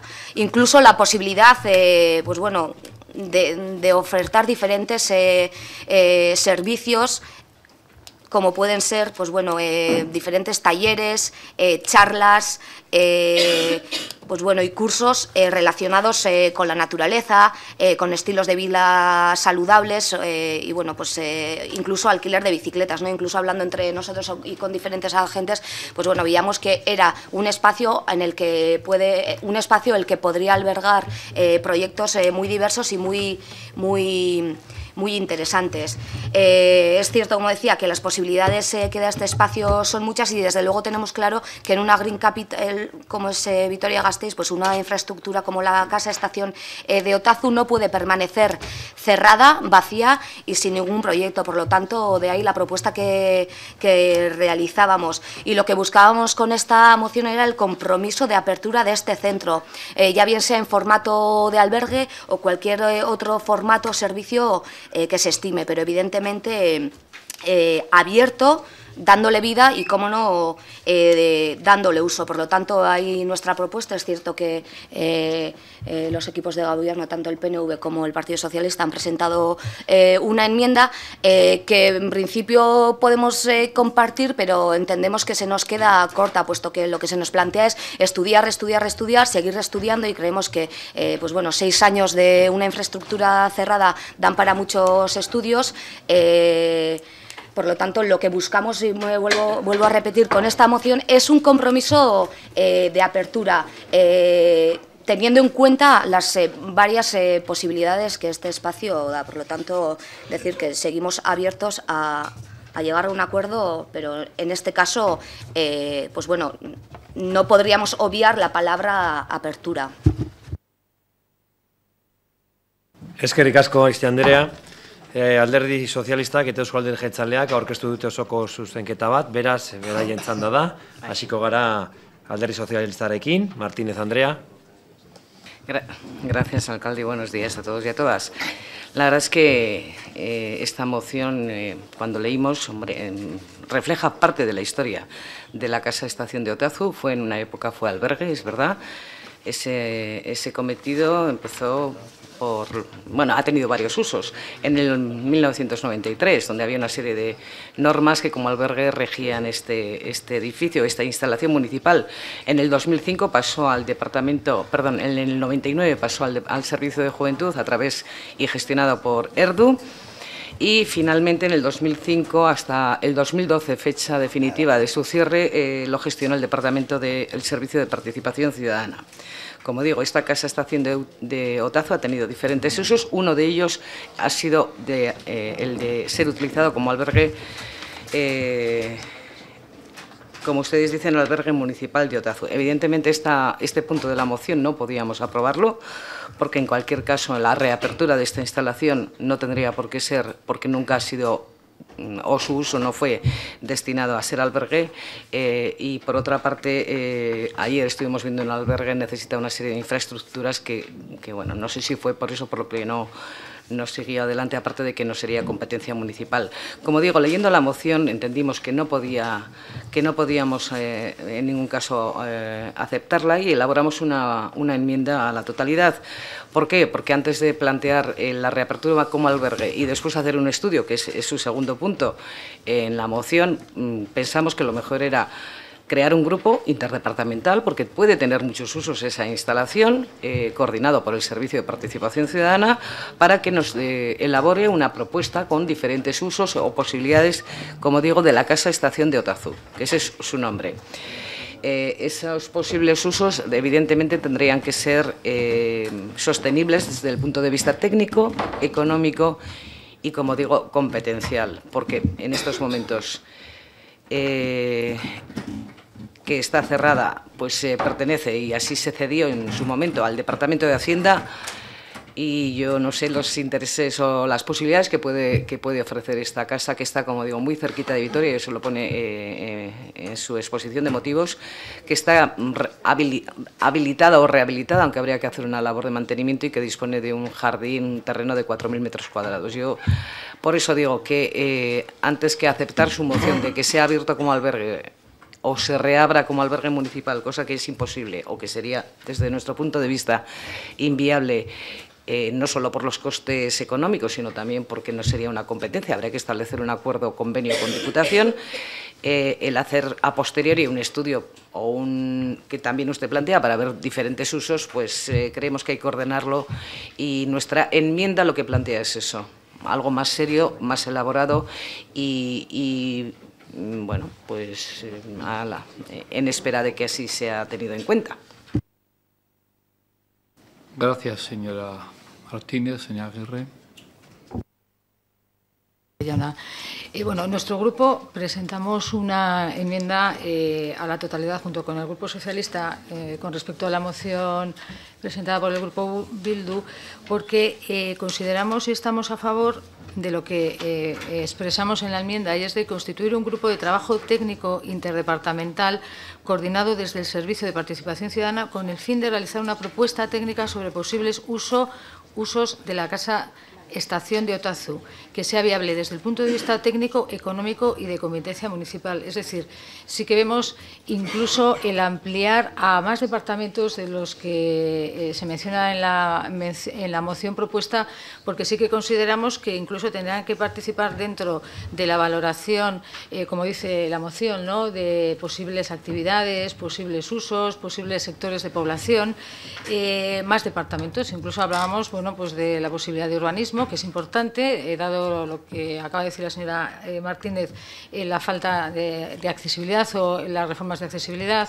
Tema económico también es importante y luego también tema competencial, porque efectivamente también lo que dice la señora Aristi, bueno, en principio al albergue, pero bueno, también con el sentido de qué uso se le puede dar a, ese edificio. ¿no? Entonces, bueno, entraríamos a ver eh, qué uso y, qué, y, qué, sería el contenido. Y también eh, este argumento es en base a lo que la propia moción eh, señala, la propia moción del Grupo Bildu. ¿no? Dentro de los propios servicios que eh, se podría ofrecer serían pues desde cursos, programas, sesiones, así como centros eh, educativos del municipio de educacionales y o incluso colectivos diversos, que podrían ser ya no solamente juventud, que era cuando era un albergue, sino también tercera edad, como se señala en la moción, personas con problemas de inserción, bueno, etcétera. ¿no? Entonces, lo que sí que vemos es que eh, efectivamente hemos hecho esta enmienda porque consideramos que es más lógico y entendemos más empezar haciendo el segundo punto que se redacta en la, en la moción eh, de hacer un estudio para saber qué alternativas nos van a permitir explorar eh, qué utilidades y qué contenidos pode, podemos dar a ese espacio. Pero sí que nos parece muy importante, y además es que lo señala la propia moción de Bildu y lo señalamos también en, en nuestro grupo y el Grupo Socialista. Es decir, ese estudio técnico con una propuesta, porque es importante, estamos pidiéndoles a los técnicos que nos hagan una propuesta porque lógicamente ellos son también los que saben cómo ha funcionado, qué dificultades tuvo en su día este espacio, esta casa de estación y luego eh, a raíz de esa propuesta ver qué uso eh, del espacio será el más eh, conveniente, viable económico y también competencial. ¿no? Entonces consideramos que, que el primer punto es este para realizar y para, para poder bueno, pues dar cabida o valorar la propuesta técnica sobre eh, el uso, los posibles usos eh, de la casa estación de, de Otazo. Es que ricasco. Es que ricasco, Suri. Turno ahora del Grupo Irabasi, señor Fernández.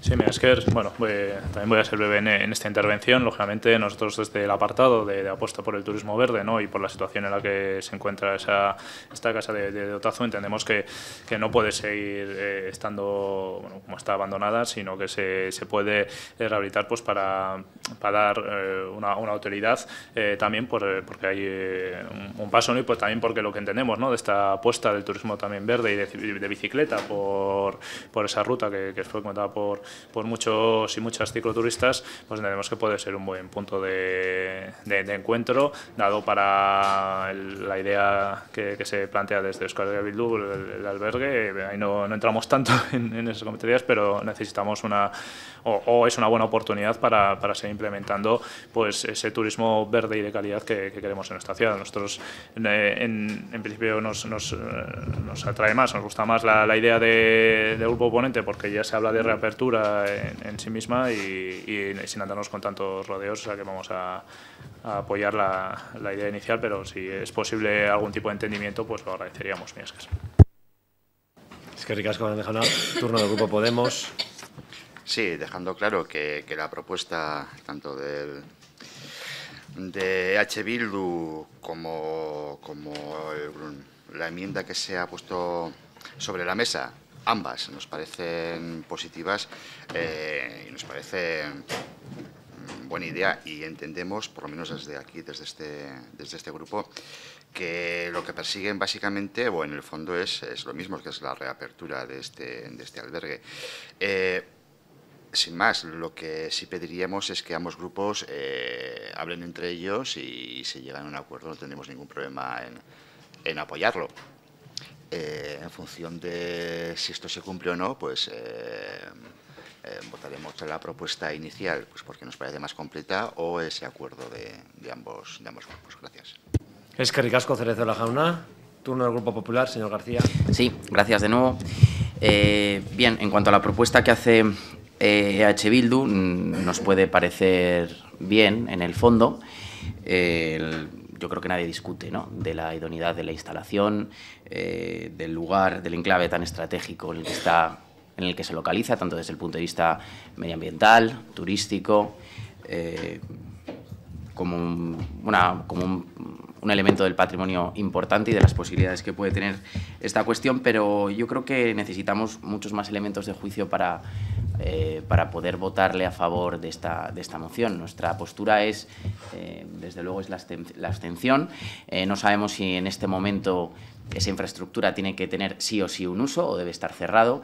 tenemos un gobierno que está constantemente quejándose de que los gastos corrientes son infinitamente superiores al ingreso corriente y, por tanto, pues crear otra infraestructura, abrir esta infraestructura va a generar mucho más gasto. Esto es como es una familia que irse de vacaciones a Nueva York. Yo creo que ninguno va a decir que no, pero hay que ver si realmente esa familia puede o no puede permitirse irse de vacaciones a Nueva York. ¿No? Entonces, por tanto, nuestra postura, eh, tanto a la, enmienda que plantea el Gobierno como la moción original, eh, va, a ser la, va, a ser la abstención, porque realmente para crear un grupo de trabajo técnico interdepartamental tampoco hace falta eh, pues, apoyar o, votar a favor de, esta moción. Por tanto, esa es la postura de nuestro grupo. Gracias.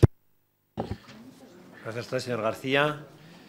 Turno de réplica, en este caso, señor Aristi. Bueno, es cierto que en esta moción hacíamos referencia al albergue de Otazu porque el último uso eh, conocido ha sido no, no ha sido albergue. Incluso la infraestructura está dotada de camas, literas, lo que viene a ser un albergue.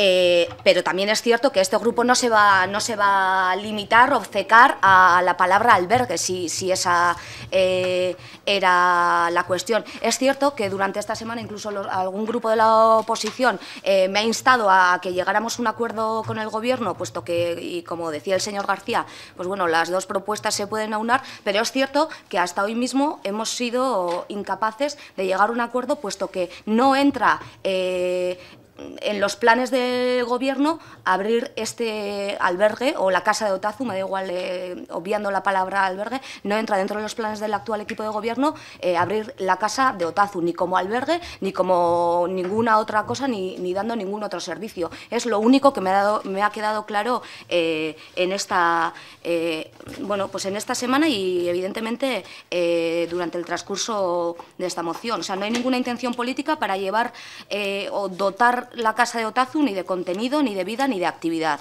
Eh, bueno, en cuanto a las competencias, señora Martínez, pues, pues no sé, creo que los bailes Bollywood y latinos tampoco son competencia del ayuntamiento, pero nos acabamos de gastar 100.000 euros en contratarlos. Por lo tanto, ese argumento eh, tampoco, tampoco me vale. Y evidentemente creemos que crear un grupo de trabajo para hablar, estudiar, eh, dialogar, pues bueno, es una buena herramienta para, para no llegar a ninguna conclusión firme. Vemos que no hay ningún compromiso de apertura, de poner sobre la mesa una propuesta técnica para que la Casa de Otazu pues bueno, genere, genere actividad, incluso eh, teniendo en cuenta que estábamos dispuestos a, a, como tiene que ser, eh, pues bueno, que la propuesta que se ponga sobre la mesa evidentemente eh, sea viable también económicamente, otro de los argumentos que ponen sobre la mesa. Creemos que ya ha pasado el tiempo de estudio y, y, hay que llegar a lo concreto evidentemente eh, la enmienda que nos plantean pues bueno, no, no llega a lo concreto. Es que ricasco Aristi Andrea, orain eh, alderdi sozialistaren txanda, Martínez Andrea. Señora Aristi, a ver, eh, está usted eh, diciendo que ha sido utilizado como albergue, pero sí, pero desde hace 17 mm, años o desde hace... Mm, no ha sido albergue. Mi casa también tiene camas y no es un albergue. Me alberga a mí y a, los, a mis invitados, pero eso no quiere decir que por el hecho de que tenga camas sea un albergue. Se utilizó hace muchos años como albergue y se cobraba por entrar y tal. Y los últimos 17 años se ha utilizado para otro tipo de recursos Mm, de juventud, de participación ciudadana, no como albergue. Y como digo, mi casa también tiene camas y no es un albergue. Usted critica que nosotros planteemos en la enmienda hacer un estudio, un estudio de viabilidad económica eh, y, social y técnica. Si usted lo plantea, o sea, nos está descalificando cuando usted también plantea en su moción el que hagamos un trabajo entre técnicos, pues llámele como quiera. Nosotros hemos llamado grupo de trabajo, usted le llame un trabajo. A ver, eso es eh, intentar justificar que han hecho una moción que puede tener un buen fondo, porque todos queremos que las instalaciones municipales funcionen bien, eh, ofreciendo recursos y cursos y servicios a la ciudadanía, llámese Bollywood o Zumba o, o danzas vascas. Es decir, Queremos que todo lo que funcione, que salga del ayuntamiento, funcione bien. Y en esta casa, evidentemente, habrá que hacer un estudio primero para ver cómo está, de accesibilidad, de bueno, en fin, todo. Y habrá que ver qué posibles usos puede tener y su coste. Y su coste económico, como bien ha dicho, y en este sentido le doy la razón al señor García, a ver, no estamos en una situación en la que podamos tirar el dinero, por lo menos ahora.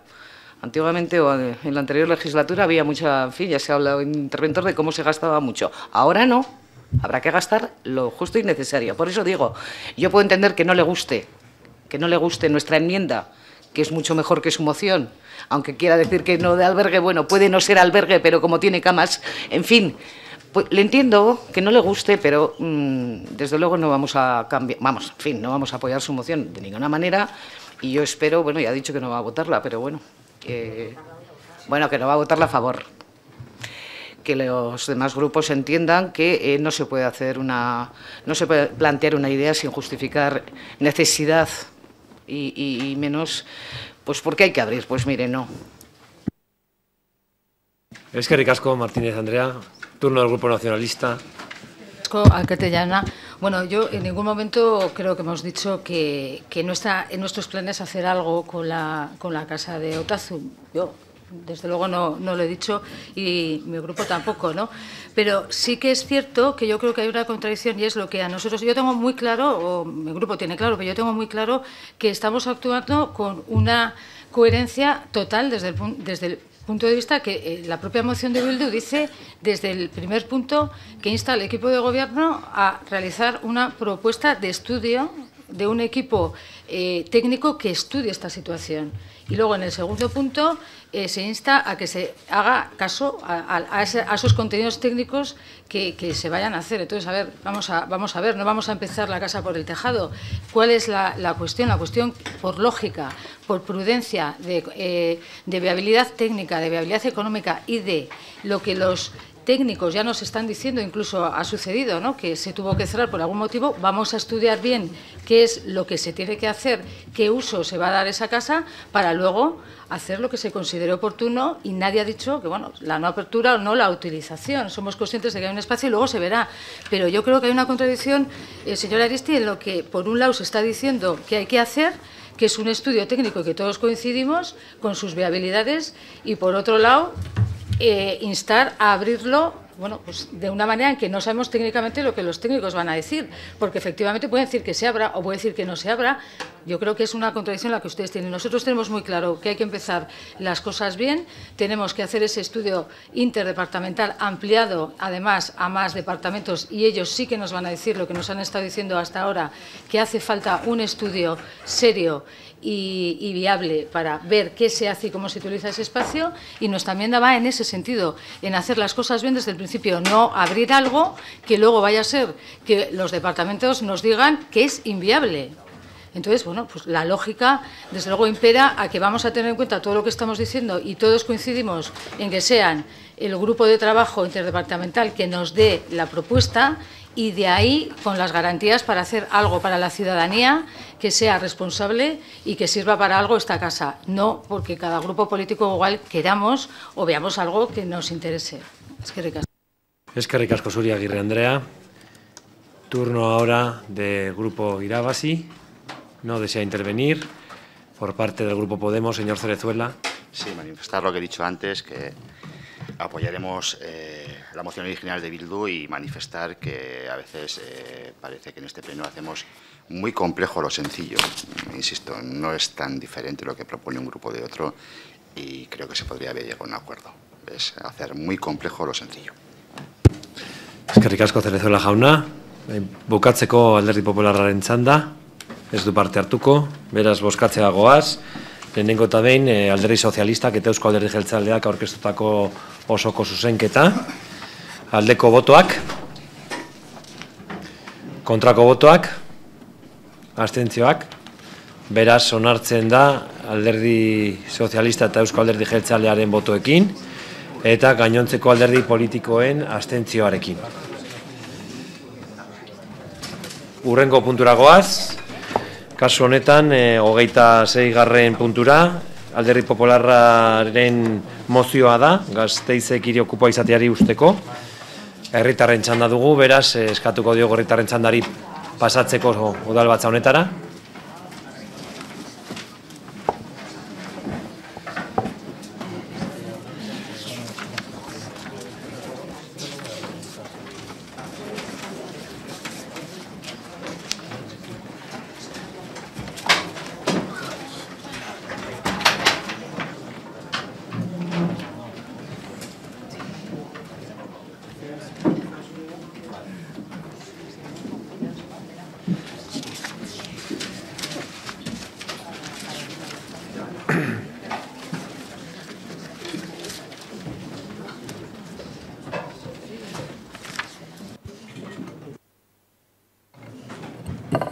Maiei eskatuko diet e, raien burua orkesteko, itzen eta bizenekin, eta lehenenko txanda honetan amar minutu izango duzue, eta gero bigarren txandan e, bos minutu.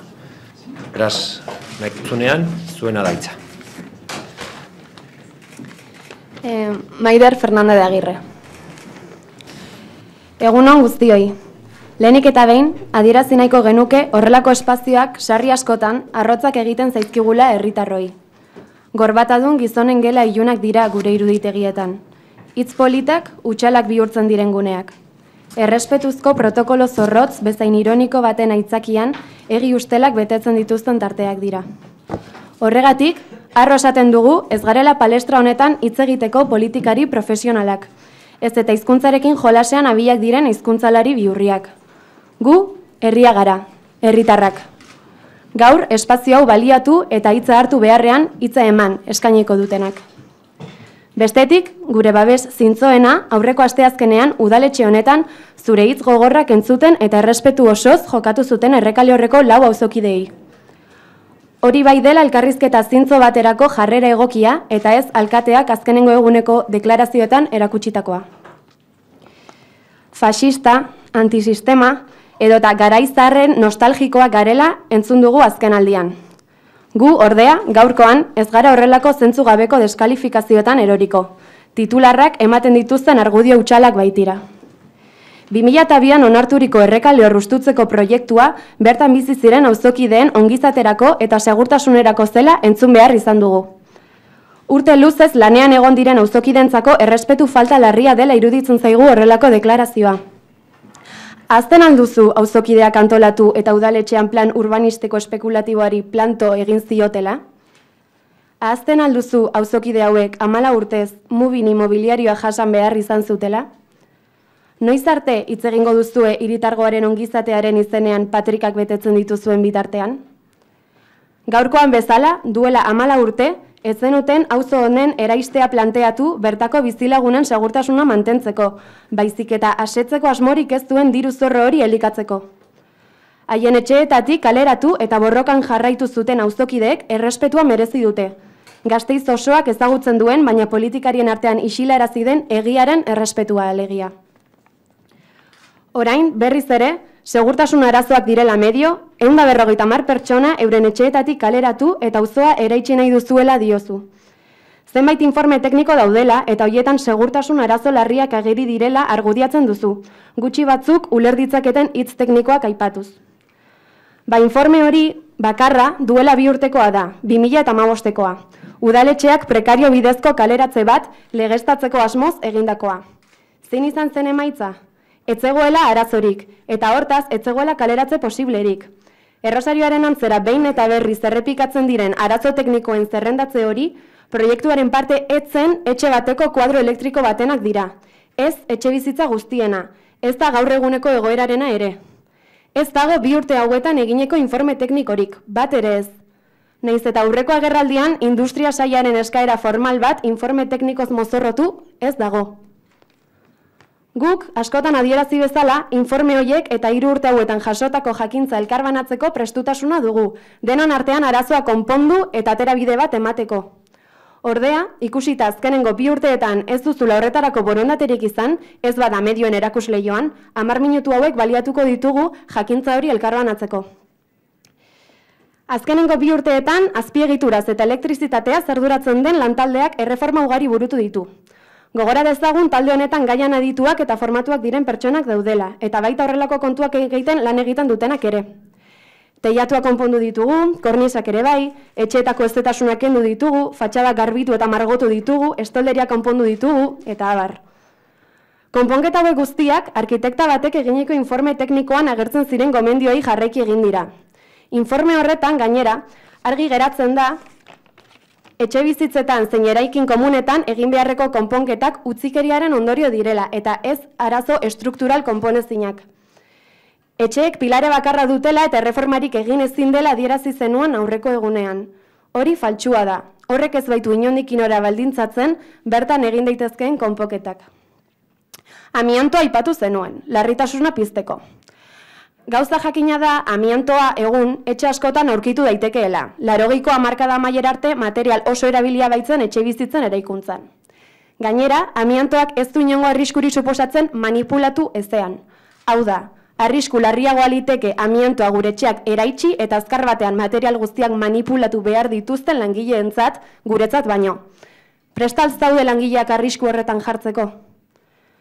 Baina elektrizitatea da, zure ustetan, arrisku larrienean jartzen gaituena. Galdetu izan bazenu, esango genizuke, bi urtetik ona, gure instalazio guztiek segurtasun kontrol zehatzak pasatzen dituztela. Esango genizuke, diferentzialak jarrita daudela. Aurrekoan, interruptor de kontrol de potentzia deiturikoa. Magnetoak modu egokian instalaturik daude. Kuadro elektriko txukunak ditugula, eta bar. Baina etzara etorri, Ez duzu esfortzu txikiena ere egin gurekin harremanetan jarri eta bokuntza ben guztien berri izateko. Oso simplea liteke, gure segurtasunagatik arduratuta bali mazaude, deitu, baduzu gutariko zenbaiten telefonoa. Eta has gaitezen ganorazko informe tekniko bat egiten, neutroa, objetiboa, eguneratua. Orduan ere, has gaitezke eztabaidatzen zerrobetu eta zerreginan inguruan. Eskaintza, behin eta berriz egin dizugu, baina sumatzen hasia gara ez duzula inongo interesik, Arazoa ez dela gure kuadro elektrikoa. Arazoa ez dela gure txen segurtasuna, edo gure segurtasun falta. Arazoak azalpen oso simplea du. Errekale horren ereiki dugun bizi ereduak, errotik zuen bizi eredua zalantzan jartzen du. Zerrate dago paternalismo eta demagogiazko errezel horren atzean? Dirua eta espekulazioa. Jokaldiak oso erreza zirudien. Auzoa ustu, eraitsi eta diru irabaziak ekarriko lituzkeen etxe bizitzak eraiki baina etzen horren erraza izan. Prozesuak amala urte iraun zituen. Eta gainera, amarrik asle ameslarik zuek abandonaturiko auzoa bizi berritzea jarri zuten helburu. Eta lortu dugu, Eleka, errekale hor bizirik dago, inoiz baino gehiago. Eta orain, hortuak egin dituzuela diozue, edo eta eraztun berdea itxi. Biek ez dute, ez danka ez buru. Eraztun berdea izteko, ez dago errekalor ere izteko inolako beharrik. Jada, auzo ondotik pasatzen den bideskan biztuaitz gehiago jartzarekin nahikoa. Hortu dago kionez, nekatua gaude repikatzeaz. Baina zer nahi duzue, gure hortuen gainean hortuak eraiki. Gure txeen gainean hortuak eraiki. Ideia hori, zentzugabea izateaz gain, ia-ia ezinezkoa da.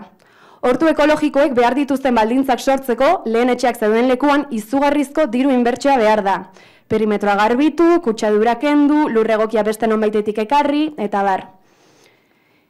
Ikusi nahi duzuen berde bakarra bileteena da.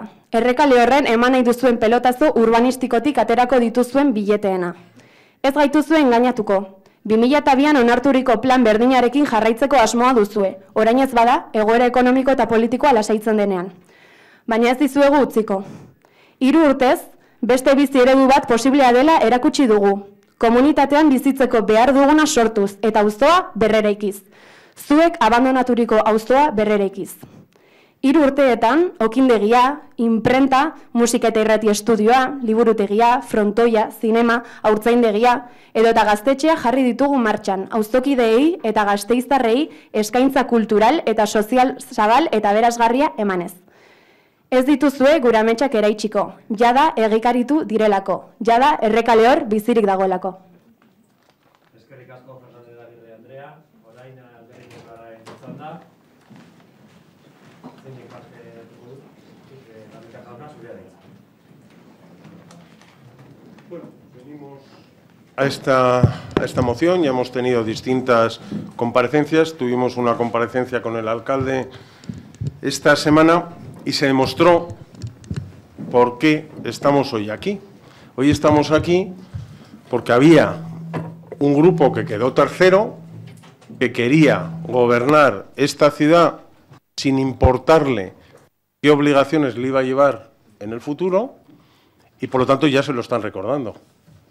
No se nos desmande que le hemos puesto usted aquí y por lo tanto tiene que gobernar de acuerdo a lo que hace Bildu. Y se ha demostrado estos dos años lo que ha pasado. En estos dos años el alcalde de, de esta ciudad, el señor Hurtarán, no ha hecho nada para desalojar a los ocupas de Recaleor, no ha hecho nada para impedir el movimiento ocupa de esta ciudad y lo que ha hecho es que con su falta de decisiones se ha producido un efecto llamada de ocupas y como una mancha de aceite ha ido habiendo distintos ocupos en la ciudad. Ha empezado en el Recaleor y dado que en el Recaleor nos ha parado, hemos ido a Olarizu y después hemos ido al casco medieval. Y el problema es esa falta de decisión del señor Hurtaran, pero no es una falta de decisión porque no quiere tomar decisiones, que también, sino es porque no ha querido tomar estas decisiones porque está presionado por el partido que le puso en el poder. Y ahora quiere cambiar, pero nosotros vamos a vigilar que ese cambio sea real. Porque al final lo que ha hecho es, como tiene una presión importante, lo que hace es decir, bueno, vamos a llevar a cabo el desalojo de Recaleor y vamos a hacer un proyecto de derribo. Pero es un proyecto de derribo que no es creíble, porque este proyecto de derribo, cuando vio presión, también lo sacó en marzo del 2016 y dijo que para finales del 16 ese proyecto de derribo ya estaba en marcha y por lo tanto se iba a desalojar a los ocupas de Recaleor y se iba a tirar el barrio. Pero no es verdad. No es verdad. Después se llegó a un acuerdo en el Sánchez 21 en noviembre del 2016 en la cual se iban a tomar las decisiones oportunas para desalojar a los ocupas de Recaleor y tampoco se ha hecho nada. Pero es que no es solo que no se ha hecho nada, sino el señor Hurtaran, que siempre habla de transparencia, no nos da ningún tipo de información ni en el Consejo de Sánchez 21, ni cuando vamos a hablar a la asesoría jurídica para que se nos informe cuál es la situación de las, de las ocupaciones de Recaleor, no se nos da información, pero no porque no quiera la asesoría jurídica darnos información, es que no les dejan darnos información. Y ese es el problema. No se quiere dar información, ¿por qué? Porque no se ha hecho nada, porque se ha hecho mucho. Nosotros nos tememos es porque no se ha hecho nada. Y ese es el problema que está teniendo el señor Hurtaran. Ha querido jugar a muchas, a muchas piezas, ha querido jugar a intentar hacer ver que no se note lo que está haciendo y llega un momento que hay que tomar decisiones. Y llega un momento que hay que tener claro si se está con la legalidad o con la ilegalidad, si se está con los ocupas o se está con los vecinos de Vitoria. Y es el momento de hacerlo. Pero cuando parece que toma decisiones, le da miedo y entonces deja la puerta abierta a decir, ¿y ahora dónde van los ocupas de Recaleor? Y de repente tiene un socio que dice lo contrario. Y entonces tenemos que ver cuál de los socios dice la verdad. Porque uno de los socios dice, lo mejor, la mejor opción es dialogar y llegar a un acuerdo entre ambas partes. Hay que negociar. Si quieren llevar el proyecto de autogestión, es respetable. Yo lo respeto. Habrá que hablar y negociar dónde se puede llevar adelante. Y estas palabras lo dice un teniente alcalde y las dice ayer, no las ha dicho hace un mes. Porque yo en la, en la comparecencia le decía, usted ha dicho negociar. Decía, no, no, yo no he dicho negociar. Bueno, está en las radios y tenemos los resúmenes para lo que quiera. Pero es que ayer mismo ya se han reunido con ellos y les ha dicho que lo mejor es llegar a acuerdos. Llegar a acuerdos es negociar, señor, ¿no? ¿O no? ¿Qué es llegar a acuerdos? Por lo tanto, lo que queremos saber es si van a seguir adelante, si van a seguir negociando, dónde van a llevar el problema que han creado ustedes. ¿Lo van a llevar a otro barrio? Queremos saber a qué barrio de la ciudad van a llevar a los ocupas. Queremos saber dónde van a crear otro foco y dónde van a crear otro problema. Y además, por transparencia, señor Hurtarán lo tendría que decir, ¿por qué da más derechos a los que no cumplen la ley que a las personas que la cumplen? Y por lo tanto queremos saber dónde va a crear usted, por su irresponsabilidad, otro foco de ocupas. Ya lo tenemos en Olarizu, que está afectando a la convivencia del propio barrio. Pues ahora queremos saber dónde va a extender, en este caso, por su voluntad, otro foco ocupa. Y por lo tanto, nosotros hoy lo que hemos traído es una moción por la cual el Pleno del Ayuntamiento insta al Gobierno municipal a ser contundente y poner en marcha todas las medidas legales necesarias y ejecutar todos los acuerdos necesarios y adoptados para que Vitoria deje de ser una ciudad ocupa y frene el efecto llamada sin entablar vías de negociación con personas que ocupan ilegalmente viviendas en nuestra ciudad. Y el Pleno del Ayuntamiento de Vitoria insta al Gobierno municipal a, como primera actuación para poner freno a la proliferación de inquilinos ilegales, abordar ya el desalojo de los ocupas de Recaleor en cumplimiento del acuerdo del Consejo de Ensanche 21 del 24 de noviembre del 2016 para acometer el derribo del barrio, objetivo del plan de expropiación aprobado por unanimidad en 2001. Por lo tanto, señor Hurtarán, vamos a ver qué hacen hoy. Espero que no esperen al último turno y que digan, cuando les toque a ustedes, qué van a hacer hoy, para así poderles responder y poder entablar pues una discusión, no una negociación como parece que quiere hacer el Partido Socialista. Orain eh, irabazi Podemos eta EH Bildu taldeek aurkeztu egin dute osoko zuzenketa bat. Beraz, lehenengo eta emango diogo hitza irabazi taldeko bosera maiai. Fernández Jauna, zurea daitza. Sí, mi Esker, y bueno, en primer lugar también dar la bienvenida al proyecto de Recaleo Visirik, por, porque al final de en una moción que, que se llama de que Vitoria Gasteiz deje de ser ciudad ocupa, pues bueno, pues es uno de los agentes que, que debe tener su propia voz en, en todo este lío, ¿no? Y, y, entrando un poco al detalle, porque esta es una moción que, primero general y después entraré más en, en detalles, eh, lógicamente pues es el, en, el asunto en sí es el, movimiento Ocupa, ¿no? Y, la verdad es que el movimiento Ocupa que, surgía, y no voy a hacer una larga historia, pero surgía en el Reino Unido hace ya casi 40 años, mientras que en países de, Centro Europa y otros eh, países a nivel mundial, pues, pues bueno, pues ha ido eh, avanzando y ha, ido eh, in, incluso pues de, la mano con, organizaciones políticas que, que, bueno, pues son tanto izquierdas como de centro derecha, aquí en el Estado español siempre ha estado estigmatizado por una serie de, motivos que ya todos eh, conocemos, ¿no? Y, entre ellos es la especulación y el, boom del inmobiliario que, tenemos, ¿no? Porque al final el movimiento ocupa, filosóficamente, es, es eso, que eh, no dejar viviendas eh, vacías, desocupadas, mientras haya gente que, que, que, no pueda acceder a ellas, ¿no? Y, concretamente, ¿no? pues podemos poner simplemente dos, dos, breves ejemplos, como es el de Kleusberg en, Berlín.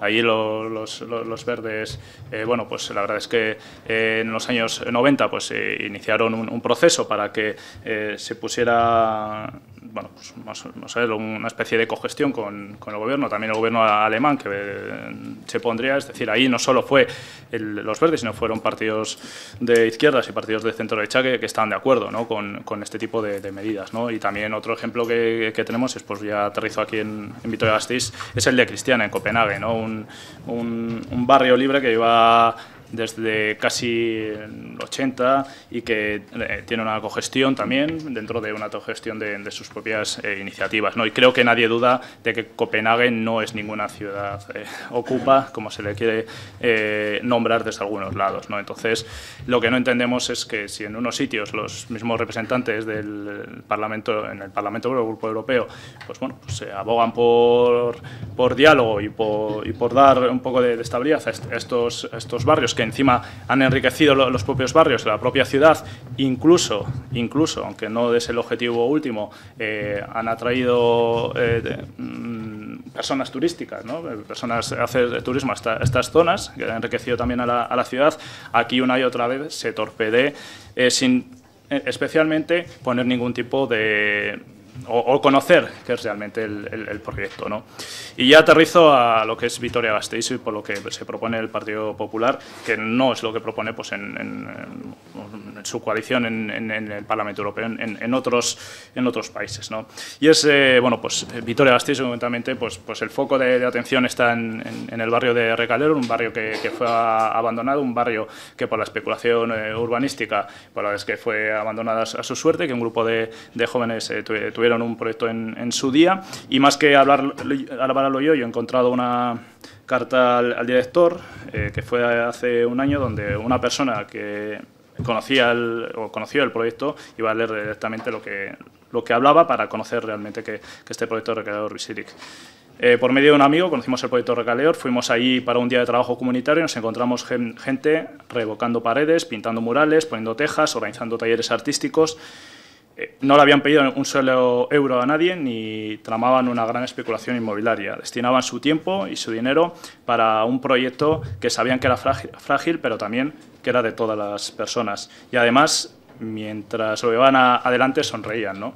Definitivamente, esa, es, esa era otra victoria, otra victoria que había conocido en su infancia, que había ido y había vuelto. Yo creo que este es el, resumen de lo que han comentado, de un proyecto que hay de un barrio para revitalizarlo, ¿no? que es el Recadeor, que hace una semana eh, yo creo que de manera imprudente se le dejó sin luz, poniendo en riesgo la seguridad de 150 personas, eh, familias, estudiantes, profesores de universidad y otras personas sin recursos que están viviendo ahora mismo en, la, en, ese barrio. Por lo tanto, una vez más, yo sigo instando al gobierno principal y al, alcalde a seguir dialogando, como se ha hecho en otras ciudades que antes he comentado, ciudades avanzadas en este sentido, porque enriquecería no solo al barrio, sino también a la propia ciudad para darle vida, para darle color y para darle la sensación de, no un barrio abandonado, porque nosotros queremos un, barrio vivo, preferimos un barrio vivo con, color que un barrio gris y destruido. También es cierto que esto, lo he comentado antes, no solo es de, una parte, aprovechando también la presencia de Ricardo Visiric, sí que creo que facilitaría también para todo el conocimiento de la ciudadanía que todo el mundo conozca el proyecto y conozca ese, plan ¿no? que, hay dentro del barrio. O sea, que animaros a, que, a presentar ese plan eh, públicamente pues para que cada vez más personas lo, conozcan y haya menos miedo hacia lo que, o sea, hacia sensación de miedo que se pretende desde algunos partidos políticos sobre lo que allí ocurre. Eta, ba, bukatzeko gure, gure ustez, e, bide bat dago, e, auzoa erakeitzeko bidean, e, akordioak lortzea denon artean, eh? denon artean. E, guk nahiago dugu e, auzo bat argiarekin eta koloreekin auzoa e, eraitsi ordez. Es decir, que queremos un barrio vivo, queremos un barrio en color y queremos eh, dejar esas políticas de, del miedo que, que, se pretenden por algunos grupos políticos que ahora mismo están en la posición y, y únicamente por cuestiones políticas y electoralistas eh, pretenden pues, bueno, pues ensuciar la, la imagen de, de, de, proyectos como el de Recaldeor y Tanto Scanicha como ECO que componemos eh, así y hemos dicho que... Han dejado una... Sí, estamos de, de, acuerdo con el proyecto y lo he hecho. Ya en el segundo turno andaré más en otras cuestiones mías. Es que ricasco, Fernández Jauna, orain podemos taldear en txanda, Cerezo Lejana, zurea daitza. Eh, gracias, señor alcalde. Y a vosotras y a vosotros, bienvenidos. Esto se supone que es un pleno municipal, donde la expresión del pueblo tiene que estar presente y tiene que estar delante de los micrófonos diciendo qué es lo que queréis, qué es lo que sentéis. No obstante, como partido político, evidentemente, nosotros tenemos nuestras propias posiciones y son las posiciones que voy a, leer, porque no quiero dejarme nada del tintero y en segunda intervención ahondaré más profundamente. Así pues, desde nuestro partido político pensamos que las premisas de las que hace gala la moción original del Grupo Popular son, a nuestro juicio, falsas. La expropiación de las 192 viviendas de Recaleor tenía como objeto, más allá de mejorar la calidad de vida de sus vecinos, que es lo que nos quieren vender, hacer negocio con la parcelación del sector. Negocio que se llevó por delante la crisis económica e inmobiliaria y a la que a la vista de los acontecimientos parece resurgir de sus cenizas obviando que mientras la justicia no dictamine hasta el último de los procesos abiertos, las actuaciones de parte son, cuanto menos, dudosas y pueden salir muy caras a este ayuntamiento.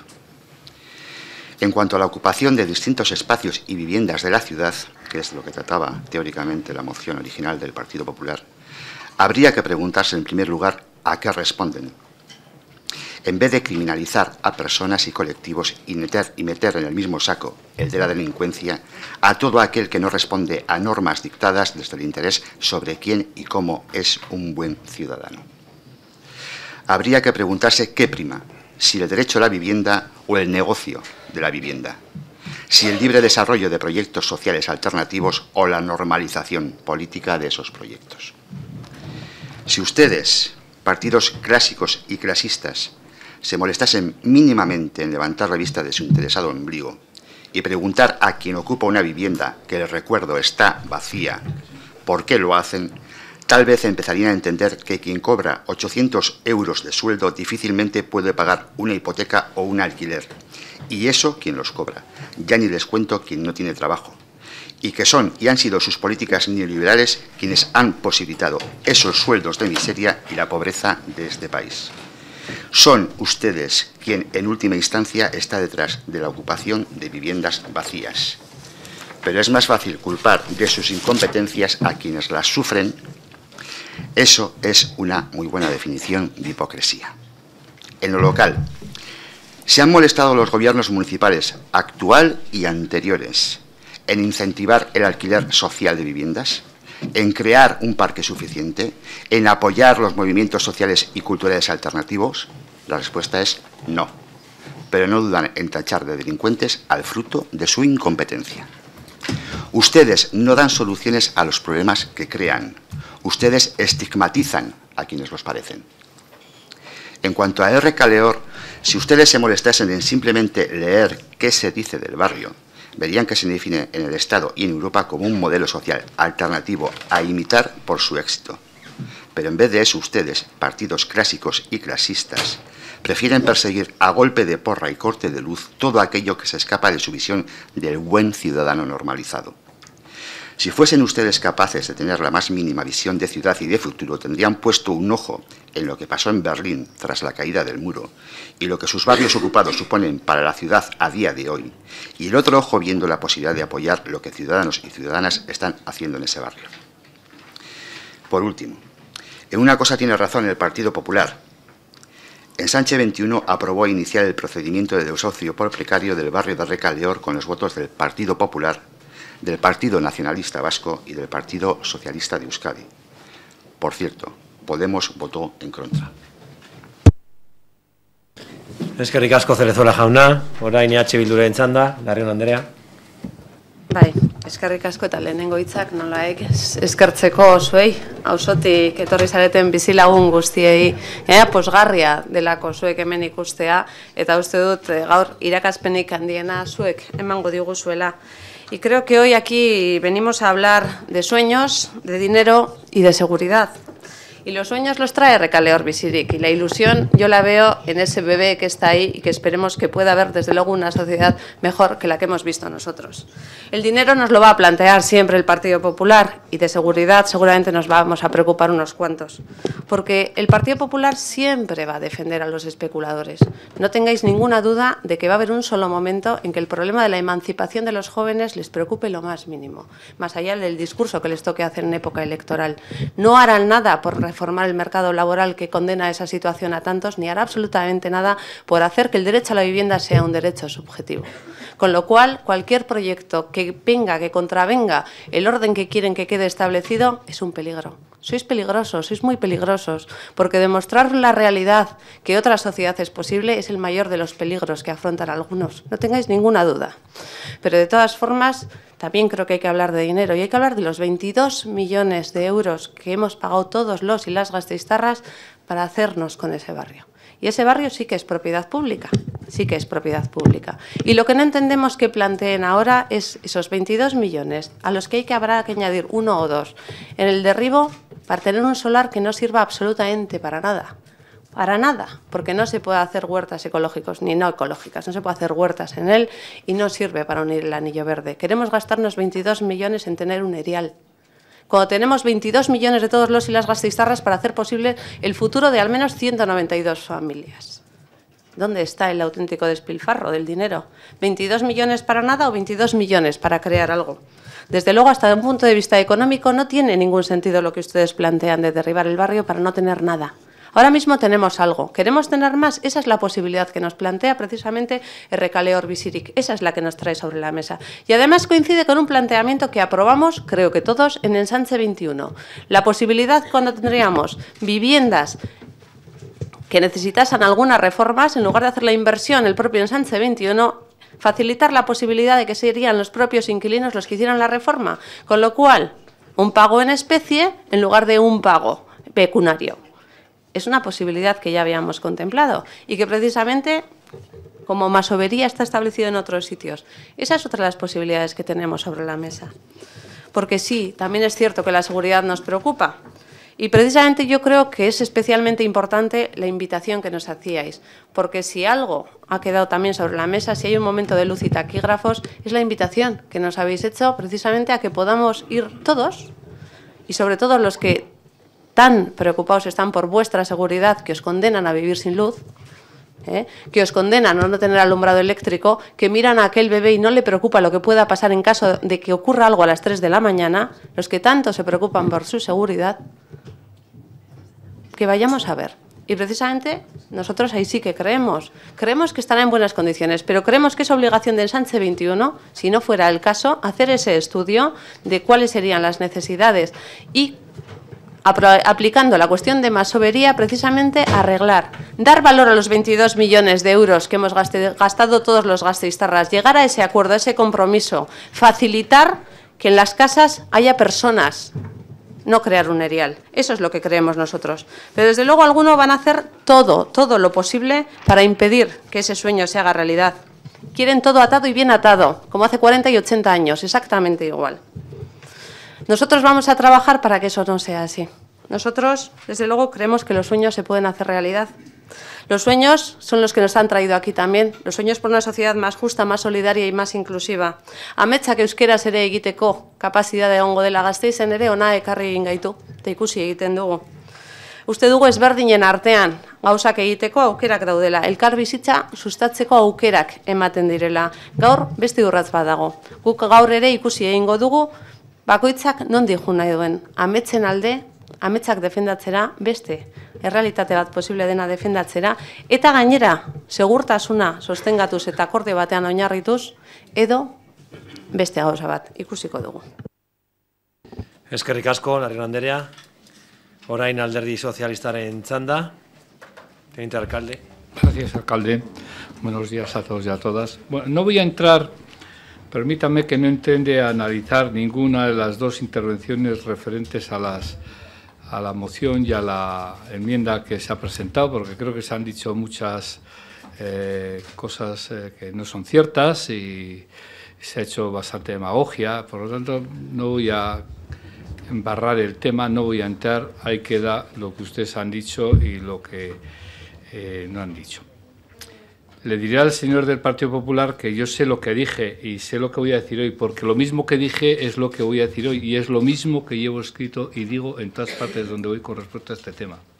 Yo no estoy cambiando, es lo mismo, ¿verdad? Vale. Y voy a leer lo que leí y lo que voy a leer y lo que digo y lo que mantengo. Nosotros defendemos la legalidad y la existencia de unas normas de convivencia que nos hagan iguales ante las demás personas, iguales ante la ley. Nosotros apoyamos los proyectos basados en la autogestión. Eso no quiere decir que compartamos el modelo de Recaleor, donde primero se ha dado una situación de ocupación y, en segundo lugar, una situación de riesgo sobre las personas, cuya responsabilidad recae directamente sobre el ayuntamiento, la seguridad. Tiene que haber unas mínimas normas de convivencia y esas normas no entra, en esas normas no entra la ocupación. Por eso somos partidarios del diálogo entre las partes. Hoy, esta mañana aquí, me ha dado la impresión que esto del diálogo está muy difícil, cada vez más difícil probablemente. La intervención que, han hecho, la, que ha hecho la representante del turno popular, desde luego, ha vertido algunas acusaciones y ha vertido algunas cuestiones que yo creo que están de sobra y que desde luego no ayudan nada al diálogo ni a que haya una buena actitud para poder hablar. Pero sí es cierto que nosotros apostamos por el diálogo ¿eh? entre las partes que ayuden a encontrar una salida, lejos del conflicto y del enfrentamiento, una salida que permita el desarrollo de proyectos de autogestión, pero dentro de la legalidad. Aquí todos estamos en el derecho de reclamar nuestros derechos, pero sin olvidar que también tenemos obligaciones, al igual que cualquier otro vecino y vecina de nuestra ciudad. Por eso entendemos que lo mejor es dialogar y llegar a un punto de acuerdo para que estas personas puedan desarrollar su proyecto de forma legal. Nos consta, y ustedes, a ustedes también les consta, que ya hubo un intento por parte del alcalde de hacer esto con el ofrecimiento de espacios en otro lugar de la ciudad, llevándolos a cabo a través de la fórmula de la masovería, ¿verdad? Con trabajos en favor de la comunidad. Me estoy refiriendo a Rechavaleta, ustedes lo saben. Y entendemos que en esta línea hay que trabajar y retomar. Hay un proyecto que plantean los jóvenes, quieren llevarlo adelante, ha de ser dentro de la legalidad y hemos de hablar para ver dónde se puede hablar, siempre respetando las normas, siempre respetando las normas dentro de nuestra ciudad. ¿eh? Y con contrapartidas o con pago en unas fórmulas u otras. La mosovería es una, podría haber otras, pero siempre dentro de la legalidad. Muchos vitorianos y vitorianas lo pasan mal para pagar sus hipotecas y las tienen que pagar y las pagan. Desde el propio ayuntamiento estamos articulando fórmulas para ayudar a pagar la energía, las diferentes energías, a muchos ciudadanos y ciudadanas que no pueden sino llegar a fin de mes. No puede ser que haya otros ciudadanos que por la cara no paguen ni sus viviendas, ni la energía, ni nada. Todos los ciudadanos y ciudadanas de Vitoria somos iguales. Todos somos iguales. Gracias. Eskerrik asko, alkate ordea, orain lehenengo txanda bukatzeko Eusko Alderdi Jeltzalearen txanda, Gonzalo Anderea. Eskerrik asko, alkate jauna, egun on guztioi eta ongi etorriak izan zaitezte e, udaletxe honetara. Eh, bueno, quería aprovechar la ocasión para saludaros y agradeceros la, vuestra presencia, así como la exposición que habéis realizado. Eh, en cualquier caso, en respuesta a, sus, los planteamientos que nos habéis formulado, sí que me gustaría también eh, trasladaros una serie de consideraciones que espero sean también valorados por vuestra parte. El fin de la actuación municipal que en su día se llevó a cabo eh, en el barrio de Lecaleón, el planteamiento que se, hizo para que fue apoyado además por todos los grupos de esta corporación, no tenía otra finalidad que la de mejorar la calidad de vida de aquellos de los vecinos que entonces eh, residían allí, teniendo en cuenta las condiciones de infravivienda en que se encontraban los referidos inmuebles. Esa fue la finalidad, ninguna especulativa. Los diferentes informes que se han emitido y que son relativamente recientes, estamos hablando de febrero, de marzo y abril, elaborados tanto por servicios eléctricos municipales, la Policía Local y la Delegación de Industria, alertan del riesgo inminente para la seguridad de las personas que residen en el barrio el informe de los servicios técnicos, y aquí sí que lo voy a leer literalmente, sí que advierte que todas estas irregularidades que se han mencionado son defectos graves, defectos que suponen un peligro inmediato para la seguridad de las personas, riesgo de incendios, accidentes, cortocircuitos y descargas eléctricas por falta de medidas contra contactos indirectos de aislamiento y la instalación o protección contra cortocircuitos y sobrecargas. Habéis eh, comentado anteriormente que bueno, pues que se habían hecho mejoras en las instalaciones. No sé si realmente hay un certificado de, de un instalador autorizado que verifique esas condiciones que estáis eh, señalando. También me gustaría recordar que eh, el informe de la Policía Local indicaba eh, que se consideraba que la ocupación de las viviendas de Recaleor no ofrecía ninguna garantía de salubridad, de higiene y seguridad. Se informaba de que era necesario tomar medidas de urgencia con todas las viviendas, ya estén ocupadas o vacías Pero es que además hay informes más recientes y estamos hablando de marzo y abril de 2017, no estamos hablando de, informes anteriores, en los que tras verificarse el estado de las instalaciones, la Delegación de Industria no dejaba lugar a dudas cuando decía que la antigüedad de las instalaciones es muy elevada. El diseño inicial se hizo para una electrificación muy inferior a la de las necesidades actuales, con potencias instaladas que hoy serían insuficientes. Calidad de materiales, la ausencia de dispositivos de protección, no se garantiza ninguna seguridad y se pone en riesgo a sus usuarios. Se requiere a la empresa eléctrica que adopte medidas necesarias para suprimir estas acometidas no legalizadas. A mayor abundamiento, se ha citado también, considerar que estas viviendas contienen amianto en todas sus fachadas norte, sufren de aluminosis y su estructura no se asienta en pilares, sino muros de carga. Es decir, que tenemos un espacio con unos inmuebles identificados, claramente identificados, que adolecen de numerosas deficiencias. Estos informes lo que hacen es incuestionable las razones que han sido alegadas para que por parte del ayuntamiento se respaldara una actuación que, si bien no, se, no ha sido llevada a cabo por iniciativa del ayuntamiento, porque ha sido ya creo que se ha comentado, por lo menos en los medios, hace una actuación eh, iniciada a instancias del Departamento de Industria del Gobierno vasco y fue ejecutada por Iberdola y nosotros la respaldamos ante eh, la certeza de estos informes. En definitiva, si las viviendas no reunían condiciones adecuadas de, habitabilidad para los entonces eh, residentes, ¿por qué sí para los actuales ocupantes? No se entiende el posicionamiento eh, que, que, se trae eh, en el día de hoy. Se habla de establecer cauces de diálogo. ¿Con quién? El diálogo entiendo que requiere disposición, voluntad y capacidad para ceder y ser flexible. ¿Cómo se puede negociar con un colectivo que ha expresado su rechazo y además públicamente a cualquier alternativa que no pase por mantenerse en el recaleor? En cuanto al proyecto que desarrollan en un espacio que es de todos los ciudadanos de Vitoria-Gasteiz y no de un colectivo de personas, y que sí que es verdad que el erario público del, dinero de todos se destinaron 22 millones a realojar a los entonces eh, residentes para darles unas viviendas más dignas.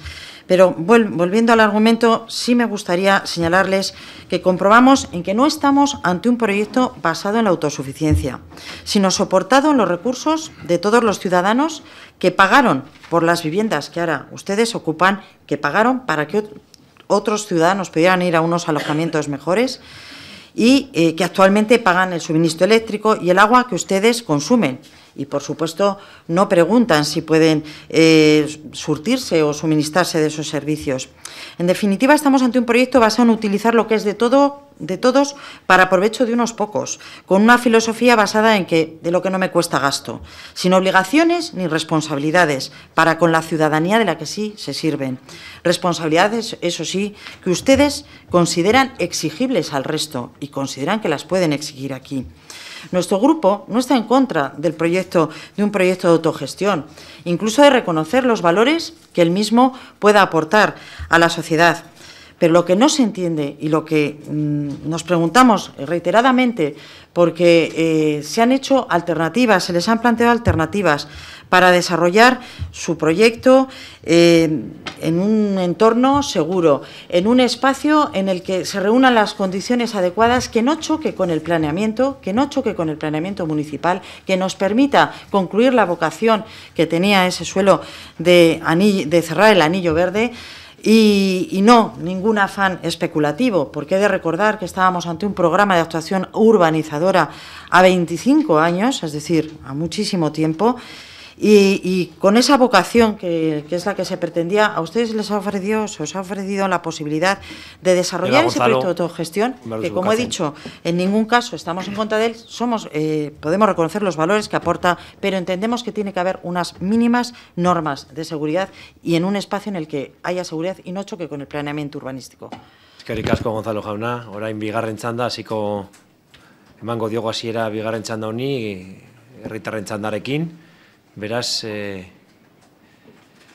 ez dakit zuetako norbaitek hitz egin nahi duen, bai, mesedez, eh, aurkeztu zure burua.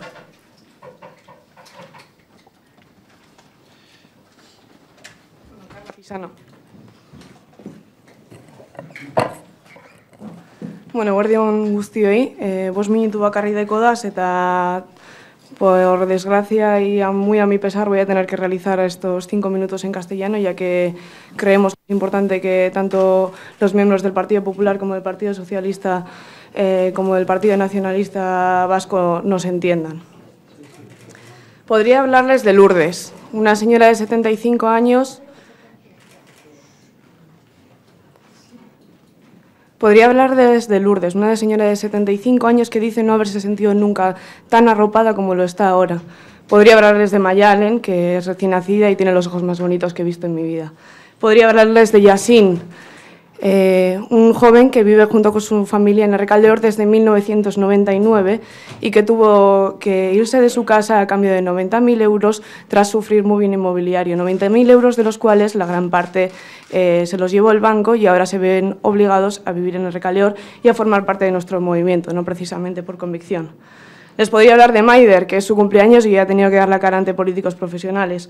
O les podría hablar de estudiantes politizados en el barrio, les podría hablar de ideales que se rompen ante la práctica, o les podría hablar del miedo que siente una cuando oye hablar de excavadoras que van a venir a tirar tu casa. Podría hacerlo, pero creo que no sirve de nada, porque eso supondría asumir que la, la política institucional entiende de corazón y no, no es así. Usted nos ha demostrado que no es así. Nos ha demostrado que esos nombres, Yasin, Maider, eh, Mayalen, no son más que una piedra en su muy prometedora carrera política. Por lo tanto, hablemos de política y dejemos el sensacionalismo barato para los románticos, ¿no? Porque en eso podemos estar de acuerdo, somos muy románticos, ¿no? Eh, desde el primer momento, diez jóvenes llegaron a un barrio vacío y abandonado y soñaron con reconstruirlo, soñaron que podían darle vida de nuevo, soñaron y soñamos que 150 personas podemos, eh, de alguna manera, tumbar un alcalde que se ha venido arriba de repente. Ya sabéis, Hurtana, somos unos románticos. Creo, sinceramente, que hasta hace una semana esta ciudad tenía un alcalde con menos punch que el spot publicitario de H. Bildu en favor a, a apoyando... Le llama al orden, señora Pisano, porque tiene que utilizar un lenguaje respetuoso con las personas que nos encontramos en esta sala.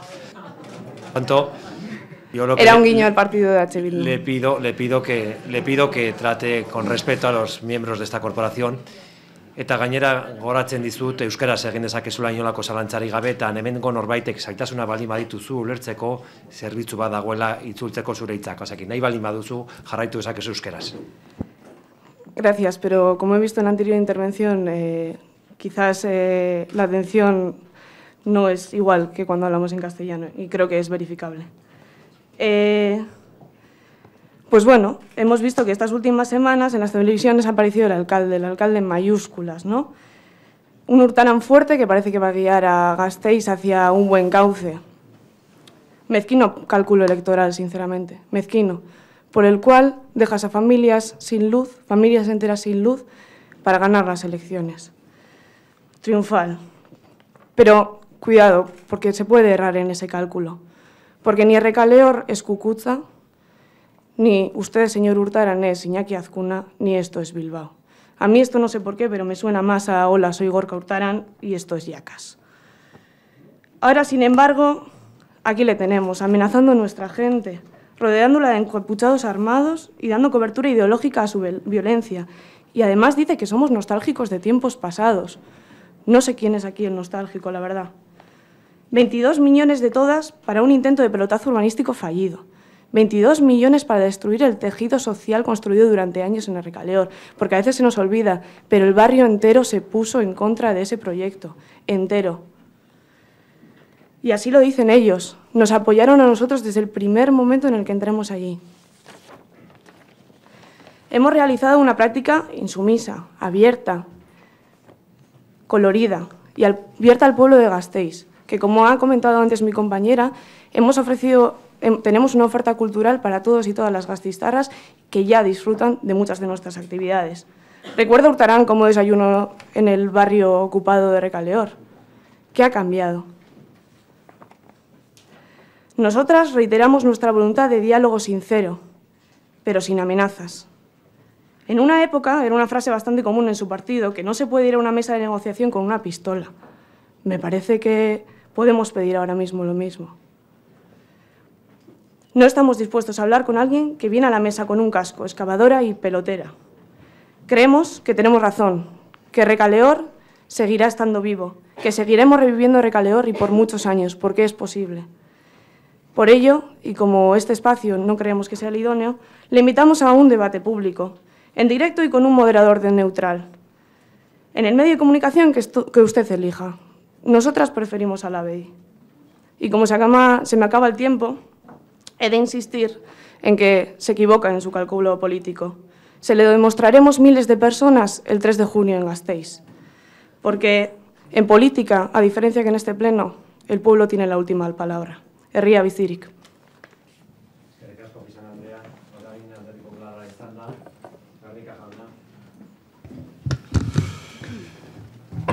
Bueno, señor Hurtaran, tiene que reflexionar. Mira lo que está pasando hoy aquí. Se le han venido arriba. Le dicen que van a tumbar a un alcalde que se ha venido arriba. Es que usted, mira lo que ha conseguido. Tenía que haber reflexionado y no podía radicalizar la ciudad. No podía llegar a ser alcalde a través de partidos radicales. Porque ahora, seguramente, estará enfadado, porque tiene que estar enfadado. Pero lo, este monstruo lo ha creado usted. Este monstruo lo ha creado usted, señor Hurtarán. Usted, por querer estar en una silla que no le correspondía, se dejó llevar para llevar una ciudad más radical, que es lo que tenemos hoy aquí, señor Hurtarán. ¿Es así? Usted, por querer estar en una silla, ha traído a Vitoria a ser la ciudad radical, a ser la ciudad ocupa, a ser la ciudad que no tiene límite, y después, el problema es que no se han atrevido en este turno a poder decir qué iban a hacer y en el fondo su portavoz lo que está haciendo es quitarle importancia y decir que le parece muy bien el movimiento pero que se vayan a otro sitio. Y eso es lo más grave, porque van a intentar jugar y van a intentar jugar con todo el mundo, pero no van a poder. Van a intentar un día diciendo que van a hacer un proyecto de derribo que no lo hacen en año y medio otro día que vamos a negociar, pero no es verdad, porque no negociamos, según el representante del Partido Socialista, y por lo tanto lo que están creando es una inestabilidad en la ciudad y están creando que al no ser tajantes, lo que están creando es que los ocupas piensen que tienen cada vez más derechos y cada vez se vayan a más sitios de la ciudad. Y nosotros lo que hicimos fue denunciar interpusimos denuncias y demandas. Y el problema es que ustedes se estuvieron en una moción que puso el Partido Socialista, que yo creo que se olvidan también de su pasado, para que pudieran permanecer y tuvieran más derechos y así lo que pasó es que los jueces les dieron la razón. Y esa es la culpa que hicieron ustedes, que ya sé que no quiere confrontar conmigo cuando yo le puedo eh, responder, ahora intentará decir algo que yo no puedo hacer, porque a mí, bueno, yo creo que en la vida hay que ser más valiente. Entonces, aquí hoy estamos, y estamos con lo que ha pasado hoy, que a mí me parece muy grave, se nota a qué partido político apoyan, porque los guiños son claros a Bildu, ahí es un problema, porque a Podemos parece ser que también les ningunean, y el problema que tenemos es que en el fondo les dejan hacer. Señor Hurtarán, porque hay veces que ustedes se enfadan, pero sus portavoces les dicen que les parece muy bien que sigan, pero a otro sitio. Yo creo que usted no ha sabido limitarlo. Usted no ha sabido tomar las decisiones que correspondían cuando usted estaba dominado totalmente por Bildu. Y ahora quiere jugar. Lo que no sabemos es si se va a arrepentir o no, porque no es creíble. Porque lo, lo, que ha estado haciendo hasta ahora no es creíble, señor Urtaran. Un día sí, un día son jóvenes y un día son ocupas. Lo que queremos saber es lo que piensa de verdad. Si son jóvenes o son ocupas. Si tienen derechos o no tienen derechos. Si son legales o son ilegales. Señor Hurtaran, se tiene que aclarar. Porque usted es alcalde y cuando se es alcalde hay que tomar decisiones en bien de la ciudad. Y usted lo que está haciendo es meter a Vitoria en un lío, es meter a Vitoria en que todo el mundo hable de que es una ciudad radical. Y por lo tanto, lo que queremos saber es, primero, si va a apoyar esta moción y después en el ensanche 21, si va a tomar decisiones, porque solo, los, solo las toma apoyando mociones, pero lo que queremos ver es los hechos. Vamos a tener un consejo de ensanche 21 y usted ahí, señor Hurtalan, va a tener que tomar decisiones. Ya no va a poder jugar. Hay que hacerse mayor. Hay que ser contundente. Y hay que ser claro. Por lo tanto, esperemos que ganemos los ciudadanos y que Vitoria no sea una ciudad ocupa. Gracias, señor Guernica. Le recuerdo que el presidente de la corporación no puede intervenir en los debates más allá de poder moderarlos. Por lo tanto, están constantemente haciendo alusiones cuando saben que no debo de intervenir, más que para moderar el debate. Se lo repito todos los plenos y se lo recuerdo. Constantemente haciendo apelaciones al presidente sabiendo que yo no debo de intervenir. Seguimos con el debate, en este caso eh, con, las, eh, los grupos que presentan enmienda a la totalidad. Por parte de Irabasi, señor Fernández. Sí, mira, es que, bueno, pues sabes que este, este debate ¿no? se parece cada vez más, más, enquistado. No me voy a referir a, a, las intervenciones que se realizan desde el Partido Popular, porque ya he dejado claro que lo que en el Estado español parece que se llaman radicales y ocupación en, en otros países dentro de su grupo europeo, pues eh, hacen labor por por, intentar eh, ayudar en esos barrios congestionados que, ocurren y que encima eh, les ponen en valor por, porque también da vida a la, ciudad y la verdad es que no voy a, no voy a entrar en más, más valoraciones. Sí que, sí que creo que, es importante incidir ¿no? en, en, esa... Yo lo que entiendo, en congruencia dentro de, de lo que comentaba el señor Pemenain, porque había un lado que estaba hablando de que su partido está a favor de autogestión, pero por el otro lado, no sé cómo lo ha hecho, como que que no de, de manera tan, tan tajante o no, sé, como que, que, estaba en contra de, de, esa autogestión en ese sentido de, las viviendas eh, ocupadas, cuando también le, recuerdo que hace pocas fechas en, en, Barcelona, pues eh, que, está en común con el, el gobierno de de Barcelona en Común, no sé si, sabrá, hay bueno, pues una, una, serie de personas que ocuparon el, eh, un centro de la Policía Municipal, un centro que también se hablaba de que está bastante deteriorado y que su partido ahí, apoyó un plan para que de, cogestión de estas, de estas personas con un plan de rehabilitación o a cambio de un plan de rehabilitación eh, a cuatro años. ¿no? Por lo tanto, eh, quiero decir que, que, aquí en, en este sentido eh, sean más claros eh, con, con, su discurso, ¿no? que en este sentido pues estamos hablando de una estación eh, importante en este sentido. ¿no? Y al señor Gonzalo también, que hablaba la de salubridad, a nuestro grupo también le, le preocupa esa, esa seguridad. ¿no? La, la, señora Río lo, hacía también referencia a esos consejos de Sánchez 21. ¿no? Sí que nos gustaría también saber la, la seguridad de, de, de, las viviendas de, de, de Alergador, más allá de, ese informe que, tiene, que data de bastantes más años.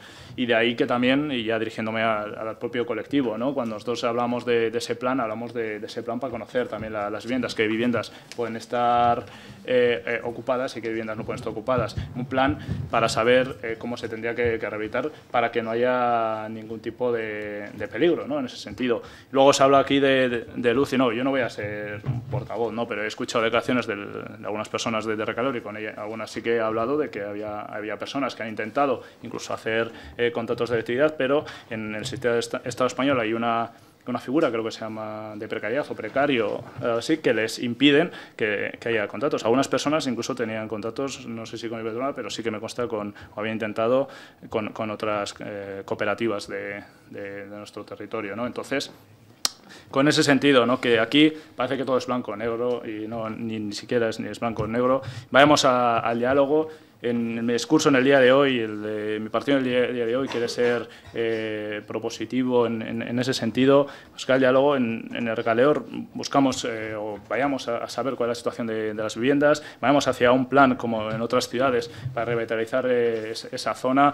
Hay un proyecto so, sobre la mesa ¿no? que, que, se tiene incluso que perfilar desde nuestro punto de vista mejor en, cuanto a la seguridad de, algunas viviendas y conocer más en profundidad, profundidad que otros eh, proyectos culturales para también animar a la ciudadanía que, que lo conozca que romper esos, esos miedos, que no solo va a ser mejor para, para en este caso, el, barrio de, de Recaleor, que ahora mismo está sin luz y inseguro, sino que también puede ser eh, muy beneficioso para, para, una ciudad por apostar por, y no voy a hablar de, de posturas antisistema, sino altersistema, sistema, que son posturas alternativas al sistema actual, porque no solo son sueños, son realidades en, en otras eh, ciudades, señor Gonzalo, señor López de Munain, me dijo a, ustedes, porque creo que tienen la mente más, más abierta y no se rigen por, por propuestas electoralistas, vayamos eh, caminando hacia una ciudad eh, diferente de cambio y que, que tenga que, cabida todas las, las ideas, iniciativas y, propuestas. ¿no? Y en este sentido, animarles a seguir dialogando con, con el proyecto de Recadero Visirik. Mila esker zuri, Fernández Jauna, orain Podemos en Chanda. Bien, creo que el tono del discurso ha ido subiendo y sí me encantaría hacer una llamada al diálogo y al diálogo directo entre, entre gobierno municipal y vosotras. Parece absolutamente fundamental. Me da la sensación de que esto está tomando una deriva em, muy extrema y un tanto que no, se llega a ningún lado. A ver, eh, en otro orden de cosas, eh, vamos a ver, yo no vengo aquí a que me alaben ni me cuenten historias, vengo a defender aquello en lo que creo. Y me puedo equivocar o puedo acertar, pero es lo que yo creo. Y ya está. No tiene mucho más historia. Señor López de Munaín, hágame usted un favor, no me ponga usted frente a frente a la población de Vitoria-Gasteiz, de unos contra otros. Eso es una trampa muy fea. Muy fea. También lo dijo Maroto. ¿Eh? Aquí no hay personas contra personas. Ni hay unos que pagan y otros que no pagan o dejan de pagar. No me utilice usted eso porque sabe perfectamente que eso tiene una, repercusión horrible. Deberían medir las consecuencias de las cosas que dicen. Y deberían medirlo muy bien. Muy bien. Y son ustedes responsables, responsables de las palabras que dicen y de lo que viene a continuación. Miran ustedes muy bien qué es lo que dicen. No pongan enfrente a unos y a otros. Porque no está bien, ni es justo, ni es verdad. Cuando ese barrio estaba abandonado, abandonado por este ayuntamiento, por este ayuntamiento, fue el esfuerzo de estas personas y de otras, el dinero de estas personas y de otras, el tiempo de estas personas y de otras, los que hicieron, los que pusieron en marcha aquello con unas condiciones mínimas de dignidad.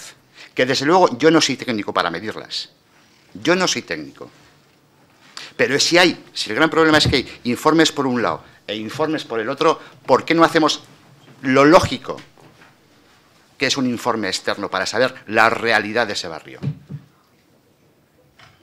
Lo de los 22 millones, lo de los 22 millones, insisto, insisto, y lo dejo claro encima de la mesa otra vez, era, era, ni más ni menos que para volver, lo de eh, la gente mejor vida y tal, que no, que no, que era para hacer eh, un experimento puramente especulativo una época muy clara, muy clara. Y aquello ahora se va a quedar, si derriban al final el recaleor, pelado, junto a otra parcela que hay al lado de la Mercedes, como posibles de futuro. Ya se verá cuándo y ya se verá cómo. Pero no me hagan trampas al solitario. No hagan trampas. Y sobre todo no pongan enfrente a, a la gente de esta ciudad porque están generando un problema que no existía. No existía hasta hace un mes. No existía. Es una barbaridad. Vamos a ver, señoras y señores del PP. Leo literalmente de su moción algunas cosas, ¿vale? Hablan ustedes de foco más de ocupas en Vitoria. Permite que sigan allí y se multipliquen. Yo lo desmultipliquen es una cosa que me quita el sueño. No sé si es un acto biológico o, o no sé. O sea, vamos a ver. Sigo leyendo, ¿eh? Porque es que tiene telita. Efecto llamada de ocupas. O sea, debe estar Vitoria, pues no sé. O sea, yo creo que cuando vaya a casa va a tener cinco en el baño. Dos poblados ocupas, nuevos focos de inquilinos ilegales. Los ocupas proliferan por nuestra ciudad y se extienden como una mancha de aceite. Este es muy bueno. Y en, lo que instan a ayuntamientos a ser contundentes. Mm, vamos a ver. Luego dicen que, claro, es que, no, es que no sabemos si son ocupas, si son ciudadanos. No sé, yo miro para allá, veo personas, que pueden tener razón o no, pero yo creo que sois personas. No sé, me lo parece. A ver, termino ya porque si no se me va a ir ya la fuerza por la boca. Eh, una pregunta estúpida. ¿Saben ustedes fehacientemente cuántos domicilios de los buenos vecinos de Vitoria-Gasteiz, no de los ocupas, por favor, ¿eh? están en pésimas condiciones de habitabilidad, y ya en cuanto a lo de accesibilidad, ni cuento, yo no lo sé, pero ¿saben ustedes? ¿Los derribamos? O mejor, les cortamos la luz. ¿Alguien se ha molestado en mirar eso? ¿Cuántos? ¿Me puede contestar alguien? ¿Cuáles son las actuaciones del Gobierno para esos domicilios en pésimas condiciones? ¿Cortamos la luz de la calle por donde pase?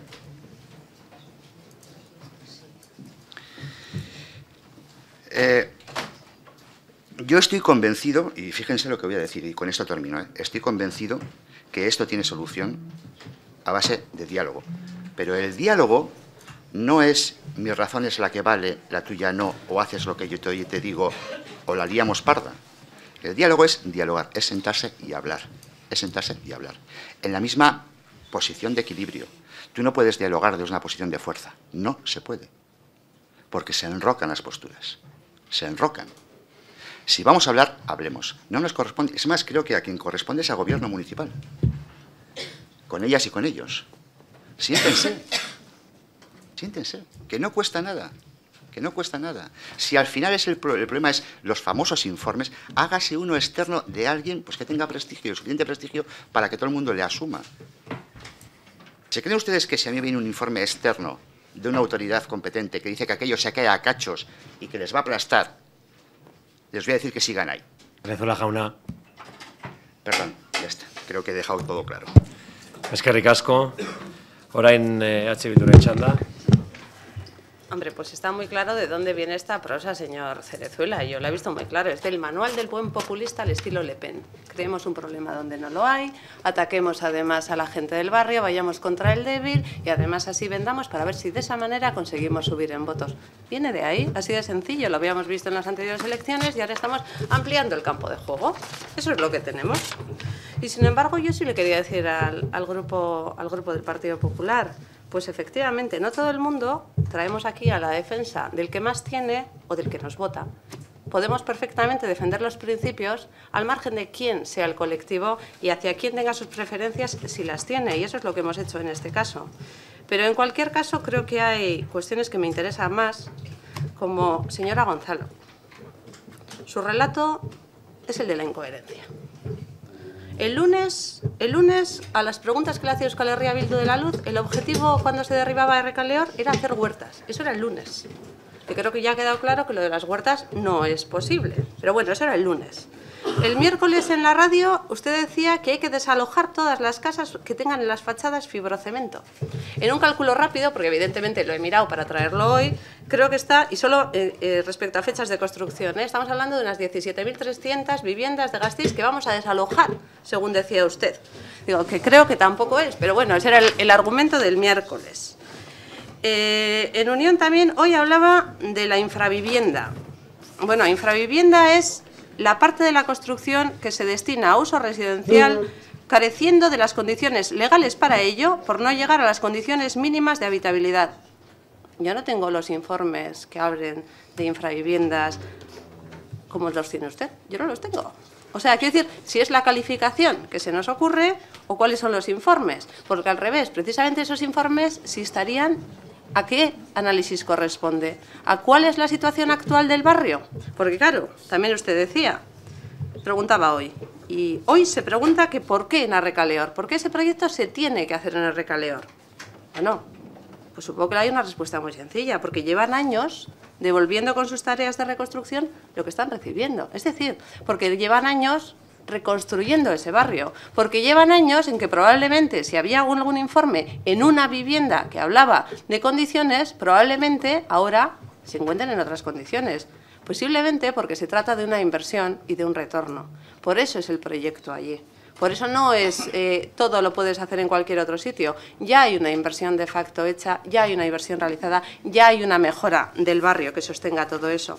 Pero de todas formas también, cuando ustedes dicen los que no pagan, los que no pagan. ¿no? Si aquí los que no pagan son los que defiende el Partido Popular, entre otros. Porque los que no pagan el IBI son la Iglesia, Araca y el gobierno militar. Esos no pagan el IBI. No lo van a pagar nunca y son normas que han hecho ellos. Ellos no lo van a pagar. O sea, cuando dicen todos los gastistarras pagamos, no, el IBI la Iglesia, Araca y el gobierno militar no lo pagan. Pero es que el ICIO, el tampoco lo pagan, ni Araca ni el gobierno militar. Y es las normas, ¿eh? pero no lo pagan. ¿Todos los gastistarras pagamos? Falso. Bueno, sí, los gastistarras sí pagamos, mira, no pagan otros. Las basuras, pues también hasta que no eh, lo denunció Euskal Herria Bildu, tampoco pagaba Araca, tampoco. O sea, dices, es curioso cada vez que hablamos de, no, aquí lo pagamos todos, pero no, siempre hay ciudadanos de primera y ciudadanos de segunda, hay gente que tiene una serie de beneficios y hay una serie que no. Eso no se menciona habitualmente, pero es lo que tenemos. O sea, la cuestión es, ¿qué pasa? Que eso sí se corresponde a las normas, ¿no? Que se dice. Porque aquí dice, nosotros vamos a actuar respecto a las normas. Las normas son cambiables. Las normas avanzan. De hecho, el derecho se va haciendo a medida que, que uno avanza en la sociedad. Pero hay una cuestión que a mí, desde luego, me interesa más allá que las normas, que es más básico y que es previo en el derecho, y que, desde luego, son los derechos. Los derechos civiles, políticos y sociales. ¿Por qué hablamos de normas si no estamos hablando de derechos? Porque aquí, al final, lo que hay sobre la mesa también es el derecho, el derecho a la vivienda, el derecho a plantear una vida, el derecho también a hacer un proyecto común. ¿En qué lado estamos? ¿Qué defendemos? las normas se pueden cambiar. De hecho, el planteamiento que ellos nos están haciendo entran perfectamente en las normas. La cuestión es qué queremos hacer. Y, señor Hurtara, le voy a hacer una referencia, pero lo hago, si no, al Partido Nacionalista Vasco. Y le voy a recordar luego un refrán que dice mucho mi ama, y es, no anda el gorgojo por el bien de lava. Y el gorgojo en este caso es el Partido Popular. O sea, cada vez que les dicen, vayan ustedes y derriban, algo que ellos no hicieron, por cierto, no va por su bien, ni va por el bien de la ciudad. En absoluto. O sea, el gorgojo nunca anda por el bien del ABA. Si nos preocupa el ABA, si nos preocupa la ciudad, si nos preocupa el proyecto de futuro, yo creo que es el momento otra vez del diálogo. Es el momento del diálogo. Siempre es el momento del diálogo. Nunca tiene que dejar de ser el momento del diálogo. Y desde luego, esa es la invitación. Eso es en lo que va a seguir trabajando Euskal Herria Bildu, la defensa de los sueños, de los derechos por encima de las normas y del diálogo. Es que ricasco. Eskerrik asko zuri Larrion Andrea, orain alderdi sozialistaren txanda. Gracias, alcalde. Bien. Bueno, yo de la derecha presente en este pleno no esperaba otra cosa que lo que el señor Garnica ha dicho. Pues, está en su línea y es bien, normal. Ahora sí que he de decir que hoy me voy a ir triste de este pleno. Porque frente a la oferta o, la posición nuestra en la que hablamos de dialogar, por parte de los comparecientes se reniega de, a ello, y con menudas formas, por cierto. Yo lo lamento profundamente, porque mire, si ustedes no piensan como yo, que no piensan en algunos aspectos como yo, yo les respeto profundamente. Pero nosotros no pensamos como ustedes en algunos temas, y ustedes no nos respetan, nos desprecian, por no pensar igual. Y por eso me voy a ir triste hoy de aquí. Nosotros les hemos ofrecido y hemos ofrecido, hemos puesto sobre la, aquí sobre la mesa que nos parece que esto hay que solucionarlo con el diálogo y el entendimiento. Y ustedes nos contestan con insultos. ¿Sabe qué están consiguiendo con esto?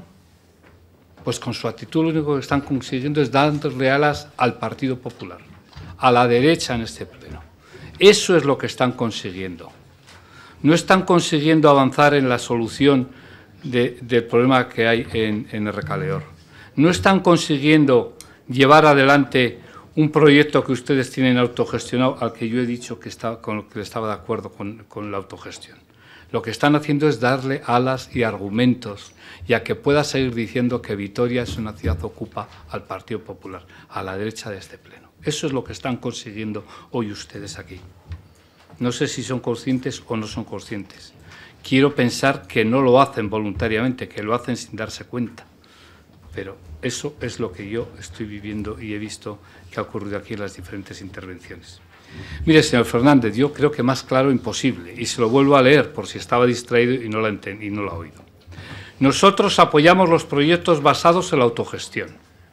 Eso no quiere decir que compartamos el modelo de recaleor, donde primero se ha dado una situación de ocupación y en segundo lugar una situación de riesgo sobre las personas, cuya responsabilidad recae directamente sobre este ayuntamiento.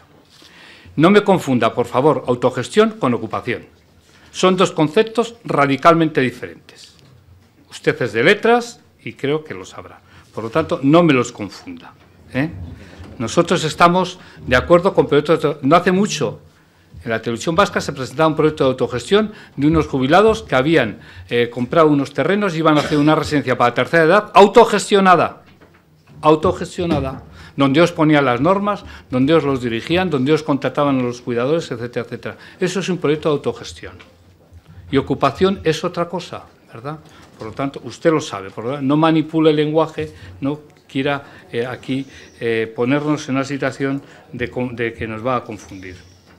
Yo no pongo a nadie enfrente de nadie, señor eh, Cerezuela. Yo no pongo a nadie enfrente de nadie. Hay quien se pone enfrente de otros. ¿eh? No estamos, yo no estoy, ni mi grupo estamos enfrentando a nadie. Es más, nosotros estamos pidiendo diálogo y eso no es enfrentamiento. Y también respeto. Respeto a nuestra posición y respeto a los derechos, pero también a las obligaciones que tenemos todos y todas los ciudadanos y ciudadanas en esta ciudad a la que representamos. Gracias.